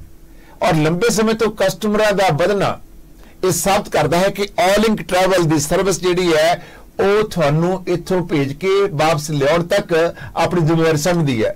ਇਨ ਕੇਸ ਜੇ ਤੁਸੀਂ ਵਾਪਸ ਆਉਣਾ ਹੈ ਫਲਾਈਟ ਕਿਸੇ ਕਾਰਨ ਕਰਕੇ ਨਹੀਂ ਅਡਾਨ ਪਾ ਰਹੀ, ਤਾਂ ਤੁਹਾਡੇ ਘਰ ਫੋਨ ਜਾਂਦਾ ਆ। ਫੋਨ ਉਹਨਾਂ ਚ ਕਿਹੜਾ ਸਟਾਫ ਕਰਦਾ ਰਹਿੰਦਾ ਆ, ਜੋ ਟਾਈਮ ਡਿਫਰੈਂਸ ਹੈ, ਜਿੰਨਾ ਚ ਇੱਕ ਪੈਸੇਂਜਰ ਜਿਹਨੇ ਟਿਕਟ ਲਈ ਹੁੰਦੀ ਹੈ ਉਹਨਾਂ ਗੱਲਬਾਤ ਨਹੀਂ ਹੁੰਦੀ ਕਿ ਭਾਈ ਤੁਸੀਂ ਦਿੱਲੀ ਨਹੀਂ ਜਾਣਾ, ਅੰਮ੍ਰਿਤਸਰ ਨਹੀਂ ਜਾਣਾ, ਕਿਉਂਕਿ ਫਲਾਈਟ ਇੰਨੇ ਘੰਟੇ ਲੇਟ ਹੈ, ਤੇ ਅੱਜ ਫਲਾਈਟ ਨਹੀਂ ਉੜਨੀ ਸੋ ਤੁਸੀਂ ਦੇਖ ਲਓ ਕਿ ਇਹ ਜ਼ਿੰਮੇਵਾਰੀ ਫਿਰ ਦੂਸਰਾ ਇਹ ਚੈੱਕ ਕਰਦੇ ਨੇ ਕਿ ਤੁਸੀਂ ਆਲਰੇਡੀ ਵੀਜ਼ਾ ਲਿਆ ਹੋਇਆ ਤੁਹਾਡਾ ਪਾਸਪੋਰਟ ਇੰਨੇ ਮਹੀਨੇ ਲਈ ਵੈਲਿਡ ਹੋਣਾ ਚਾਹੀਦਾ ਹੈ ਉਹ ਹੈ ਸੋ ਜਿਹੜਾ ਪਾਸਪੋਰਟ ਤੇ ਨਾ ਹੈ ਉਹ ਟਿਕਟ ਤੇ ਨਾ ਹੈ ਸੋ ਇਹ ਸਾਰੀਆਂ ਜ਼ਿੰਮੇਵਾਰੀਆਂ ਆਲ ਇਨ ਟਰੈਵਲ ਆਪਣੇ ਸਿਰ ਤੇ ਲੈ ਰਿਹਾ ਹੈ ਔਰ ਇਸ ਜ਼ਿੰਮੇਵਾਰੀ ਦੇ ਨਾਲ ਕੰਮ ਕਰਦਾ ਹੋਣ ਕਰਕੇ ਲੋਕ ਵਿਸ਼ਵਾਸ ਕਰਦੇ ਨੇ ਜੋ ਮੈਂ ਕਿਹਾ ਠੀਕ ਹੈ ਜਦ ਤੁਸੀਂ ਕੁਝ ਅਮੈਂਡਮੈਂਟ ਕਰਨੀ ਚਾਹੁੰਦੇ ਹੋ ਬਾਸੀ ਸਾਹਿਬ, ਹੁਣ ਕਹਿਣ ਦੀ ਕੋਈ ਲੋੜ ਹੀ ਨਹੀਂ ਹੈਗੀ ਜੀ, ਹੁਣ ਤੁਸੀਂ ਕਰ ਦਿੱਤਾ ਹੈਗਾ ਜੀ ਥੈਂਕ ਯੂ ਵੈਰੀ ਮੱਚ ਤੇ ਬਿਲਕੁਲ ਤੁਸੀਂ ਗੱਲ ਸਹੀ ਕੀਤੀ ਹੈਗੀ ਆ, ਤੇ ਜਿਹੜੀ ਤੁਸੀਂ ਟੌਪਿਕ ਦੇ ਉੱਤੇ ਗੱਲ ਕੀਤੀ ਹੈਗੀ ਆ, ਬਿਲਕੁਲ ਸਹੀ ਗੱਲ ਹੈਗੀ ਆ, ਕੋਈ ਐਡ ਆਨਸ ਨਹੀਂ ਹੈਗਾ। ਮੇਰੇ ਵਿੱਚ ਸਿਰਫ ਇਹੀ ਐਡ ਆਨਸ ਕਰਨਾ ਚਾਹੁੰਦਾ ਜੀ। ਜਿਹੜੀ ਇੱਕ ਤੁਹਾਡੀ ਇੰਸ਼ੋਰੈਂਸ ਦੇ ਨਾਲ ਗੱਲ ਚੱਲ ਰਹੀ ਹੈਗੀ ਆ ਆਪਣੇ ਜਿਹੜੇ ਵੀ ਲੇਡੀਜ਼ ਹੈਗੇ ਆਨ ਦਾ ਮੈਡਮ ਜੀ ਹਾਂਜੀ ਸੌਰੀ ਮੈਂ ਇਹਨਾਂ ਦਾ ਨਾਮ ਨਹੀਂ ਪਹਿਲਾਂ ਇਹ ਨਾਮ ਹੈ ਉਮਰਪ੍ਰੀਤ ਚਾਵਲਾ ਜੀ ਉਮਰਪ੍ਰੀਤ ਜੀ। ਉਮਰਪ੍ਰੀਤ ਚਾਵਲਾ ਜੀ। ਬਿਲਕੁਲ ਸਹੀ ਇਨਫੋਰਮੇਸ਼ਨ ਹੈਗੀ ਆ ਜੀ ਜਿਹੜੀ ਅਸੀਂ ਵੀ ਤੁਹਾਡੇ ਪ੍ਰੋਗਰਾਮ ਦੇ ਉੱਤੇ ਅਸੀਂ ਜਨਵਰੀ ਦੇ ਵਿੱਚ ਇੱਕ ਫ੍ਰੀ ਇੰਸ਼ੋਰੈਂਸ ਸ਼ੁਰੂ ਕੀਤੀ ਸੀਗੀ ਇੱਕ ਮਹੀਨੇ ਦੇ ਲਈ। ਜੀ। ਉਹਦਾ ਸੀਗਾ ਕਿ ਟ੍ਰਿਪ ਕੈਂਸਲੇਸ਼ਨ ਦੀ ਇੰਸ਼ੋਰੈਂਸ ਜਿਹੜੀ ਹੈਗੀ ਆ ਅਸੀਂ ਕੋਈ ਵੀ ਟਿਕਟ ਪਰਚੇਜ ਕਰੇਗਾ ਜਨਵਰੀ ਮਹੀਨੇ ਦੇ ਵਿੱਚ ਅਸੀਂ ਉਹਨੂੰ ਜਿਹੜੀ ਉਹਦੀ ਟਿਕਟ ਦੀ ਟ੍ਰਿਪ ਕੈਂਸਲੇਸ਼ਨ ਹੈਗੀ ਆ ਜੋ ਵੀ ਖਰਚਾ ਹੈਗਾ ਉਹ ਅਸੀਂ ਫ੍ਰੀ ਕਰਾਂਗੇ। ਅਸੀਂ ਚਲੋ ਜ਼ਿਆਦਾ ਨਹੀਂ, ਕਾਫੀ ਟਿਕਟਾਂ ਇਸ਼ੂ ਕੀਤੀਆਂ ਸੀਗੀਆਂ, ਜਿਹੜੇ ਕਿ ਕਸਟਮਰ ਸਾਨੂੰ ਕਿਹਾ ਕਿ ਤੁਸੀਂ ਜੀ ਇੰਸ਼ੋਰੈਂਸ ਫ੍ਰੀ ਦੇ ਰਹੇ ਆ, ਬਿਲਕੁਲ ਜੀ ਦੇ ਰਹੇ ਹੈਗੇ। ਕਿਸੇ ਨੂੰ ਅਸੀਂ ਡਿਨਾਈ ਨਹੀਂ ਕੀਤਾ, ਉਹਦੀ ਕਾਸਟ 50 ਡਾਲਰ ਸੀ ਜਾਂ 180 ਡਾਲਰ ਸੀ ਜਾਂ 130 ਉਹਦੇ ਵਿੱਚ ਵੀ ਵੱਖਰੀ ਵੱਖਰੀ ਆ। ਕਈ ਟਿਕਟਾਂ ਜਿਹੜੀਆਂ ਨਾਨ ਰਿਫੰਡੇਬਲ ਹੁੰਦੀਆਂ, ਉਹਨਾਂ ਦਾ ਥੋੜਾ ਪ੍ਰੀਮੀਅਮ ਜਿਹੜਾ ਹੈਗਾ ਆ, ਜ਼ਿਆਦਾ ਹੋ ਜਾਂਦਾ ਹੈਗਾ ਆ। ਜੀ। ਜਿਹੜੀ ਟਿਕਟ ਦੀ ਕੈਂਸਲੇਸ਼ਨ ਪੈਨਲਟੀ ਹੋਵੇ 500 600 ਡਾਲਰ, ਉਹਦਾ ਪ੍ਰੀਮੀਅਮ ਜਿਹੜਾ ਘਟ ਕੇ 60 70 ਡਾਲਰ ਹੋ ਜਾਂਦਾ। ਜਿਹੜੀ ticket non refundable 2000 dollar cover ਕਰਨਾ, ਉਹਦੀ ਇੰਸ਼ੋਰੈਂਸ ਹੋ ਜਾਂਦੀ ਸੀਗੀ ਜੀ ਅਰਾਊਂਡ 110 ਡਾਲਰ ਤੇ 120 ਡਾਲਰ। ਉਹ ਅਸੀਂ ਖੁਦ ਆਪਣੇ ਕੋਲੋਂ ਪੇ ਕੀਤੀ ਆ ਜੀ। ਓਕੇ ਹੁਣ ਮੈਂ ਗੱਲ ਕਰਦਾ ਜੀ, ਜਿਹੜੀ ਤੁਸੀਂ ਗੱਲ ਕੀਤੀ ਹੈਗੀ ਹੈ ਜੀ ਏਜੰਸੀ ਦੇ ਅਸੀਂ ਹੁਣ ਕਾਲ ਕਰਦੇ ਆ ਕਸਟਮਰ ਨੂੰ। ਬਿਲਕੁਲ ਸਹੀ ਗੱਲ ਹੈ ਜੀ, ਅਸੀਂ ਕੋਈ ਵੀ ਹੁਣ ਰਾਤੀ ਮੈਂ 11 ਵਜੇ ਜੀ ਕਾਲ ਕੀਤੀ ਆ ਹੈਮਿਲਟਨ ਤੋਂ ਤਿੰਨ ਪੈਸਾ ਸੌਰੀ ਕਿਚਨਰ ਤੋਂ ਤਿੰਨ ਪੈਸੇਂਜਰ ਸੀਗੇ। ਉਹਨਾਂ ਦੀ ਫਲਾਈਟ ਜਿਹੜੀ 에ਅਰ ਇੰਡੀਆ ਦੀ ਅੱਜ ਜਾਣੀ ਸੀ। ਉਹਨਾਂ ਨੂੰ ਮੈਂ ਖੁਦ ਸਾਡੇ ਚੜਾ ਸਾਹਿਬ ਆ ਆਪਣੇ ਕਿਚਨਰ ਆਫਿਸ ਤੋਂ ਉਹਨਾਂ ਨੇ ਕਾਲ ਕੀਤੀ ਕਿ ਤੁਹਾਡੀ ਫਲਾਈਟ ਜਿਹੜੀ ਹੈਗੀ ਆ ਡਿਲੇ ਹੋ ਗਈ ਹੈਗੀ ਆ। ਉਹਨਾਂ ਦੀਆਂ ਮੈਂ ਰਾਤ 11:30 ਵਜੇ 에ਅਰ ਕੈਨੇਡਾ ਦੇ ਵਿੱਚ ਅੱਜ ਜਾਣ ਦੀਆਂ ਟਿਕਟਾਂ ਇਸ਼ੂ ਕੀਤੀਆਂ ਜੀ। ਬਿਲਕੁਲ ਤੁਸੀਂ ਸਹੀ ਇਨਫੋਰਮੇਸ਼ਨ ਦਿੱਤੀ ਹੈਗੀ ਆ ਜੀ। ਜਦੋਂ ਮੈਨੂੰ ਕਾਲ ਆਇਆ ਨਾ ਮੈਨੂੰ ਕਾਲ ਆਇਆ ਉਹ ਕਹਿੰਦੇ ਬਸ ਜੀ ਥੈਂਕਸ ਕਰ ਦਿਓ ਮੈਂ ਥੈਂਕਸ ਕਿਹਦਾ ਕਰਾਂ ਕਿਉਂ ਕਰਾਂ? ਰੀਜ਼ਨ ਦੱਸੋ। ਉਹ ਕਹਿੰਦੇ ਤੁਸੀਂ ਗੁਣ ਗਾਉਂਦੇ ਹੋ। ਮੈਂ ਗੁਣ ਤਾਂ ਮੈਂ ਰੋਜ਼ ਗਾਉਂਦਾ ਆ ਕਹਿੰਦੇ ਆਲਿੰਗ ਟਰੈਵਲ ਵਾਲਿਆਂ ਦੇ ਤੁਸੀਂ ਗੁਣ ਗਾਉਂਦੇ ਹੋ ਜੋ ਕਹਿੰਦੇ ਹੋ ਸੱਚਮੁੱਚ ਕਰਦੇ ਹੋ। ਮੈਂ ਕਿਹਾ ਕੀ ਉਹਨਾਂ ਨੇ ਕਰ ਦਿੱਤਾ ਭਾਈ? ਉਹ ਕਹਿੰਦੇ ਜੀ ਉਹਨਾਂ ਨੇ ਸਾਨੂੰ ਦੱਸ ਦਿੱਤਾ ਸਾਨੂੰ ਪਤਾ ਨਹੀਂ ਸੀ ਕੱਲ ਨੂੰ ਜਹਾਜ਼ ਨਹੀਂ ਜਾਣਾ ਤੇ ਉਹਨਾਂ ਨੇ ਸਾਡੀ ਜਿਹੜੀ ਆ ਆਲਰੇਡੀ ਦੂਜੀ ਬੁੱਕ ਕਰ ਦਿੱਤੀ 에ਅਰਲਾਈਨ ਔਰ ਜਦ ਕਿ ਸਾਡਾ ਜਾਣਾ ਬਹੁਤ ਜ਼ਰੂਰੀ ਸੀ ਦੱਸਿਆ ਸੀ ਕਿ ਸਾਨੂੰ ਐਮਰਜੈਂਸੀ ਫਲਾਈ ਕਰਨਾ ਪੈਣਾ। ਸੋ ਉਹ ਕਹਿੰਦੇ ਕਿ ਉਹਨਾਂ ਨੂੰ ਪਤਾ ਸੀ ਉਹਨਾਂ ਦੇ ਸਿਸਟਮ ਵਿੱਚ ਫਲੈਗ ਪਾਇਆ ਹੋਇਆ ਐਮਰਜੈਂਸੀ ਸਾਡੇ ਇਹ ਟਰੈਵਲਰ ਨੇ। ਔਰ ਇਹਨਾਂ ਦਾ ਇੱਕ ਸਿਸਟਮ ਆ ਜਿਮ ਟਿਕਟ ਇਹਨਾਂ ਨੇ ਇਸ਼ੂ ਕਰਦੇ ਨੇ ਇਹ ਆਪਣੇ ਸਿਸਟਮ ਵਿੱਚ ਪਾਉਂਦੇ ਨੇ ਕਿ ਐਮਰਜੈਂਸੀ ਇਹ ਪੈਸੇਂਜਰ ਨੇ। ਤਾਂ ਕਿ ਇਹਨਾਂ ਨੂੰ ਹਰ ਹਾਲਤ ਵਿੱਚ ਟਾਈਮ ਸਿਰ ਫਲਾਈਟ ਇਹਨਾਂ ਦੀ ਉੜੇ ਅਤੇ ਇਸ ਸਮੇਂ ਸਿਰ ਪਹੁੰਚਣ। ਐਮਰਜੈਂਸੀ ਫਲਾਈਟ ਬਹੁਤ ਸਾਰੇ ਲੋਕ ਲੈਂਦੇ ਨੇ, ਕਈ ਵਾਰ ਕੈਜੂਅਲ ਫਲਾਈਟ ਹੁੰਦੀ ਆ, ਛੁੱਟੀਆਂ ਕੱਟਣ ਜਾਂਦੇ ਆ, ਉਹਨੂੰ ਇਹ ਕੈਜੂਅਲ ਅਸੀਂ ਫਲਾਈਟ ਕਹਿੰਦੇ ਆ। ਸੋ ਇਹ ਰਿਸਪੌਂਸਿਬਿਲਟੀ ਨੇ ਕੀਤਾ ਕੰਮ, ਉਸ ਸਮੇਂ ਆਪਣੇ ਵੱਲੋਂ ਵੀ ਧੰਨਵਾਦ ਕਰਦਾ ਅਤੇ ਪੈਸੇਂਜਰ ਵੀ ਧੰਨਵਾਦ ਤੁਹਾਡਾ ਕਰਦੇ ਨੇ। ਓਪਨਲੀ 에ਅਰ ਤੇ ਆਣ ਕੇ ਉਹ ਕਹਿਣਾ ਵੀ ਚਾਹੁੰਦੇ ਨੇ, ਜੋ ਕਿ ਤੁਸੀਂ ਆਪ ਕਹਿ ਦਿੱਤਾ। ਸੋ ਮੈਂ ਇੱਕ ਚੀਜ਼ ਜਾਣਨਾ ਜਾਣਨਾ ਚਾਹੁੰਦਾ ਤੁਹਾਡੇ ਤੋਂ, ਜਿਹੜੀ 에ਅਰ ਇੰਡੀਆ ਦਾ ਨਾਂ ਅੱਜ ਆਉਣਾ ਅਤੇ ਜੇ ਜਹਾਜ਼ ਆਊਗਾ, ਤਰੇ ਜਾਊਗਾ ਕੀ ਕੱਲ ਨੂੰ ਇਸ ਸਕੇਜੂਲ ਵਿੱਚ ਫਲਾਈਟ ਹੈ ਜਾਂ ਨਹੀਂ? ਕੱਲ ਦੀ ਫਲਾਈਟ ਅੱਜ ਦੀ ਡੇਟ ਦੇ ਹਿਸਾਬ ਨਾਲ ਸਕੇਜੂਲ ਦੇ ਵਿੱਚ ਹੈਗੀ ਆ ਜੀ। ਤੇ ਫੇਰ ਵੀ ਜਿਹੜੀ ਇਨਫੋਰਮੇਸ਼ਨ ਹੈਗੀ ਆ ਮੈਂ ਹੁਣੇ ਇੱਕ ਵਾਰੀ ਪਤਾ ਕਰਕੇ ਤੁਹਾਨੂੰ ਉਹਦਾ ਮੈਂ ਮੈਸੇਜ ਜ਼ਰੂਰ ਕਰੂੰਗਾ ਜੀ। ਜੀ ਵੈਰੀ ਗੁੱਡ ਸੋ ਅੱਜ ਜਹਾਜ਼ ਕਿੰਨੇ ਵਜੇ ਆਉਣਾ ਸੀ? ਤਾਂ ਉੱਥੇ ਮਤਲਬ ਕਿੰਨੇ ਵਜੇ ਚੱਲਣਾ ਸੀ? ਤਾਂ ਜੇ ਜਿਹੜੇ ਪੈਸੇਂਜਰ ਸੀਗੇ ਉਹਨਾਂ ਨੂੰ ਕਿੰਨੇ ਵਜੇ ਸੂਚਿਤ ਕਰ ਦਿੱਤਾ ਕਿ ਤੁਸੀਂ 에어ਪੋਰਟ ਤੇ ਨਾ ਆਓ? ਅਸੀਂ ਰਾਤ ਤੇ ਹੀ ਮੋਸਟਲੀ ਕਿਉਂਕਿ ਜਦੋਂ ਇਨਫੋਰਮੇਸ਼ਨ ਆਈ ਹੈ ਰਾਤੀ 10:30 ਵਜੇ ਸਾਨੂੰ ਇਨਫੋਰਮੇਸ਼ਨ ਆਈ ਹੈ 10:30 ਵਜੇ ਇਨਫੋਰਮੇਸ਼ਨ ਦੇ ਹਿਸਾਬ ਨਾਲ ਅਸੀਂ, ਚਲੋ ਹੋ ਸਕਦਾ ਕੋਈ ਮਿਸ ਹੋ ਗਿਆ ਜਾਂ ਕਾਫੀ ਮਿਸ ਹੋ ਗਿਆ, ਨਹੀਂ ਵੀ ਕਾਲ ਹੋਈ ਹੈਗੀ, ਕਿਉਂਕਿ ਡਿਫਰੈਂਟ ਡਿਫਰੈਂਟ ਸਾਡੇ ਆਫਿਸ ਹੈਗੇ, ਹੁਣ 5-6 ਲੋਕੇਸ਼ਨਾਂ ਨੂੰ ਹੈਂਡਲ ਕਰਨਾ ਵੀ ਔਖਾ ਹੈਗਾ। ਹਰੇਕ ਨੇ ਆਪਣੇ ਆਪਣੇ ਕਾਲ ਕੀਤੀ ਆ, ਪਰ ਸਵੇਰੇ ਸਾਰਿਆਂ ਨੂੰ ਕਾਲ ਕਰਤੀ ਹੈਗੀ ਆ, ਸਵੇਰੇ 7:30 8:30 ਵਜੇ ਦੇ ਆਸ-ਪਾਸ। ਕਿ ਮੈਂ ਜਦੋਂ 5:30 ਵਜੇ ਉੱਠ ਕੇ ਜਿਮ ਨੂੰ ਜਾਂਦਾ 6 ਵਜੇ ਜਾਂਦਾ, ਮੈਂ ਸਾਰਿਆਂ ਨੂੰ ਇੱਕ ਵਾਰੀ ਆਪਣੇ ਆਫਿਸ ਕਾਲ ਕੀਤੀ ਆ ਕਿ ਅੱਜ ਦੀ ਫਲਾਈਟ ਨਹੀਂ ਆ ਰਹੀ। ਤੁਸੀਂ ਆਪਣੇ ਆਪਣੇ ਪੈਸੇਂਜਰ ਨੂੰ ਇਨਫੋਰਮ ਕਰੋ। ਅੱਛਾ ਜਿਹੜੀ ਫਲਾਈਟ ਉੱਥੋਂ ਜਿਹੜੇ ਲੋਕ ਜਿਹਨੇ ਫਲਾਈਟ ਰਹਿਣੀ ਸੀ ਪੈਸੇਂਜਰ ਦਿੱਲੀ 에ਅਰਪੋਰਟ ਤੇ ਆ ਗਏ ਸੀਗੇ? ਹਾਂਜੀ ਉਹ ਹਾਂ ਉਹਨਾਂ ਕੋਲ ਕੋਈ ਚੁਆਇਸ ਨਹੀਂ ਸੀਗੀ। ਉਹ ਸਾਰੇ 에ਅਰਪੋਰਟ ਤੇ ਪੈਸੇਂਜਰ ਆ ਚੁੱਕੇ ਸੀਗੇ। ਮੇਰੀ ਦੋ ਪੈਸੇਂਜਰਾਂ ਨਾਲ ਇੰਡੀ ਗੱਲ ਵੀ ਹੋਈ ਸੀ ਇੰਡੀਆ ਦੇ ਵਿੱਚ ਜਦੋਂ ਕ- ਇਹ ਫਲਾਈਟ ਚੱਲਣ ਦਾ ਟਾਈਮ ਸੀਗਾ। ਤੇ ਦੋ ਪੈਸੇਂਜਰਾਂ ਨੇ ਸਾਨੂੰ ਉਦਾਂ ਹੀ ਕਾਲ ਕੀਤੀ ਆ ਕਿ ਉਹਨਾਂ ਨੇ ਟਿਕਟ ਸਾਡੇ ਤੋਂ ਨਹੀਂ ਬਾਸੀ ਸਾਹਿਬ ਲਈ ਸੀ ਇਹ ਵੀ ਦੇਖ ਲਓ ਮੈਂ ਤੁਹਾਨੂੰ ਹੋਰ ਦੱਸਦਾ ਹੈਗਾ। ਪਰ ਇੱਕ ਮੈਂ ਇਹਦੇ ਵਿੱਚ ਗੱਲ ਪਹਿਲਾਂ ਐਡ ਆਨ ਕਰਨੀ ਚਾਹੁੰਦਾ ਹੈਗਾ ਆ। ਕਈ ਜਿਹੜੇ ਸਾਡੇ ਏਜੰਟਸ ਹੈਗੇ ਆ ਉਹ ਚਾਹੇ ਕਿਸੇ ਦੇ ਨਾਲ ਚਾਹੇ ਉਹ 10 ਸਾਲ ਕੰਮ ਕਰ ਗਿਆ ਚਾਹੇ 5 ਸਾਲ ਕੰਮ ਕਰ ਗਿਆ ਹੈਗੇ ਉਹਨਾਂ ਨੂੰ ਫੇਰ ਵੀ ਅਜੇ ਸਟਿਲ ਕੰਮ ਨਹੀਂ ਕਰਨਾ ਆਉਂਦਾ ਹੈਗਾ। ਇਹ ਮੈਂ ਲਿਖ ਕੇ ਗਾਰੰਟੀ ਦਿੰਦਾ ਹੈਗਾ ਕਿ ਉਹ ਏਜੰਸੀਆਂ ਤਾਂ ਚਲੋ ਖੋਲ ਲੈਂਦੇ ਹੈਗੇ ਆ ਥੋੜੇ ਜਿਹਾ ਲਾਲਚ ਦੇ ਵਿੱਚ ਆ ਕੇ ਪਰ ਉਹਨਾਂ ਨੂੰ ਕੰਮ ਨਹੀਂ ਕਰਨਾ ਆਉਂਦਾ ਹੈਗਾ। ਮੈਂ ਇਹ ਇਹ ਜੀ ਮੈਂ ਚਲੋ ਓਪਨਲੀ ਕਿਸੇ ਦਾ ਨਾਮ ਅਸੀਂ ਨਹੀਂ ਵੀ ਲੈਂਦੇ ਲੈ ਵੀ ਸਕਦੇ ਹੈਗੇ ਆ। ਕਈ ਇਹੋ ਜਿਹੇ ਹੈਗੇ ਆ ਕਿ ਉਹ ਏਜੰਸੀਆਂ ਤਾਂ ਓਪਨ ਕਰ ਲੈਂਦੇ ਆ ਪਰ ਉਹ ਕਸਟਮਰ ਨੂੰ ਕਸਟਮਰ ਦੀ ਸਰਵਿਸ ਨਹੀਂ ਦੇ ਸਕਦੇ ਹੈਗੇ। ਉਹਨਾਂ ਨੇ ਫੋਨ ਚੱਕਣਾ ਹੁੰਦਾ ਸਵੇਰੇ 8 ਵਜੇ ਉੱਠ ਸੁੱਤੇ ਉੱਠਣਾ। ਮੈਂ ਉੱਠਦਾ ਜੀ 5:30 ਵਜੇ। ਮੈਨੂੰ 5:30 ਵਜੇ ਕੋਈ ਵੀ ਮੇਰੇ ਸੈੱਲ ਫੋਨ ਤੇ ਕਾਲ ਕਰੂਗਾ, ਉਹਦੀ 100% ਜਿਹੜੀ ਕਾਲ ਹੈਗੀ ਆ ਉਹ ਅਟੈਂਡ ਹੋਊਗੀ। ਰਾਤ ਦੇ 11 ਵਜੇ ਤੋਂ ਲੈ ਕੇ ਸਵੇਰ ਦੇ 5 ਵਜੇ ਤੱਕ ਨਹੀਂ ਕਾਲ ਚੱਕਦਾ ਮੈਂ। ਉਸੇ 5:30 ਵਜੇ ਤੋਂ ਬਾਅਦ ਮੈਂ ਹਮੇਸ਼ਾ ਕਾਲ ਚੱਕਦਾ।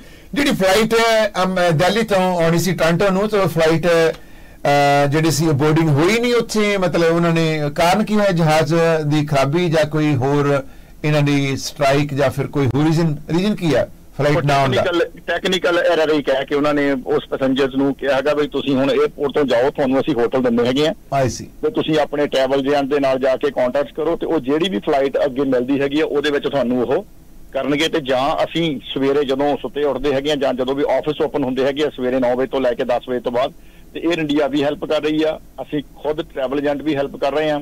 ਮੈਂ ਉਹੀ ਕਹਿੰਦਾ ਫੇਰ ਦੁਬਾਰਾ ਰਿਪੀਟ ਕਰਨ ਲੱਗਾ ਕਿਸੇ ਨੇ ਵੀ ਟਿਕਟ ਲੈਣੀ ਹੈਗੀ ਆ ਜਿੰਨੇ ਵੀ ਨੋਨ 20-25 ਸਾਲਾਂ ਦੇ ਜਾਂ 15 ਸਾਲਾਂ ਦੇ ਟਰੈਵਲ ਏਜੰਟ ਬੈਠੇ ਆ ਪਲੀਜ਼ ਉਹਨਾਂ ਤੋਂ ਹੀ ਟਿਕਟ ਲਿਆ ਕਰੋ। ਜਿਹੜਾ ਵੀ ਕੋਈ ਨਵਾਂ ਮਾਰਕੀਟ ਦੇ ਵਿੱਚ ਸਾਲ ਦਾ ਬੈਠਾ ਚਾਹੇ 2 ਸਾਲਾਂ ਦੇ ਬੈਠੇ ਆ ਉਹਨਾਂ ਨੂੰ ਇਨਫੋਰਮੇਸ਼ਨ ਬਾਰੇ ਨਹੀਂ ਪਤਾ ਚਾਹੇ ਉਹਨਾਂ ਨੇ ਜਿੰਨਾ ਮਰਜ਼ੀ ਚਿਰ ਕਿਸੇ ਵੀ ਟਰੈਵਲ ਏਜੰਟ ਦੇ ਨਾਲ ਰੈਪੂਟੇਡ ਟਰੈਵਲ ਏਜੰਟ ਦੇ ਨਾਲ ਕੰਮ ਕਰ ਲਿਆ ਹੈਗਾ ਉਹ ਤੁਹਾਨੂੰ ਨਹੀਂ ਗਾਈਡ ਕਰ ਸਕਦੇ ਹੈਗੇ।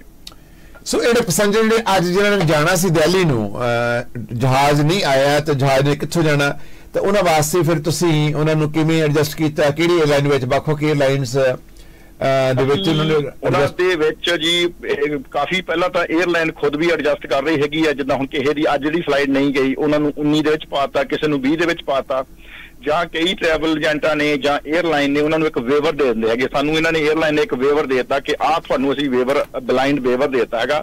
ਇਹ ਤੁਸੀਂ ਸਾਡਾ ਜਿਹੜਾ ਹੁਣ 에ਅਰ ਇੰਡੀਆ ਦਾ ਕਨੈਕਸ਼ਨ ਬਣਦਾ ਉਹ ਬਣਦਾ ਟ੍ਰਾਂਟੋ ਲੰਡਨ ਲੰਡਨ 2 ਘੰਟੇ ਦਾ waiting time onward to Delhi with Air India okay ਜਿਹੜੇ ਨਵੇਂ ਟਰੈਵਲ ਏਜੰਟ ਉਹਨਾਂ ਨੂੰ ਇਹੀ ਨਹੀਂ ਪਤਾ ਕਿਉਂਕਿ ਉਹਨਾਂ ਦੇ ਕੋਲ ਖੁਦ ਕੋਈ ਆਇਆਟਾ ਨਹੀਂ ਹੈਗਾ। ਉਹਨਾਂ ਨੇ ਕਾਲ ਕਰਨੀ ਹੈ ਜਿੱਥੋਂ ਕਿ ਟਿਕਟ ਪਰਚੇਸ ਕੀਤੀ ਹੈਗੀ ਆ। ਹੁਣ ਸਾਨੂੰ ਸਾਡੇ ਕੋਲ ਸਾਡੇ ਦਾ ਮਤਲਬ ਕਿ ਜਿਹੜੇ ਵੀ ਰੈਪੂਟੇਟਡ ਟਰੈਵਲ ਏਜੰਟਸ ਮਾਰਕੀਟ 'ਚ ਬੈਠੇ ਆ 15 ਸਾਲਾਂ ਤੋਂ 20 ਸਾਲਾਂ ਦੇ ਉਹਨਾਂ ਨੇ ਕਿਸੇ ਵੀ ਟਰੈਵਲ ਏਜੰਸੀ ਨੂੰ ਜਾਂ 에ਅਰਲਾਈਨ ਨੂੰ ਕਾਲ ਨਹੀਂ ਕਰਨੀ। 에ਅਰਲਾਈਨ ਨੇ ਖੁਦ ਉਹਨਾਂ ਨੂੰ ਵੇਵਰ ਜਿਹੜਾ ਹੈਗਾ ਉਹ ਬਲਾਈਂਡ ਵੇਵਰ ਭੇਜ ਦੇਣਾ ਆ। ਕਿ ਤੁਸੀਂ ਆਹ ਸਾਡਾ ਵੇਵਰ ਯੂਜ਼ ਕਰੋ। ਇਹਨਾਂ ਨੂੰ ਕਿਸੇ ਵੀ ਰੂਟ ਦੇ ਉੱਤੇ ਉਹਦੇ ਰੂਟ ਲਿਖ ਦਿੰਦੇ ਹੈਗੇ ਆ। ਜੀ। ਵੀ ਇਸ ਰੂਟ ਦੇ ਉੱਤੇ Toronto London Delhi Toronto Dubai Delhi Toronto Frankfurt Delhi ਵੀ ਕਿਸੇ ਵੀ ਫਲਾਈਟ ਦੇ ਵਿੱਚ ਵਿਦਆਊਟ ਚਾਰਜ ਐਡਜਸਟ ਕਰ ਸਕਦੇ ਹੈਗੇ ਆ। ਆਈ ਸੀ ਸੋ ਉਹ ਜਿਹੜੇ ਕੰਪਨਸੇਟ ਆਪਣੇ ਆਪ 에ਅਰਲਾਈਨ ਕਰਦੀ ਹੈ ਆਪਣੇ ਆਪ ਹੋ ਜਾਂਦੇ ਆ। ਪਰ ਉਹੀ ਗੱਲ ਹੈਗੀ ਆ ਕਿ ਉਹ ਸਿਰਫ ਤੇ ਸਿਰਫ ਆਉਣਾ ਉਹਨੂੰ ਆ ਜਿਹੜੇ ਕਿ ਆਇਆਟਾ ਹੋਲਡਰ ਟਰੈਵਲ ਏਜੰਟਸ ਹੈਗੇ ਆ। I got your point so ਜਿਹੜਾ ਕੋਈ ਬੰਦਾ ਬੈਠਾ ਆ ਟਰੈਵਲ ਏਜੰਟ ਸਾਡਾ ਬਾਹਰੋਂ ਟਿਕਟਾਂ ਲੈ ਕੇ ਵੇਚਦਾ ਹੈਗਾ ਆ ਉਹ ਉਹਨਾਂ ਦੇ ਕੋਲ ਇਨਫੋਰਮੇਸ਼ਨ ਜਾਣੀ ਹੈਗੀ ਆ 4 ਘੰਟੇ ਬਾਅਦ ਜਦੋਂ ਉਹਨਾਂ ਨੇ 8 ਵਜੇ 9 ਵਜੇ ਸੁੱਤੇ ਹੀ ਉੱਠਣਾ ਹੈਗਾ ਆ। ਹੂੰ ਤੇ ਇਸ ਕਰਕੇ ਬਿਲਕੁਲ ਤੁਸੀਂ ਅੱਜ ਸਹੀ ਵੈਸੇ ਇਨਫੋਰਮੇਸ਼ਨ ਪ੍ਰੋਵਾਈਡ ਕੀਤੀ ਹੈ, ਅਸੀਂ ਵੀ ਕੀਤੀ ਹੈ ਤੁਸੀਂ ਪਹਿਲਾਂ ਸਾਰਾ ਕੁਝ ਆਲਰੇਡੀ ਰਿਪੀਟ ਕਰ ਹੀ ਦਿੱਤਾ ਹੈਗਾ ਆ। ਤੇ ਫਿਰ ਵੀ ਜੇ ਵੀ ਕਿਸੇ ਨੇ ਵੀ ਅੱਜ ਦੀ ਫਲਾਈਟ ਦੇ ਵਿੱਚ ਟੋਰਾਂਟੋ ਟੂ ਅੰਮ੍ਰਿਤਸਰ ਜਾਣਾ ਹੈਗਾ ਆ ਤੇ ਸਾਡੇ ਕੋਲ 685 dollar the one way ticket from Toronto to Amritsar Neos airline ਦੇ ਵਿੱਚ ਪਈ ਹੈਗੀ ਆ ਜੀ। ਇੱਕ ਮਿੰਟ ਹੋਲਡ ਔਨ ਜੇ ਕਿਸੇ ਨੇ Toronto to India Toronto to Delhi ਜਾਣਾ? ਨਹੀਂ ਜੀ ਟੋਰਾਂਟੋ ਟੂ ਅੰਮ੍ਰਿਤਸਰ ਅੱਜ ਦੀ ਫਲਾਈਟ ਜਾਂ ਥਰਸਡੇ ਦੀ ਫਲਾਈਟ ਦੋ ਫਲਾਈਟਾਂ ਇਸ ਵੀਕ ਦੇ ਵਿੱਚ ਹੈਗੀਆਂ। ਜੇ ਕਿਸੇ ਨੇ ਅੰਮ੍ਰਿਤਸਰ ਨੂੰ ਜਾਣਾ ਟ੍ਰਾਂਟੋ ਤੋਂ ਕਿਸੇ ਨੇ ਅੰਮ੍ਰਿਤਸਰ ਜਾਣਾ ਨਿਊ 에ਅਰਲਾਈਨ ਜਿਹੜੀ ਕਿ ਹੱਥ ਵਿੱਚ ਦੋ ਦਿਨ ਜਾਂਦੀ ਹੈ ਇੱਥੋਂ ਅੰਮ੍ਰਿਤਸਰ ਨੂੰ ਜਾਂਦੀ ਹੈ। ਸੋ ਡਾਇਰੈਕਟ ਫਲਾਈਟ ਹੈ। ਤਾਂ ਉਹਦਾ ਕਿਰਾਇਆ ਸੁਣੋ ਹੈਰਾਨ ਹੋਗੇ 600 ਤੇ 80 dollar. 685 dollars. Oh my God. 85 dollar one way from Toronto to Amritsar with two piece of luggage ਅੱਜ ਦੀ ਫਲਾਈਟ ਤੇ ਥਰਸਡੇ ਦੀ ਫਲਾਈਟ ਡੇ ਆਫਟਰ ਟੁਮਾਰੋ ਅੱਜ ਦਿਨ ਬੁੱਧਵਾਰ ਹੈ? ਮੰਗਲਵਾਰ। ਅੱਜ ਮੰਗਲਵਾਰ ਹੈ। ਟਿਊਜ਼ਡੇ ਔਰ ਇੱਕ ਫਲਾਈਟ ਮੰਗਲਵਾਰ ਜਾਂਦੀ ਹੈ ਤੇ ਦੂਜੀ ਵੀਰਵਾਰ ਜਾਂਦੀ ਹੈ। ਜੀ। ਤੇ ਇਹਨਾਂ ਨੇ ਦੋ ਫਲਾਈਟਾਂ ਨੇ ਅੱਜ ਕੱਲ ਇਹਨਾਂ ਦੇ ਹਾਂਜੀ ਲਾਸਟ ਵੀਕ ਦੀਆਂ ਦੋ ਫਲਾਈਟਾਂ ਚੱਲ ਰਹੀਆਂ ਹੈਗੀਆਂ। ਦੋ ਫਲਾਈਟਾਂ ਦੇ ਵਿੱਚ ਸਾਡੇ ਕੋਲ ਸੀਟਾਂ ਅਵੇਲੇਬਲ ਹੈਗੀਆਂ। ਸਿਰਫ 680 ਜਾਂ 85 ਡਾਲਰ ਦੇ ਵਿੱਚ ਸੀਟ ਅਵੇਲੇਬਲ ਹੈਗੀ ਹੈ ਜੀ। ਜਿਹੜੇ ਵੀ ਕਿਸੇ ਟਰੈਵਲ ਏਜੰਟ ਨੂੰ ਕਿਸੇ ਵੀ ਕਸਟਮਰ ਨੂੰ ਟਰੈਵਲ ਏਜੰਟ ਨੇ ਨੌਨ ਆਇਆਟਾ ਨੇ ਸਰਵ ਨਹੀਂ ਕੀਤਾ ਉਹ ਸਾਨੂੰ ਕਾਲ ਕਰਨ ਉਸ ਟਿਕਟ ਦਾ ਉਹਨਾਂ ਨੂੰ ਫੁੱਲ ਰਿਫੰਡ ਮਿਲ ਜਾਊਗਾ 에ਅਰ ਇੰਡੀਆ ਦਾ ਅਸੀਂ ਉਹਨਾਂ ਨੂੰ ਇਸ ਫਲਾਈਟ ਦੇ ਵਿੱਚ ਵੀ ਭੇਜ ਸਕਦੇ ਹੈਗੇ ਹਾਂ ਜੀ। ਆਈ ਸੀ ਸੋ 680 ਡਾਲਰ ਵਿੱਚ ਜੇ ਤੁਸੀਂ ਜਾਣਾ ਚਾਹੁੰਦੇ ਅੱਜ ਜਾਂ ਆਉਣ ਵਾਲੇ ਇਸ ਹਫ਼ਤੇ ਦੇ ਵੀਰਵਾਰ ਨੂੰ ਤਾਂ ਤੁਸੀਂ 680 ਦਾ ਟਿਕਟ ਲੈਣ ਲਈ ਨੰਬਰ ਹੈ 416 8700 ਦੇ ਕਾਲ ਕਰੋ ਔਰ ਇੰਟੈਲ ਦਫ਼ਤਰ ਤੁਹਾਡੇ ਆਸ-ਪਾਸ ਨੇ। ਤੁਹਾਨੂੰ ਕਿਸੇ ਦਫ਼ਤਰ ਜਾਣ ਦੀ ਲੋੜ ਨਹੀਂ। ਤੁਸੀਂ ਆਪਣੇ WhatsApp ਤੇ ਹੀ ਇਹਨਾਂ ਦੀ ਟਿਕਟ ਮੰਗਾਓ ਅਤੇ ਪੇਮੈਂਟ ਜਿਹੜੀ ਹੈ ਆਨਲਾਈਨ ਕਰੋ, ਕ੍ਰੈਡਿਟ ਕਾਰਡ ਦਿਓ ਜਾਂ ਫਿਰ ਈ ਟ੍ਰਾਂਸਫਰ ਕਰੋ। ਸੋ ਈਜ਼ੀ ਹੈ। ਸਮਾਂ ਬਚਾਓ ਔਰ ਤੁਸੀਂ ਵਧੀਆ 에ਅਰਲਾਈਨ ਵਿੱਚ ਸਫ਼ਰ ਕਰੋ ਅਤੇ ਸਫ਼ਰ ਵੀ ਸਸਤੇ ਰੇਟਾਂ ਤੇ ਕਰੋ ਅਤੇ ਸਫ਼ਰ ਵੀ ਬੇਨਤੜਕ ਹੋ ਕੇ ਬਿਨਾਂ ਕਿਸੇ ਡਰ ਤੋਂ ਕਰੋ ਅਤੇ ਸਾਰੀ ਰਿਸਪੌਂਸਿਬਿਲਟੀ ਲੈਂਦੇ ਨੇ ਆਲ ਇਨ ਟਰੈਵਲ ਵਾਲੇ। ਜਾਣ ਵੇਲੇ ਅਤੇ ਜਾਣ ਤੋਂ ਆਉਣ ਵੇਲੇ ਤੱਕ। ਜੀ। ਬਿਲਕੁਲ ਬਾਸੀ ਸਾਹਿਬ ਓਕੇ ਜੀ ਥੈਂਕ ਯੂ ਵੈਰੀ ਮਚ ਮਿਹਰਬਾਨੀ ਔਰ ਅਸੀਂ ਤੁਹਾਡੀ ਇੰਤਜ਼ਾਰ ਕਰਦੇ ਹਾਂ। ਹੈਗੇ ਆ ਰਿਪੀਟ ਕਰਨ ਦੀ ਲੋੜ ਨਹੀਂ। ਤੇ ਫੋਨ ਸੁਣੋ ਫੋਨ ਹੈਂਗ ਅਪ ਕਰੋ ਤੇ ਉਸ ਤੋਂ ਬਾਅਦ ਸਾਨੂੰ ਕਾਲ ਕਰੋ। We are always available thank you so much ਹੁਣ ਓਮਪ੍ਰੀਤ ਜੀ ਤੁਸੀਂ ਅੰਤ ਵਿੱਚ ਕੀ ਜਾਣਾ ਸੀ ਸਟੋਰੀ ਲੈ ਕੇ ਆ ਰਹੇ ਅਸੀਂ ਸਟੋਰੀ ਲਿਆ ਰਹੇ ਹਾਂ 53 ਲੱਖ ਰੁਪਏ ਦੀ ਦੇਖੇ ਜਾਵੇ ਕਿ ਲੁੱਟ ਮਚਾਈ ਅਤੇ ਦੋ ਪਰਿਵਾਰਾਂ ਨੂੰ ਲੁੱਟਿਆ ਤੇ ਹੋ ਸਕਦਾ ਹੋਰ ਵੀ ਕੁਝ ਲੁੱਟੇ ਹੋ ਸਕਦੇ ਆ ਉਸ ਵਿਅਕਤੀ ਦੇ। ਸੋ ਅਸੀਂ ਇਸ ਲੜਕੀ ਨਾਲ ਪੰਜਾਬ ਤੋਂ ਗੱਲਬਾਤ ਕਰ ਰਹੇ ਹਾਂ ਔਰ 13 ਲੱਖ ਅਤੇ 40 ਲੱਖ ਰੁਪਏ ਦੇ ਨਾਲ ਇਹ ਪਰਿਵਾਰ ਲੁੱਟੇ ਗਏ ਨੇ। ਕਿੰਨੇ ਹੋਰ ਲੋਕ ਨੇ ਜੋ ਲੁੱਟ ਰਹੇ ਨੇ? ਲੋਕਾਂ ਨੂੰ ਐਲਐਮਆਈ ਵੇਚ ਰਹੇ ਨੇ। ਜਦਕਿ ਉਹਨਾਂ ਦੇ ਕੋਲ ਬਿਜ਼ਨਸ ਹੈ ਵੀ ਨਹੀਂ ਹੈ। ਮੈਂ ਹੈਰਾਨ ਹੈ ਕਿ ਇੱਥੋਂ ਦੀ ਸਰਕਾਰ ਜਾਂ ਫਿਰ ਇੱਥੋਂ ਦੇ ਜਿਹੜੇ ਪੋਲੀਟੀਸ਼ੀਅਨ ਨੇ, ਉਹਨਾਂ ਦਾ ਜ਼ਿੰਮੇਵਾਰੀਆਂ ਨੇ, ਉਹ ਆਪਣੀ ਜ਼ਿੰਮੇਵਾਰੀ ਨੂੰ ਕਿਉਂ ਨਹੀਂ ਨਿਭਾਉਂਦੇ? ਔਰ ਉਹਨਾਂ ਨੇ ਫਰਜ਼ ਬਣਦੇ ਨੇ ਕਿ ਕਾਨੂੰਨ ਵਿੱਚ ਤਬਦੀਲੀ ਕਰਨ। ਇਹ ਜਿਹੜੀ ਤਬਦੀਲੀ ਹੁਣ ਕੀਤੀ ਹੈ, ਇਹ ਅੱਜ ਤੋਂ 4 ਸਾਲ ਪਹਿਲਾਂ ਕਰਨੀ ਚਾਹੀਦੀ ਸੀ ਕਿ ਲੜਕੀਆਂ ਪਹਿਲਾਂ ਇੱਥੇ ਆਉਣਗੀਆਂ ਪੜਨਗੀਆਂ ਪੜਨ ਤੋਂ ਬਾਅਦ ਪੀਆਰ ਹੋਣਗੀਆਂ, ਫਿਰ ਸਪਾਂਸਰ ਕਰਨਗੀਆਂ। ਇਹ ਜਦੋਂ ਕਾਨੂੰਨ ਬਣਾਇਆ, ਤਾਂ ਲੋਕਾਂ ਨੇ ਕੀ ਕੀਤਾ ਕਿ ਲੜਕੀ ਵਾਲਿਆਂ ਨੇ ਆਇਲਟ ਕਰ ਲਈ ਪੈਸੇ ਉਹਨਾਂ ਕੋਲ ਹੈ ਨਹੀਂ ਸੀਗੇ, ਉਹ ਫਿਰ ਲੜਕਾ ਲੱਭਦੇ ਸੀ। ਇਸ ਤਰ੍ਹਾਂ ਦੇ ਸਕਵਾਰਾਂ 'ਚ ਸਾਡੇ ਕੋਲ ਲੜਕੀ ਹੈ ਆਇਲਟ ਕੀਤਾ ਹੋਇਆ ਬੈਂਡ ਹੈ, ਜੋ ਕਿ ਪਰਿਵਾਰ ਪੈਸੇ ਖਰਚਣਾ ਚਾਹੁੰਦਾ। ਤਾਂ ਤੁਸੀਂ ਸ਼ਾਦੀ ਕਰ ਸਕਦੇ ਹੋ ਕੰਟਰੈਕਟ ਸ਼ਾਦੀ ਕਰ ਸਕਦੇ ਹੋ। ਤੇ ਜਿਸ ਕਰਕੇ ਦੋ ਤਿੰਨ ਦਿਨ ਪਹਿਲਾਂ ਹੀ ਵਿਆਹ ਕਰਦੇ ਸੀ ਅਤੇ ਲੜਕੇ ਲੜਕੀ ਨੂੰ ਆਪਸ ਵਿੱਚ ਹੀ ਰਿਲੇਸ਼ਨ ਵਿੱਚ ਨਹੀਂ ਸੀ ਜਾਣ ਦਿੰਦੇ। ਮਾਂ ਜਾਂ ਪਰਿਵਾਰ ਮੈਂਬਰ ਨਾ ਰਹਿੰਦਾ ਸੀ। ਜੇ ਤੁਹਾਡੀ ਰੀਲ ਸ਼ਾਦੀ ਸੀ ਤਾਂ ਉਹਨਾਂ ਨੂੰ ਨਾ ਰਹਿਣ ਦੀ ਲੋੜ ਨਹੀਂ ਸੀ। ਤਿੰਨ ਦਿਨ ਦਾ ਇਹ ਦਿਨ ਕਿਉਂ ਕਰਦੇ ਸੀ? ਕਿਉਂਕਿ ਉਹਨਾਂ ਦੇ ਮਨ ਜਿਹੜੇ ਸੀ, ਉਹਨਾਂ ਮਨ ਦੇ ਵਿੱਚ ਖੋਟ ਸੀ। ਤੇ ਜਿਸ ਕਰਕੇ ਲੜਾਈ, ਫਸਾਦ, ਜਿਸ ਕਰਕੇ ਕਿੰਨੇ ਡਿਪਰੈਸ਼ਨ ਦੇ ਵਿੱਚ ਬੱਚੇ ਔਰ ਜਿਨ੍ਹਾਂ ਦੀਆਂ ਮੌਤਾਂ ਹੋਈਆਂ, ਜਿਨ੍ਹਾਂ ਨੇ ਘਰ ਜਿਹੜੇ ਬਰਬਾਦ ਹੋ ਗਏ, ਜਿਨ੍ਹਾਂ ਨੇ ਬੱਚੇ ਵੀ ਚਲੇ ਗਏ, ਪੈਸੇ ਵੀ ਚਲੇ ਗਏ, ਮਾਂ-ਬਾਪ ਦੀ ਜ਼ਿੰਦਗੀ ਵੀ ਰੁਲ ਗਈ ਡਿਪਰੈਸ਼ਨ ਵਿੱਚ ਚਲੇ ਗਏ। ਸੋ ਇਹ ਸਾਰਾ ਕਸੂਰ ਮੈਂ ਕਹਿ ਸਕਦਾ ਹਾਂ ਕਿਹਦਾ ਆਇਆ, ਤੁਹਾਡੇ ਸਾਹਮਣੇ ਸਿਸਟਮ ਦਾ ਆਇਆ ਸਿਸਟਮ ਮਹਿਸੂਸ ਜਿਹੜੇ ਕਰਦੇ ਲੋਕ ਉਹਨਾਂ ਦਾ ਆਇਆ। ਤਾਂ ਹੁਣ ਤੁਸੀਂ ਜਾਣਦੇ ਹੋ ਕਿ ਠੱਲ ਪੈ ਗਈ ਆ। ਹੁਣ ਲੋਕ ਜਿਹੜੇ ਨੇ ਕੋਈ ਪੈਸਾ ਦੇਣ ਨੂੰ ਤਿਆਰ ਨਹੀਂ ਹੈ। ਲੋਕ ਕਰਦੇ ਨੇ ਹੁਣ ਐਨਆਰ ਮੈਰਿਜ ਬਿਊਰੋ ਨੂੰ ਫੋਨ ਕਰਦੇ ਨੇ ਐਨਆਰ ਮੈਰਿਜ ਬਿਊਰੋ ਲਾਈਨ ਤੇ ਲੈ ਕੇ ਉਸ ਤੋਂ ਬਾਅਦ ਸਟੋਰੀ ਕਵਰ ਕਰਗੇ। ਸੋ ਜੀ ਨੰਬਰ ਹੈ 600 ਐਨਆਰ ਮੈਰਿਜ ਬਿਊਰੋ ਦਾ ਨੰਬਰ ਹੈ 647 6000 ਤੇ ਕਾਲ ਕਰੋ ਅਤੇ ਆਪਣੀ ਜ਼ਿੰਦਗੀ ਦੇ ਜੀਵਨ ਸਾਥੀ ਘਰ ਬੈਠੇ ਬਿਠਾਇਆ ਤੇ ਲੱਭ ਸਕਦਾ ਹੈ। ਤੁਸੀਂ ਇੰਡੀਆ ਵਿੱਚ ਹੋ ਕੈਨੇਡਾ ਤੋਂ ਚਾਹੁੰਦੇ ਹੋ ਤੁਹਾਡਾ ਲੜਕਾ ਲੜਕੀ ਵਿਆਹ ਕਰਾ ਕੇ ਪੱਕਾ ਹੋ ਕੇ ਜਾਵੇ 6 ਮਹੀਨੇ ਵਿੱਚ ਵਿੱਚ ਇਮੀਗ੍ਰੇਸ਼ਨ ਮਿਲ ਜਾਂਦੀ ਕੈਨੇਡਾ ਦੀ। ਤੁਸੀਂ ਕਿਉਂ 25 30 ਲੱਖ ਰੁਪਏ ਦੇਣਾ ਹੈ? ਤੁਸੀਂ ਸਹੀ ਸ਼ਾਦੀ ਕਰੋ।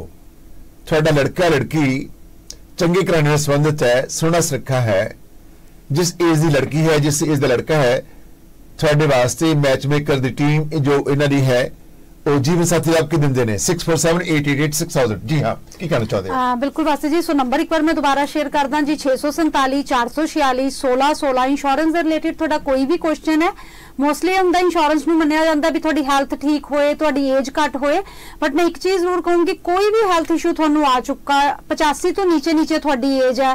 ਕੋਈ ਵੀ ਇੰਸ਼ੋਰੈਂਸ ਦੇ ਰਿਲੇਟਡ ਤੁਸੀਂ ਗੱਲ ਕਰਨੀ ਹੈ ਕੈਨੇਡਾ ਦੀ ਕਿਸੇ ਵੀ ਪ੍ਰੋਵਿੰਸ ਚੋਂ, ਜ਼ਰੂਰ ਤੁਸੀਂ ਮੇਰੇ ਨਾਲ ਗੱਲ ਕਰ ਸਕਦੇ ਹੋ। ਚਾਹੇ ਉਹ ਲਾਈਫ ਇੰਸ਼ੋਰੈਂਸ ਹੈ ਕ੍ਰਿਟੀਕਲ ਇਲਨੈਸ ਹੈ ਡਿਸੇਬਿਲਿਟੀ ਸੁਪਰ ਵੀਜ਼ਾ ਤੇ ਵਿਜ਼ਟਰ ਇੰਸ਼ੋਰੈਂਸ ਦੀ ਆਪਾਂ ਗੱਲ ਕੀਤੀ ਹੋਈ ਹੈ, ਜਾਂ ਬੱਚਿਆਂ ਲਈ ਤੁਸੀਂ ਕੋਈ ਵੀ ਡਿਵੀਡੈਂਡਸ ਵਾਲਾ ਪਲਾਨ ਤਿਆਰ ਕਰਵਾਉਣਾ, ਕੋਈ ਮਾਰਗੇਜ ਪ੍ਰੋਟੈਕਸ਼ਨ ਦੀ ਗੱਲ ਕਰਨੀ ਹੈ, ਜਾਂ ਸਟੇਟ ਪਲਾਨਿੰਗ ਦੇ ਰਿਲੇਟਡ ਕੋਈ ਕੁਐਸਚਨ ਹੈ। ਨੰਬਰ ਹੈ ਜੀ 647446 1646 446 1616 ਥੈਂਕ ਯੂ ਵਾਸੇ ਜੀ ਆਓ ਅਸ ਦੱਸੀ ਸਾਨੂੰ ਇੰਡੀਅਨ ਸਬਜੀ ਬਾਜ਼ਾਰ ਗੋਸਰੀ ਸਟੋਰ ਤੋਂ ਮਾਪਾ ਰਹੇ ਜਿਹਨੂੰ ਬੰਦ ਤੁਹਾਡੇ ਆਸ-ਪਾਸ ਨੇ ਇੰਡੀਅਨ ਸਬਜੀ ਬਾਜ਼ਾਰ ਗੋਸਰੀ ਸਟੋਰ ਦੀਆਂ ਕੀ ਬਾਤ ਹੈ 724 ਘੰਟੇ ਖੁੱਲਦਾ ਹੈ ਗੋਲੇ ਤੇ ਕੰਟਰੀ ਸਾਈਡ ਦੇ ਨੁੱਕਰ ਤੇ ਸਾਨੂੰ ਇੱਕ, ਉਹਨਾਂ ਵੱਲੋਂ ਸੂਚਨਾ ਮਿਲੀ ਤੁਹਾਡੇ ਲਈ।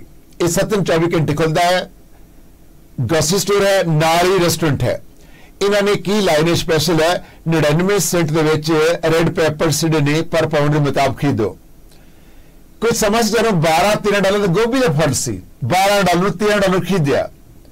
ਅੱਜ ਉਹੀ ਗੋਭੀ ਦਾ ਫੁੱਲ ਫਰੈਸ਼ ਜਿਹੜਾ ਹੈ ਡਾਲਰ 99 ਨੂੰ ਕਿੰਨਾ ਸਸਤਾ?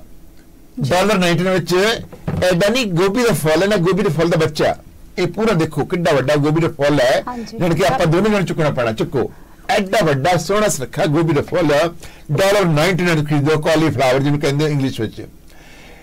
ਜਿਹੜੇ ਟਮਾਟਰ ਨੇ, ਉਹ ਤੁਸੀਂ 99 ਸੈਂਟ ਨੂੰ ਪਾਉਂਡ 99 ਸੈਂਟ ਨੂੰ ਔਰੰਜ ਗ੍ਰੀਨ ਪੇਪਰ 99 ਸੈਂਟ ਨੂੰ 99 ਸੈਂਟ ਨੂੰ ਨਾਸਪਾਤੀ ਕਮਾਲ ਦੀ ਗੱਲ ਹੈ ਕਿ 49 ਸੈਂਟ ਨੂੰ, ਪਰ ਪਾਉਂਡ ਦੇ ਮੁਤਾਬਕ ਬਨਾਨੇਸ ਜਿਹੜੇ ਨੇ, ਖਰੀਦ ਸਕਦੇ ਹੋ। ਇੰਡੀਅਨ ਕੈਰਟ ਜਾਨ ਕਿ ਇੰਡੀਆ ਦੀਆਂ ਗਾਜਰਾਂ ਇੰਡੀ ਪੰਜਾਬ ਦੇ ਖੇਤਾਂ ਵਿੱਚ ਜਿਹੜੇ ਨੇ ਗਾਜਰਾਂ ਤਿਆਰ ਕੀਤੀਆਂ, ਸਬਜੀ। ਸੋ ਇਹਨਾਂ ਦਾ ਰੰਗ ਵੀ ਵੱਖਰਾ ਹੁੰਦਾ ਹੈ ਤੇ ਖਾਣ ਨੂੰ ਵੀ ਬੜੀਆਂ ਸਵਾਦ ਬਣਦੀਆਂ ਨੇ। ਔਰ ਇਹ 99 ਸੈਂਟ ਨੂੰ ਪਾਉਂਡ ਹੈ, ਜਿਹੜੀ ਕਿ 4-5 ਡਾਲਰ ਨੂੰ ਪਾਉਂਡ ਸੀ। ਅਤੇ 90 ਸੈਂਟ ਨੂੰ ਗ੍ਰੀਨ ਪੈਪਰ ਤੋਂ ਇਲਾਵਾ ਇਹ ਸੇਲ 17 ਅਪ੍ਰੈਲ ਤੱਕ ਹੈ। ਸੋ ਆਓ ਥੋੜੀ ਸੀ ਵਿੱਚ ਗ੍ਰੀਨ ਪੇਪਰ ਲਓ ਜਾਂ ਰੈੱਡ ਪੇਪਰ ਲਓ ਜਾਂ ਟਮਾਟਰ ਲਓ, ਇਹ 99 ਸੈਂਟ ਨੂੰ ਅਤੇ ਜਾਂ ਫਿਰ ਤੁਸੀਂ ਗਾਜਰਾਂ ਲਓ। ਸੋ ਪਹੁੰਚੋ ਗੋਰਵੇ ਤੇ ਕੰਟਰੀ ਸਾਈਡ ਨੁੱਕਰ ਤੇ ਇੰਡੀਅਨ ਸਬਜੀ ਬਾਜ਼ਾਰ ਗੋਸੀ ਸਟੋਰ ਹੈ, ਜਿੱਥੇ ਰੈਸਟੋਰੈਂਟ ਹੈ, ਇਹ ਤੁਮਾ ਪਰ ਹੈ। ਸੋ ਤੁਸੀਂ ਯਾਦ ਰੱਖੋ ਥਰਸੇ ਵਿੱਚ ਇੱਕ ਨੰਬਰ 1 ਨਾਮ। ਹੁਣ ਥਰਸੇ ਵਿੱਚ ਵਾਪਸ ਆ ਰਹੇ ਹਾਂ ਅਤੇ ਇੱਕ ਸਟੋਰੀ ਤੁਹਾਡੇ ਨਾਲ ਸਾਂਝੀ ਕਰਾਂਗੇ। ਜੀ।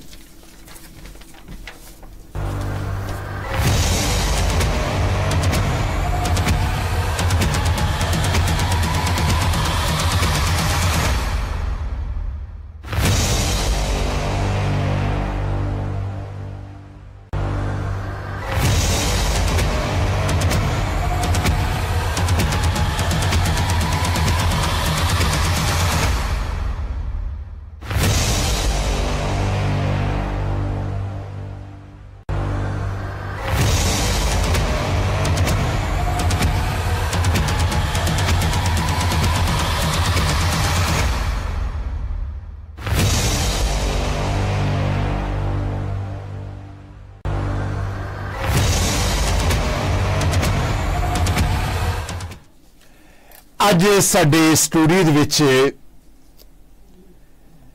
ਬੜੀ ਦੁਖੀ ਇੱਕ ਪੰਜਾਬ ਦੀ ਧੀ ਹੈ ਔਰ ਜਿਸ ਦਾ ਬਾਪ ਨਹੀਂ ਹੈ। ਔਰ ਬੜੇ ਗਰੀਬ ਘਰਾਣੇ ਨਾਲ ਸੰਬੰਧਿਤ ਇਹ ਪੰਜਾਬ ਦੀ ਧੀ ਜਿਸ ਨੇ ਪੜ੍ਹਾਈ ਕੀਤੀ ਹੈ ਅਤੇ ਆਪਣੀ ਜ਼ਿੰਦਗੀ ਦਾ ਜੀਵਨ ਬਤੀਤ ਕਰਨ ਲਈ ਇਸ ਦੀ ਮਾਤਾ ਜੀ ਨੇ ਪਰਿਵਾਰ ਨੇ ਦਸਾਂ ਨੌਂ ਦੀ ਕਿਰਤ ਕਮਾਈ ਦੇ ਵਿੱਚੋਂ ਪੈਸਾ ਖਰਚ ਕਰਕੇ ਕਿਸੇ ਇੱਕ ਐਸੇ ਵਿਅਕਤੀ ਨੂੰ ਦਿੱਤਾ ਜਿਸ ਤੇ ਇਹਨਾਂ ਨੇ ਭਰੋਸਾ ਕੀਤਾ ਔਰ ਉਸ ਤੋਂ ਪਹਿਲਾਂ ਇੱਕ ਇਹਨਾਂ ਦੀ ਹੋਰ ਗਵਾਂਢਣ ਹੈ, ਜਿਨ੍ਹਾਂ ਨੇ 40 ਲੱਖ ਰੁਪਏ ਦਿੱਤਾ ਤੇ ਉਹ ਲੜਕੀ ਕੈਨੇਡਾ ਵਿੱਚ ਆਣ ਕੇ ਕੈਦ ਕੀਤੀ ਹੋਈ ਦੱਸੀ ਜਾਂਦੀ ਹੈ। ਇਹ ਦੋਸ਼ ਲਾਏ ਜਾਂਦੇ ਨੇ ਇਸ ਲੜਕੀ ਦੇ ਵੱਲੋਂ। ਇਹ ਲੜਕੀ ਦੱਸੇਗੀ ਕਿ ਇਹਨਾਂ ਨੇ ਕਿਵੇਂ ਕਿਸ ਤਰ੍ਹਾਂ ਇਸ ਲੜਕੇ ਤੱਕ ਪਹੁੰਚ ਕੀਤੀ ਔਰ ਤੇ ਕਿਵੇਂ ਕਿਸ ਤਰ੍ਹਾਂ ਇਹਨਾਂ ਨੇ ਇਹ ਪੈਸੇ ਜਿਹੜੇ ਨੇ ਉਹ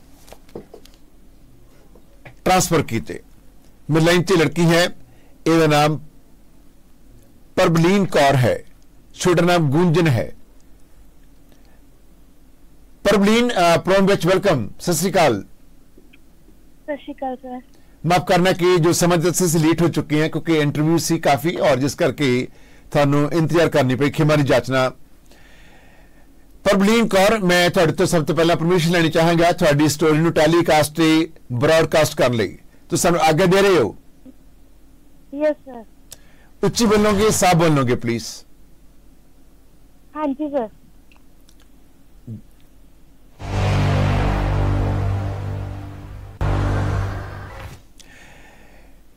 ਪਰਬਲੀਨ ਕੌਰ ਆਪ ਜੀ ਦੀ ਉਮਰ ਕਿੰਨੀ ਬੇਟਾ? ਸਰ ਮੇਰੀ ਏਜ 21 ਹੈ। 21 ਸਾਲ ਦੇ ਹੋ। ਆਪ ਜੀ ਦੇ ਮਾਤਾ ਜੀ ਦੀ ਉਮਰ ਕਿੰਨੀ ਹੈ ਤੇ ਮਾਤਾ ਜੀ ਕੀ ਕੰਮ ਕਰਦੇ ਆ ਤੁਸੀਂ ਤੁਹਾਡਾ ਪਰਿਵਾਰ ਦਾ ਕੰਮਕਾਰ ਕੀ ਹੈ? ਸਰ ਮੈਂ ਸਿੰਗਲ ਗਰਲ ਚਾਈਲਡ ਹਾਂ ਤੇ ਮੇਰੀ ਮੰਮਾ ਦੀ ਏਜ 43 ਹੈ ਐਂਡ ਮੇਰੇ ਫਾਦਰ 16 ਇਅਰਸ ਪਹਿਲਾਂ ਉਹਨਾਂ ਦੀ ਡੈਥ ਹੋ ਗਈ ਸੀ। ਕਿੰਨੇ ਸਾਲ ਪਹਿਲਾਂ ਬੇਟਾ? 16 16 ਸਾਲ ਪਹਿਲਾਂ ਸਰ ਆ 16 ਸਾਲ ਪਹਿਲਾਂ। ਤੁਸੀਂ 5 ਸਾਲ ਦੇ ਜਦੋਂ ਆਪ ਜੀ ਦੇ ਪਿਤਾ ਜੀ ਚਲੇ ਗਏ। ਹਾਂਜੀ ਸਰ ਕਿੰਨੇ ਭੈਣ ਭਰਾ ਹੋ ਆਪ ਜੀ ਤੁਸੀਂ ਬੇਟਾ? ਸਰ ਮੈਂ ਸਿੰਗਲ ਗਰਲ ਚਾਈਲਡ ਹਾਂ ਮੈਂ ਇਕੱਲੀ ਹਾਂ। ਹਾਂਜੀ। ਮੈਂ ਇਕੱਲੀ ਹਾਂ ਸਰ ਕੋਈ ਵੀ ਨਹੀਂ ਹੈਗਾ ਮੇਰਾ ਭੈਣ ਭਰਾ। ਅੱਜ ਤੁਸੀਂ ਇਕੱਲੇ ਬੱਚੇ ਹੋ ਮਾਤਾ ਦੇ। ਸੋ ਮਾਤਾ ਨੇ। ਤੁਹਾਨੂੰ ਪਾਲਿਆ ਔਰ ਸਟੱਡੀ ਕਰਾਈ। ਹਾਂਜੀ। ਤੁਹਾਡੀ ਕਾਸਟ ਕਿਹੜੀ ਬੇਟਾ? ਸਰ ਅਸੀਂ ਜੱਟ ਹਾਂ। ਕਿੰਨੇ ਤੁਹਾਡੇ ਲੈਂਡ ਜਨ ਜ਼ਮੀਨ ਦੇ ਟੁਕੜੇ ਕਿੰਨੇ ਨੇ? ਕਿ ਜਿਹਨੂੰ ਤੁਸੀਂ ਖੇਤ ਕਹਿੰਦੇ ਹੋ ਜਾਂ ਬਿੱਗੇ ਕਹਿੰਦੇ ਹੋ ਕਿੰਨੀ ਕੁ ਜ਼ਮੀਨ ਹੈ ਤੁਹਾਡੇ ਕੋਲ? ਸਰ ਅਹ, ਤਿੰਨ ਕਿੱਲੇ ਨੇ। ਔਰ ਤਿੰਨ ਕਿੱਲੇ ਨੇ ਤਿੰਨਾਂ ਕਿੱਲਿਆਂ ਦੇ ਨਾਲ ਤੁਹਾਡੀ ਮਾਤਾ ਜੀ ਨੇ ਤੁਹਾਨੂੰ ਪੜਾਇਆ ਲਿਖਾਇਆ ਔਰ ਤੁਹਾਡਾ ਜ਼ਿੰਦਗੀ ਜੀਵਨ ਬਣਾਉਣ ਦੀ ਕੋਸ਼ਿਸ਼ ਕੀਤੀ ਮਾਤਾ ਜੀ ਨੇ। ਸੋ ਮਾਤਾ ਜੀ ਖੁਦ ਕੰਮ ਕਰਦੇ ਹੋਣਗੇ ਖੇਤਾਂ ਦੇ ਵਿੱਚ ਤੁਸੀਂ ਵੀ ਨਾਲ ਹੈਲਪ ਕਰਦੇ ਹੋਵੋਗੇ। ਸੋ ਆਪ ਜੀ ਦਾ ਭਰਾ ਨਹੀਂ ਹੈ ਤੁਸੀਂ। ਮਾਤਾ ਰਹਿੰਦੇ ਤੁਹਾਡਾ ਦਾਦੀ ਦਾਦਾ ਹੈ? ਹਾਂਜੀ ਸਰ ਉਹ ਹੈਗੇ ਨੇ। ਤੁਹਾਡੇ ਨਾਲ ਨਹੀਂ ਬੇਟਾ ਹੋ ਉਹ ਵੱਡੇ ਤਾਇਆ ਜੀ ਨਾਲ ਰਹਿੰਦੇ ਨੇ ਚੰਡੀਗੜ੍ਹ। ਅੱਛਾ ਤੁਸੀਂ ਪਿੰਡ 'ਚ ਰਹਿੰਦੇ ਹੋ? ਹਾਂਜੀ ਸਰ। ਤੁਹਾਡਾ ਜ਼ਿਲ੍ਹਾ ਤੇ ਜ਼ਿਲ੍ਹੇ ਦੇ ਨਾਲ ਪਿੰਡ ਕਿਹੜਾ ਜਿੱਥੇ ਤੁਹਾਡੀ ਰਿਹਾਇਸ਼ ਹੈ? ਸਾਡਾ ਕਨੂਰ ਘਾਟ ਕਨੂਰ ਘਾਟ ਹੈ ਸਰ। ਕਿਹੜਾ ਵੈਸੇ ਸਰ ਮੈਂ ਇੱਥੇ ਹਲੇ ਆਪਣੀ ਨਾਨੀ ਕੋਲ ਰਹਿ ਰਹੀ ਹਾਂ ਮਨੀ ਮਾਜਰਾ ਚੰਡੀਗੜ੍ਹ। ਓਕੇ ਮਨੀ ਮਾਜਰਾ ਤੁਸੀਂ ਰਹਿ ਰਹੇ ਹੋ? ਹਾਂਜੀ ਸਰ ਸੈਕਟਰ 13 ਚੰਡੀਗੜ੍ਹ। ਓਕੇ। ਤੁਹਾਨੂੰ ਕਿਹਨੇ ਦੱਸਿਆ ਸੀ ਕਿ ਕਿਹੜਾ ਵਿਅਕਤੀ ਹੈ ਜੋ ਤੁਹਾਨੂੰ ਕੈਨੇਡਾ ਲੈ ਕੇ ਜਾਵੇ ਤੇ ਕਿੰਨੇ ਹੀ ਲੱਖਾਂ ਰੁਪਏ ਚਾਰਜ ਕਰੇਗਾ? ਤੁਸੀਂ ਆਇਲਟ ਕੀਤੀ ਸੀ? ਹਾਂਜੀ। ਸਰ ਮੈਂ ਆਇਲਸ ਕੀਤੀ ਹੋਈ ਹੈ। ਆਇਲਟ ਦੇ ਵਿੱਚੋਂ ਕਿੰਨੇ ਬੈਂਡ ਆਏ ਨੇ ਤੁਹਾਨੂੰ? ਸਰ ਮੇਰੇ ਓਵਰਆਲ 6 ਬੈਂਡਸ ਨੇ। ਓਵਰਆਲ 6 ਬੈਂਡ ਨੇ। ਤੇ ਤੁਸੀਂ ਬੈਂਡ ਕਰਕੇ ਫਿਰ ਅਪਲਾਈ ਕਿਵੇਂ ਕੀਤਾ ਕੈਨੇਡਾ ਆਉਣ ਦੀ ਖਾਤਰ? ਸਰ ਉੱਥੇ ਮੇਰੀ ਸਿਸਟਰ ਗਈ ਹੋਈ ਹੈ ਨਾਲ ਵਾਲਿਆਂ ਦੀ ਕੁੜੀ। ਤੁਹਾਡੀ ਸਿਸਟਰ ਗਈ ਹੈ ਤੁਹਾਡੀ ਸਿਸਟਰ ਕਿਵੇਂ? ਮਾਸੀ ਦੀ ਲੜਕੀ ਤਾਈ ਦੀ ਲੜਕੀ ਕਿਵੇਂ? ਸਰ ਸਾਡੇ ਪੜੋਸੀ ਹੈ। ਤੁਹਾਡੀ ਗਵਾਂਢੀ ਹੈ? ਹਾਂਜੀ। ਉਹ ਲੜਕੀ ਜਿਹੜੀ ਹੈ ਉਹ ਕਿੰਨਾ ਸਮਾਂ ਹੋ ਗਿਆ ਗਈ ਨੂੰ? ਸਰ ਉਸ ਨੂੰ ਹੋ ਗਏ ਅਹ, ਡੇਢ ਸਾਲ ਹੋ ਗਿਆ। ਡੇਢ ਸਾਲ ਹੋ ਗਿਆ ਤੁਸੀਂ ਉਸ ਲੜਕੀ ਦਾ ਨਾਂ ਨਹੀਂ ਲੈਣਾ। ਨਹੀਂ ਤੁਸੀਂ ਨਾਂ ਲੈ ਸਕਦੇ ਹੋ ਲੜਕੀ ਦਾ। ਪਰ ਜਿਸ ਨੇ ਉਹ ਲੜਕੀ ਰੱਖੀ ਹੋਈ ਹੈ ਤੇ ਜਿਸ ਦੇ ਘਰ ਵਿੱਚ ਰਹਿੰਦੀ ਹੈ ਲੜਕੀ ਮੇਰੇ ਕਹਿਣ ਭਾਵੇਂ ਮੰਗਾਈ ਆ। ਉਹਦੇ ਤੁਸੀਂ ਨਾਂ ਨਹੀਂ ਲੈਣਾ ਹਾਲੇ ਅੱਜ ਠੀਕ ਹੈ? ਹਾਂਜੀ ਸਰ ਹਾਂ ਤੁਸੀਂ ਵੇਟ ਕਰਨੀ ਕਿਉਂਕਿ ਅਸੀਂ ਪੁਲਿਸ ਨੂੰ ਕੇਸ ਹੈਂਡਓਵਰ ਕਰ ਰਹੇ ਪਹਿਲਾਂ। ਹਾਂਜੀ ਸਰ ਬੇਟਾ ਡੇਢ ਸਾਲ ਪਹਿਲਾਂ ਤੁਹਾਡੀ ਗਵੰਡਨ ਜਿਹੜੀ ਲੜਕੀ ਜਾਂਦੀ ਹੈ ਉਹਦਾ ਨਾਮ ਕੀ ਹੈ? ਸਰ ਉਹਦਾ ਨਾਮ ਇਸ਼ੂ ਇਸ਼ੂ ਹੈ। ਇਸ਼ੂ ਦੇ ਮਾਂ-ਬਾਪ ਇੰਡੀਆ ਵਿੱਚ ਨੇ? ਹਾਂਜੀ ਸਰ ਇਸ਼ੂ ਦੇ ਮਾਂ-ਬਾਪ ਇੰਡੀਆ ਨੇ ਤੇ ਇਸ਼ੂ ਦੇ ਮਾਮਾ ਜੀ ਨੇ ਮੈਨੂੰ ਕੱਲ ਕਾਲ ਕੀਤਾ ਸੀ ਆਸਟ੍ਰੇਲੀਆ ਤੋਂ। ਸਰ ਮੇਰੇ ਮਾਮਾ ਜੀ ਨੇ ਕੀਤਾ ਸੀ। ਅੱਜ ਤੁਹਾਡੇ ਮਾਮਾ ਜੀ ਨੇ ਕੀਤਾ ਸੀ? ਹਾਂਜੀ ਸਰ ਓਕੇ ਸੋ ਜਿਹੜੀ ਇਸ਼ੂ ਹੈ ਇਹ ਡੇਢ ਸਾਲ ਪਹਿਲਾਂ ਇਹ ਕਿਵੇਂ ਕੈਨੇਡਾ ਆਈ ਹੈ? ਸਰ ਇਹ ਤਾਂ ਸਟੱਡੀ ਵੀਜ਼ੇ ਤੇ ਆਈ ਹੈ। ਸਟੱਡੀ ਵੀਜ਼ੇ ਤੇ ਇਹਨੇ ਸਟੱਡੀ ਕੀ ਕੀਤੀ ਸੀ? ਸਰ ਇਹਨੇ ਪਲੱਸ 2 ਕੀਤੀ ਸੀਗੀ ਹਲੇ। ਪਲੱਸ 2 ਕਰਕੇ ਆਡਿਟ ਕੀਤੀ ਸੀ? ਹਾਂਜੀ ਸਰ ਇਹ ਫਿਰ ਆਡਿਟ ਕਰਕੇ ਆਪਣੀ ਫੀਸ ਤਾਰ ਕੇ ਆਈ ਇੱਥੇ ਕੈਨੇਡਾ। ਹਾਂਜੀ ਸਰ ਇਹ ਕੈਨੇਡਾ ਕਿੰਨੇ ਪੈਸੇ ਦੇ ਕੇ ਆਈ ਹੈ ਉੱਥੇ? ਸਰ ਇਹਨੇ ਲਵਪ੍ਰੀਤ ਦੇ ਕੰਮ 'ਚ ਇਹਨੇ ਥੋੜਾ ਜਿਹਾ ਪੈਸੇ ਆਪਣੇ ਵੀ ਇਨਵੋਲਵਮੈਂਟ ਕੀਤੀ ਹੈ ਇਹਨਾਂ ਨੇ ਪਾਰਟਨਰਸ਼ਿਪ 'ਚ ਕੀਤਾ ਹੈ ਸਰ ਉਹ ਮੁੰਡਾ ਇਹਨੂੰ ਵੀ ਬਹੁਤ ਜ਼ਿਆਦਾ ਟੌਰਚਰ ਕਰ ਰਿਹਾ ਹੈ ਨਹੀਂ ਨਹੀਂ ਨਹੀਂ ਨਹੀਂ। ਆਇਲਟ ਕਰਕੇ ਕੁੜੀ ਨੇ ਕੈਨੇਡਾ ਦੇ ਵੀਜ਼ਾ ਲਿਆ ਤੇ ਕਿੰਨੇ ਪੈਸੇ ਖਰਚ ਕੀਤੇ? ਫੀਸ ਕਿੰਨੀ ਤਾਰੀ ਉਹਨਾਂ ਨੇ ਕੈਨੇਡਾ ਕੇ ਕਾਲਜ ਦੀ ਹਾਂ 20 ਲੱਖ 20 ਲੱਖ ਹਾਂਜੀ ਸਰ ਇਹ ਕਿਹੜਾ ਕਾਲਜ ਸੀ ਸਰ ਕਾਲਜ ਪ੍ਰਾਈਵੇਟ ਕਾਲਜ ਹੈ ਕੋਈ ਓਕੇ ਡੇਢ ਸਾਲ ਪਹਿਲਾਂ ਗਈ ਹੈ ਇਹਨੇ ਸਟੱਡੀ ਕਰ ਲਈ ਆਪਣੀ ਪੂਰੀ ਹਾਂਜੀ ਸਰ ਇਹਦੀ ਸਟੱਡੀ ਪੂਰੀ ਹੋ ਗਈ ਸਟੱਡੀ ਪੂਰੀ ਹੋ ਗਈ ਹੈ ਇਹ ਜਦੋਂ ਕੈਨੇਡਾ ਗਈ ਹੈ ਤੇ ਇਹ ਫਿਰ ਕਿਹਦੇ ਘਰ ਵਿੱਚ ਰਹੀ ਹੈ ਸਰ ਲਵਪ੍ਰੀਤ ਕੋਲ ਆ ਤੁਸੀਂ ਨਾਮ ਨਹੀਂ ਲੈਣਾ ਮੈਂ ਤੁਹਾਨੂੰ ਬੇਨਤੀ ਕਰ ਰਿਹਾ ਕਿ don't mention name please okay sir ਹਾਂ ਮੈਂਸ਼ਨ ਨਹੀਂ ਕਰਨਾ। ਤੇ ਇਹ ਲੜਕੀ ਫਿਰ ਜਦੋਂ ਰਹੀ ਹੈ ਉਹਨਾਂ ਦੇ ਘਰ ਦੇ ਵਿੱਚ ਤੇ ਇਹ ਲੜਕੀ ਹੁਣ ਹੈ ਕਿੱਥੇ ਆ? ਸਰ ਉਹਨਾਂ ਕੋਲ ਹੀ ਹੈ ਹਲੇ ਵੀ ਹੁਣ ਵੀ। ਤੇ ਇਹ ਲੜਕੀ ਆਪਣੇ ਮਾਂ-ਬਾਪ ਦੇ ਮਤਲਬ ਸੰਪਰਕ ਦੇ ਵਿੱਚ ਹੈ? ਹਾਂਜੀ ਸਰ ਉਹਨਾਂ ਗੱਲਬਾਤ ਕਰਦੀ ਹੈ? ਹਾਂਜੀ ਸਰ ਲੜਕੀ ਬਿਲਕੁਲ ਠੀਕ ਠਾਕ ਹੈ? ਸਰ ਨਹੀਂ ਉਹ ਮੁੰਡਾ ਇਹਨੂੰ ਵੀ ਟੌਰਚਰ ਕਰਦਾ ਆ। ਉਹ ਮੁੰਡਾ ਜਿਹੜਾ ਆ ਉਹ ਕੌਣ ਮੁੰਡਾ ਆ? ਸਰ ਇਹਨਾਂ ਦੀ ਰਿਲੇਟਿਵ ਹੈ ਕੋਈ। ਤਾਂ ਜਿਹੜੀ ਇਹ ਲੜਕੀ ਆ ਇਹ ਆਪਣੀ ਮਾਂ ਨੂੰ ਜਾਂ ਫਾਦਰ ਨੂੰ ਉਹਨਾਂ ਨੂੰ ਕੰਪਲੇਂਟ ਨਹੀਂ ਕਰਦੀ ਜਾਂ ਪੁਲਿਸ ਨੂੰ ਕੰਪਲੇਂਟ ਨਹੀਂ ਕਰਦੀ ਕਿ ਉਹਨਾਂ ਨੂੰ ਟੌਰਚ ਕਰਦਾ? ਸਰ ਇਹਨੇ ਹਲੇ ਏਦਾਂ ਕੁਝ ਨਹੀਂ ਦੱਸਿਆ। ਘਰੇ ਈਵਨ ਕਿ ਸਰ ਅਹ, ਮਤਲਬ 24 ਆਵਰਸ ਘਰੇ ਹੀ ਲੱਗੀ ਰਹਿੰਦੀ ਹੈ ਫੋਨ ਤੇ। ਆ ਬਹੁਤ ਡਰਦੀ ਹੈ ਪਤਾ ਨਹੀਂ ਕਿਸ ਚੀਜ਼ ਤੋਂ ਡਰ ਰਹੀ ਹੈ ਉਹ ਤੋਂ। ਜਿਹੜੀ ਘਰ ਵਿੱਚ ਰਹਿੰਦੀ ਆ ਡਰਦੀ ਆ ਔਰ ਡਰਦੀ ਆ ਇਸ ਲੜਕੇ ਤੋਂ ਜਿਹਨੇ ਘਰ ਵਿੱਚ ਰੱਖੀ ਹੋਈ ਹੈ ਜਿਹੜਾ ਲੜਕਾ ਆ ਉਹ ਕੈਨੇਡਾ ਦਾ ਉਹ ਪੀਆਰ ਆ? ਸਰ ਉਹ ਪੀਆਰ ਨਹੀਂ ਹੈ ਉਹਦੀ ਵਾਈਫ ਪੀਆਰ ਹੈ। ਉਹ ਲੜਕਾ ਪੀਆਰ ਨਹੀਂ ਹੈ? ਨਹੀਂ ਸਰ। ਓਕੇ ਸੋ ਇਹੜੇ 40 ਲੱਖ ਦੀ ਰਕਮ ਦੀ ਗੱਲ ਕੀਤੀ ਸੀ 40 ਲੱਖ ਰੁਪਏ ਕਾਹਨੇ ਦਿੱਤਾ ਫਿਰ? ਸਰ ਇਹ ਇਹਨਾਂ ਨੇ ਦਿੱਤਾ ਸੀਗਾ ਵੀ ਮੈਂ ਵੀਜ਼ਾ ਚੇਂਜ ਕਰਾ ਲੈਂਦਾ ਆ। ਐਲਐਮਆਈ ਪਾ ਦੂੰਗਾ ਵੀ ਪੀਆਰ ਈਜ਼ੀ ਹੋ ਜੂਗੀ ਆ ਕੁੜੀ। ਓਕੇ ਕੁੜੀ ਦਾ ਨਾਮ ਦੱਸੋ ਦੁਬਾਰਾ ਫਿਰ। ਇਸ਼ੂ ਈਸ਼ੂ ਕਿ ਈਸ਼ੂ ਮੈਂ ਪੱਕਾ ਕਰਾ ਦੂੰਗਾ ਲੜਕਾ ਕਹਿੰਦਾ ਇਹ। ਹਾਂਜੀ। ਇਹ ਲੜਕਾ ਸ਼ਾਦੀशुदा ਹੈ।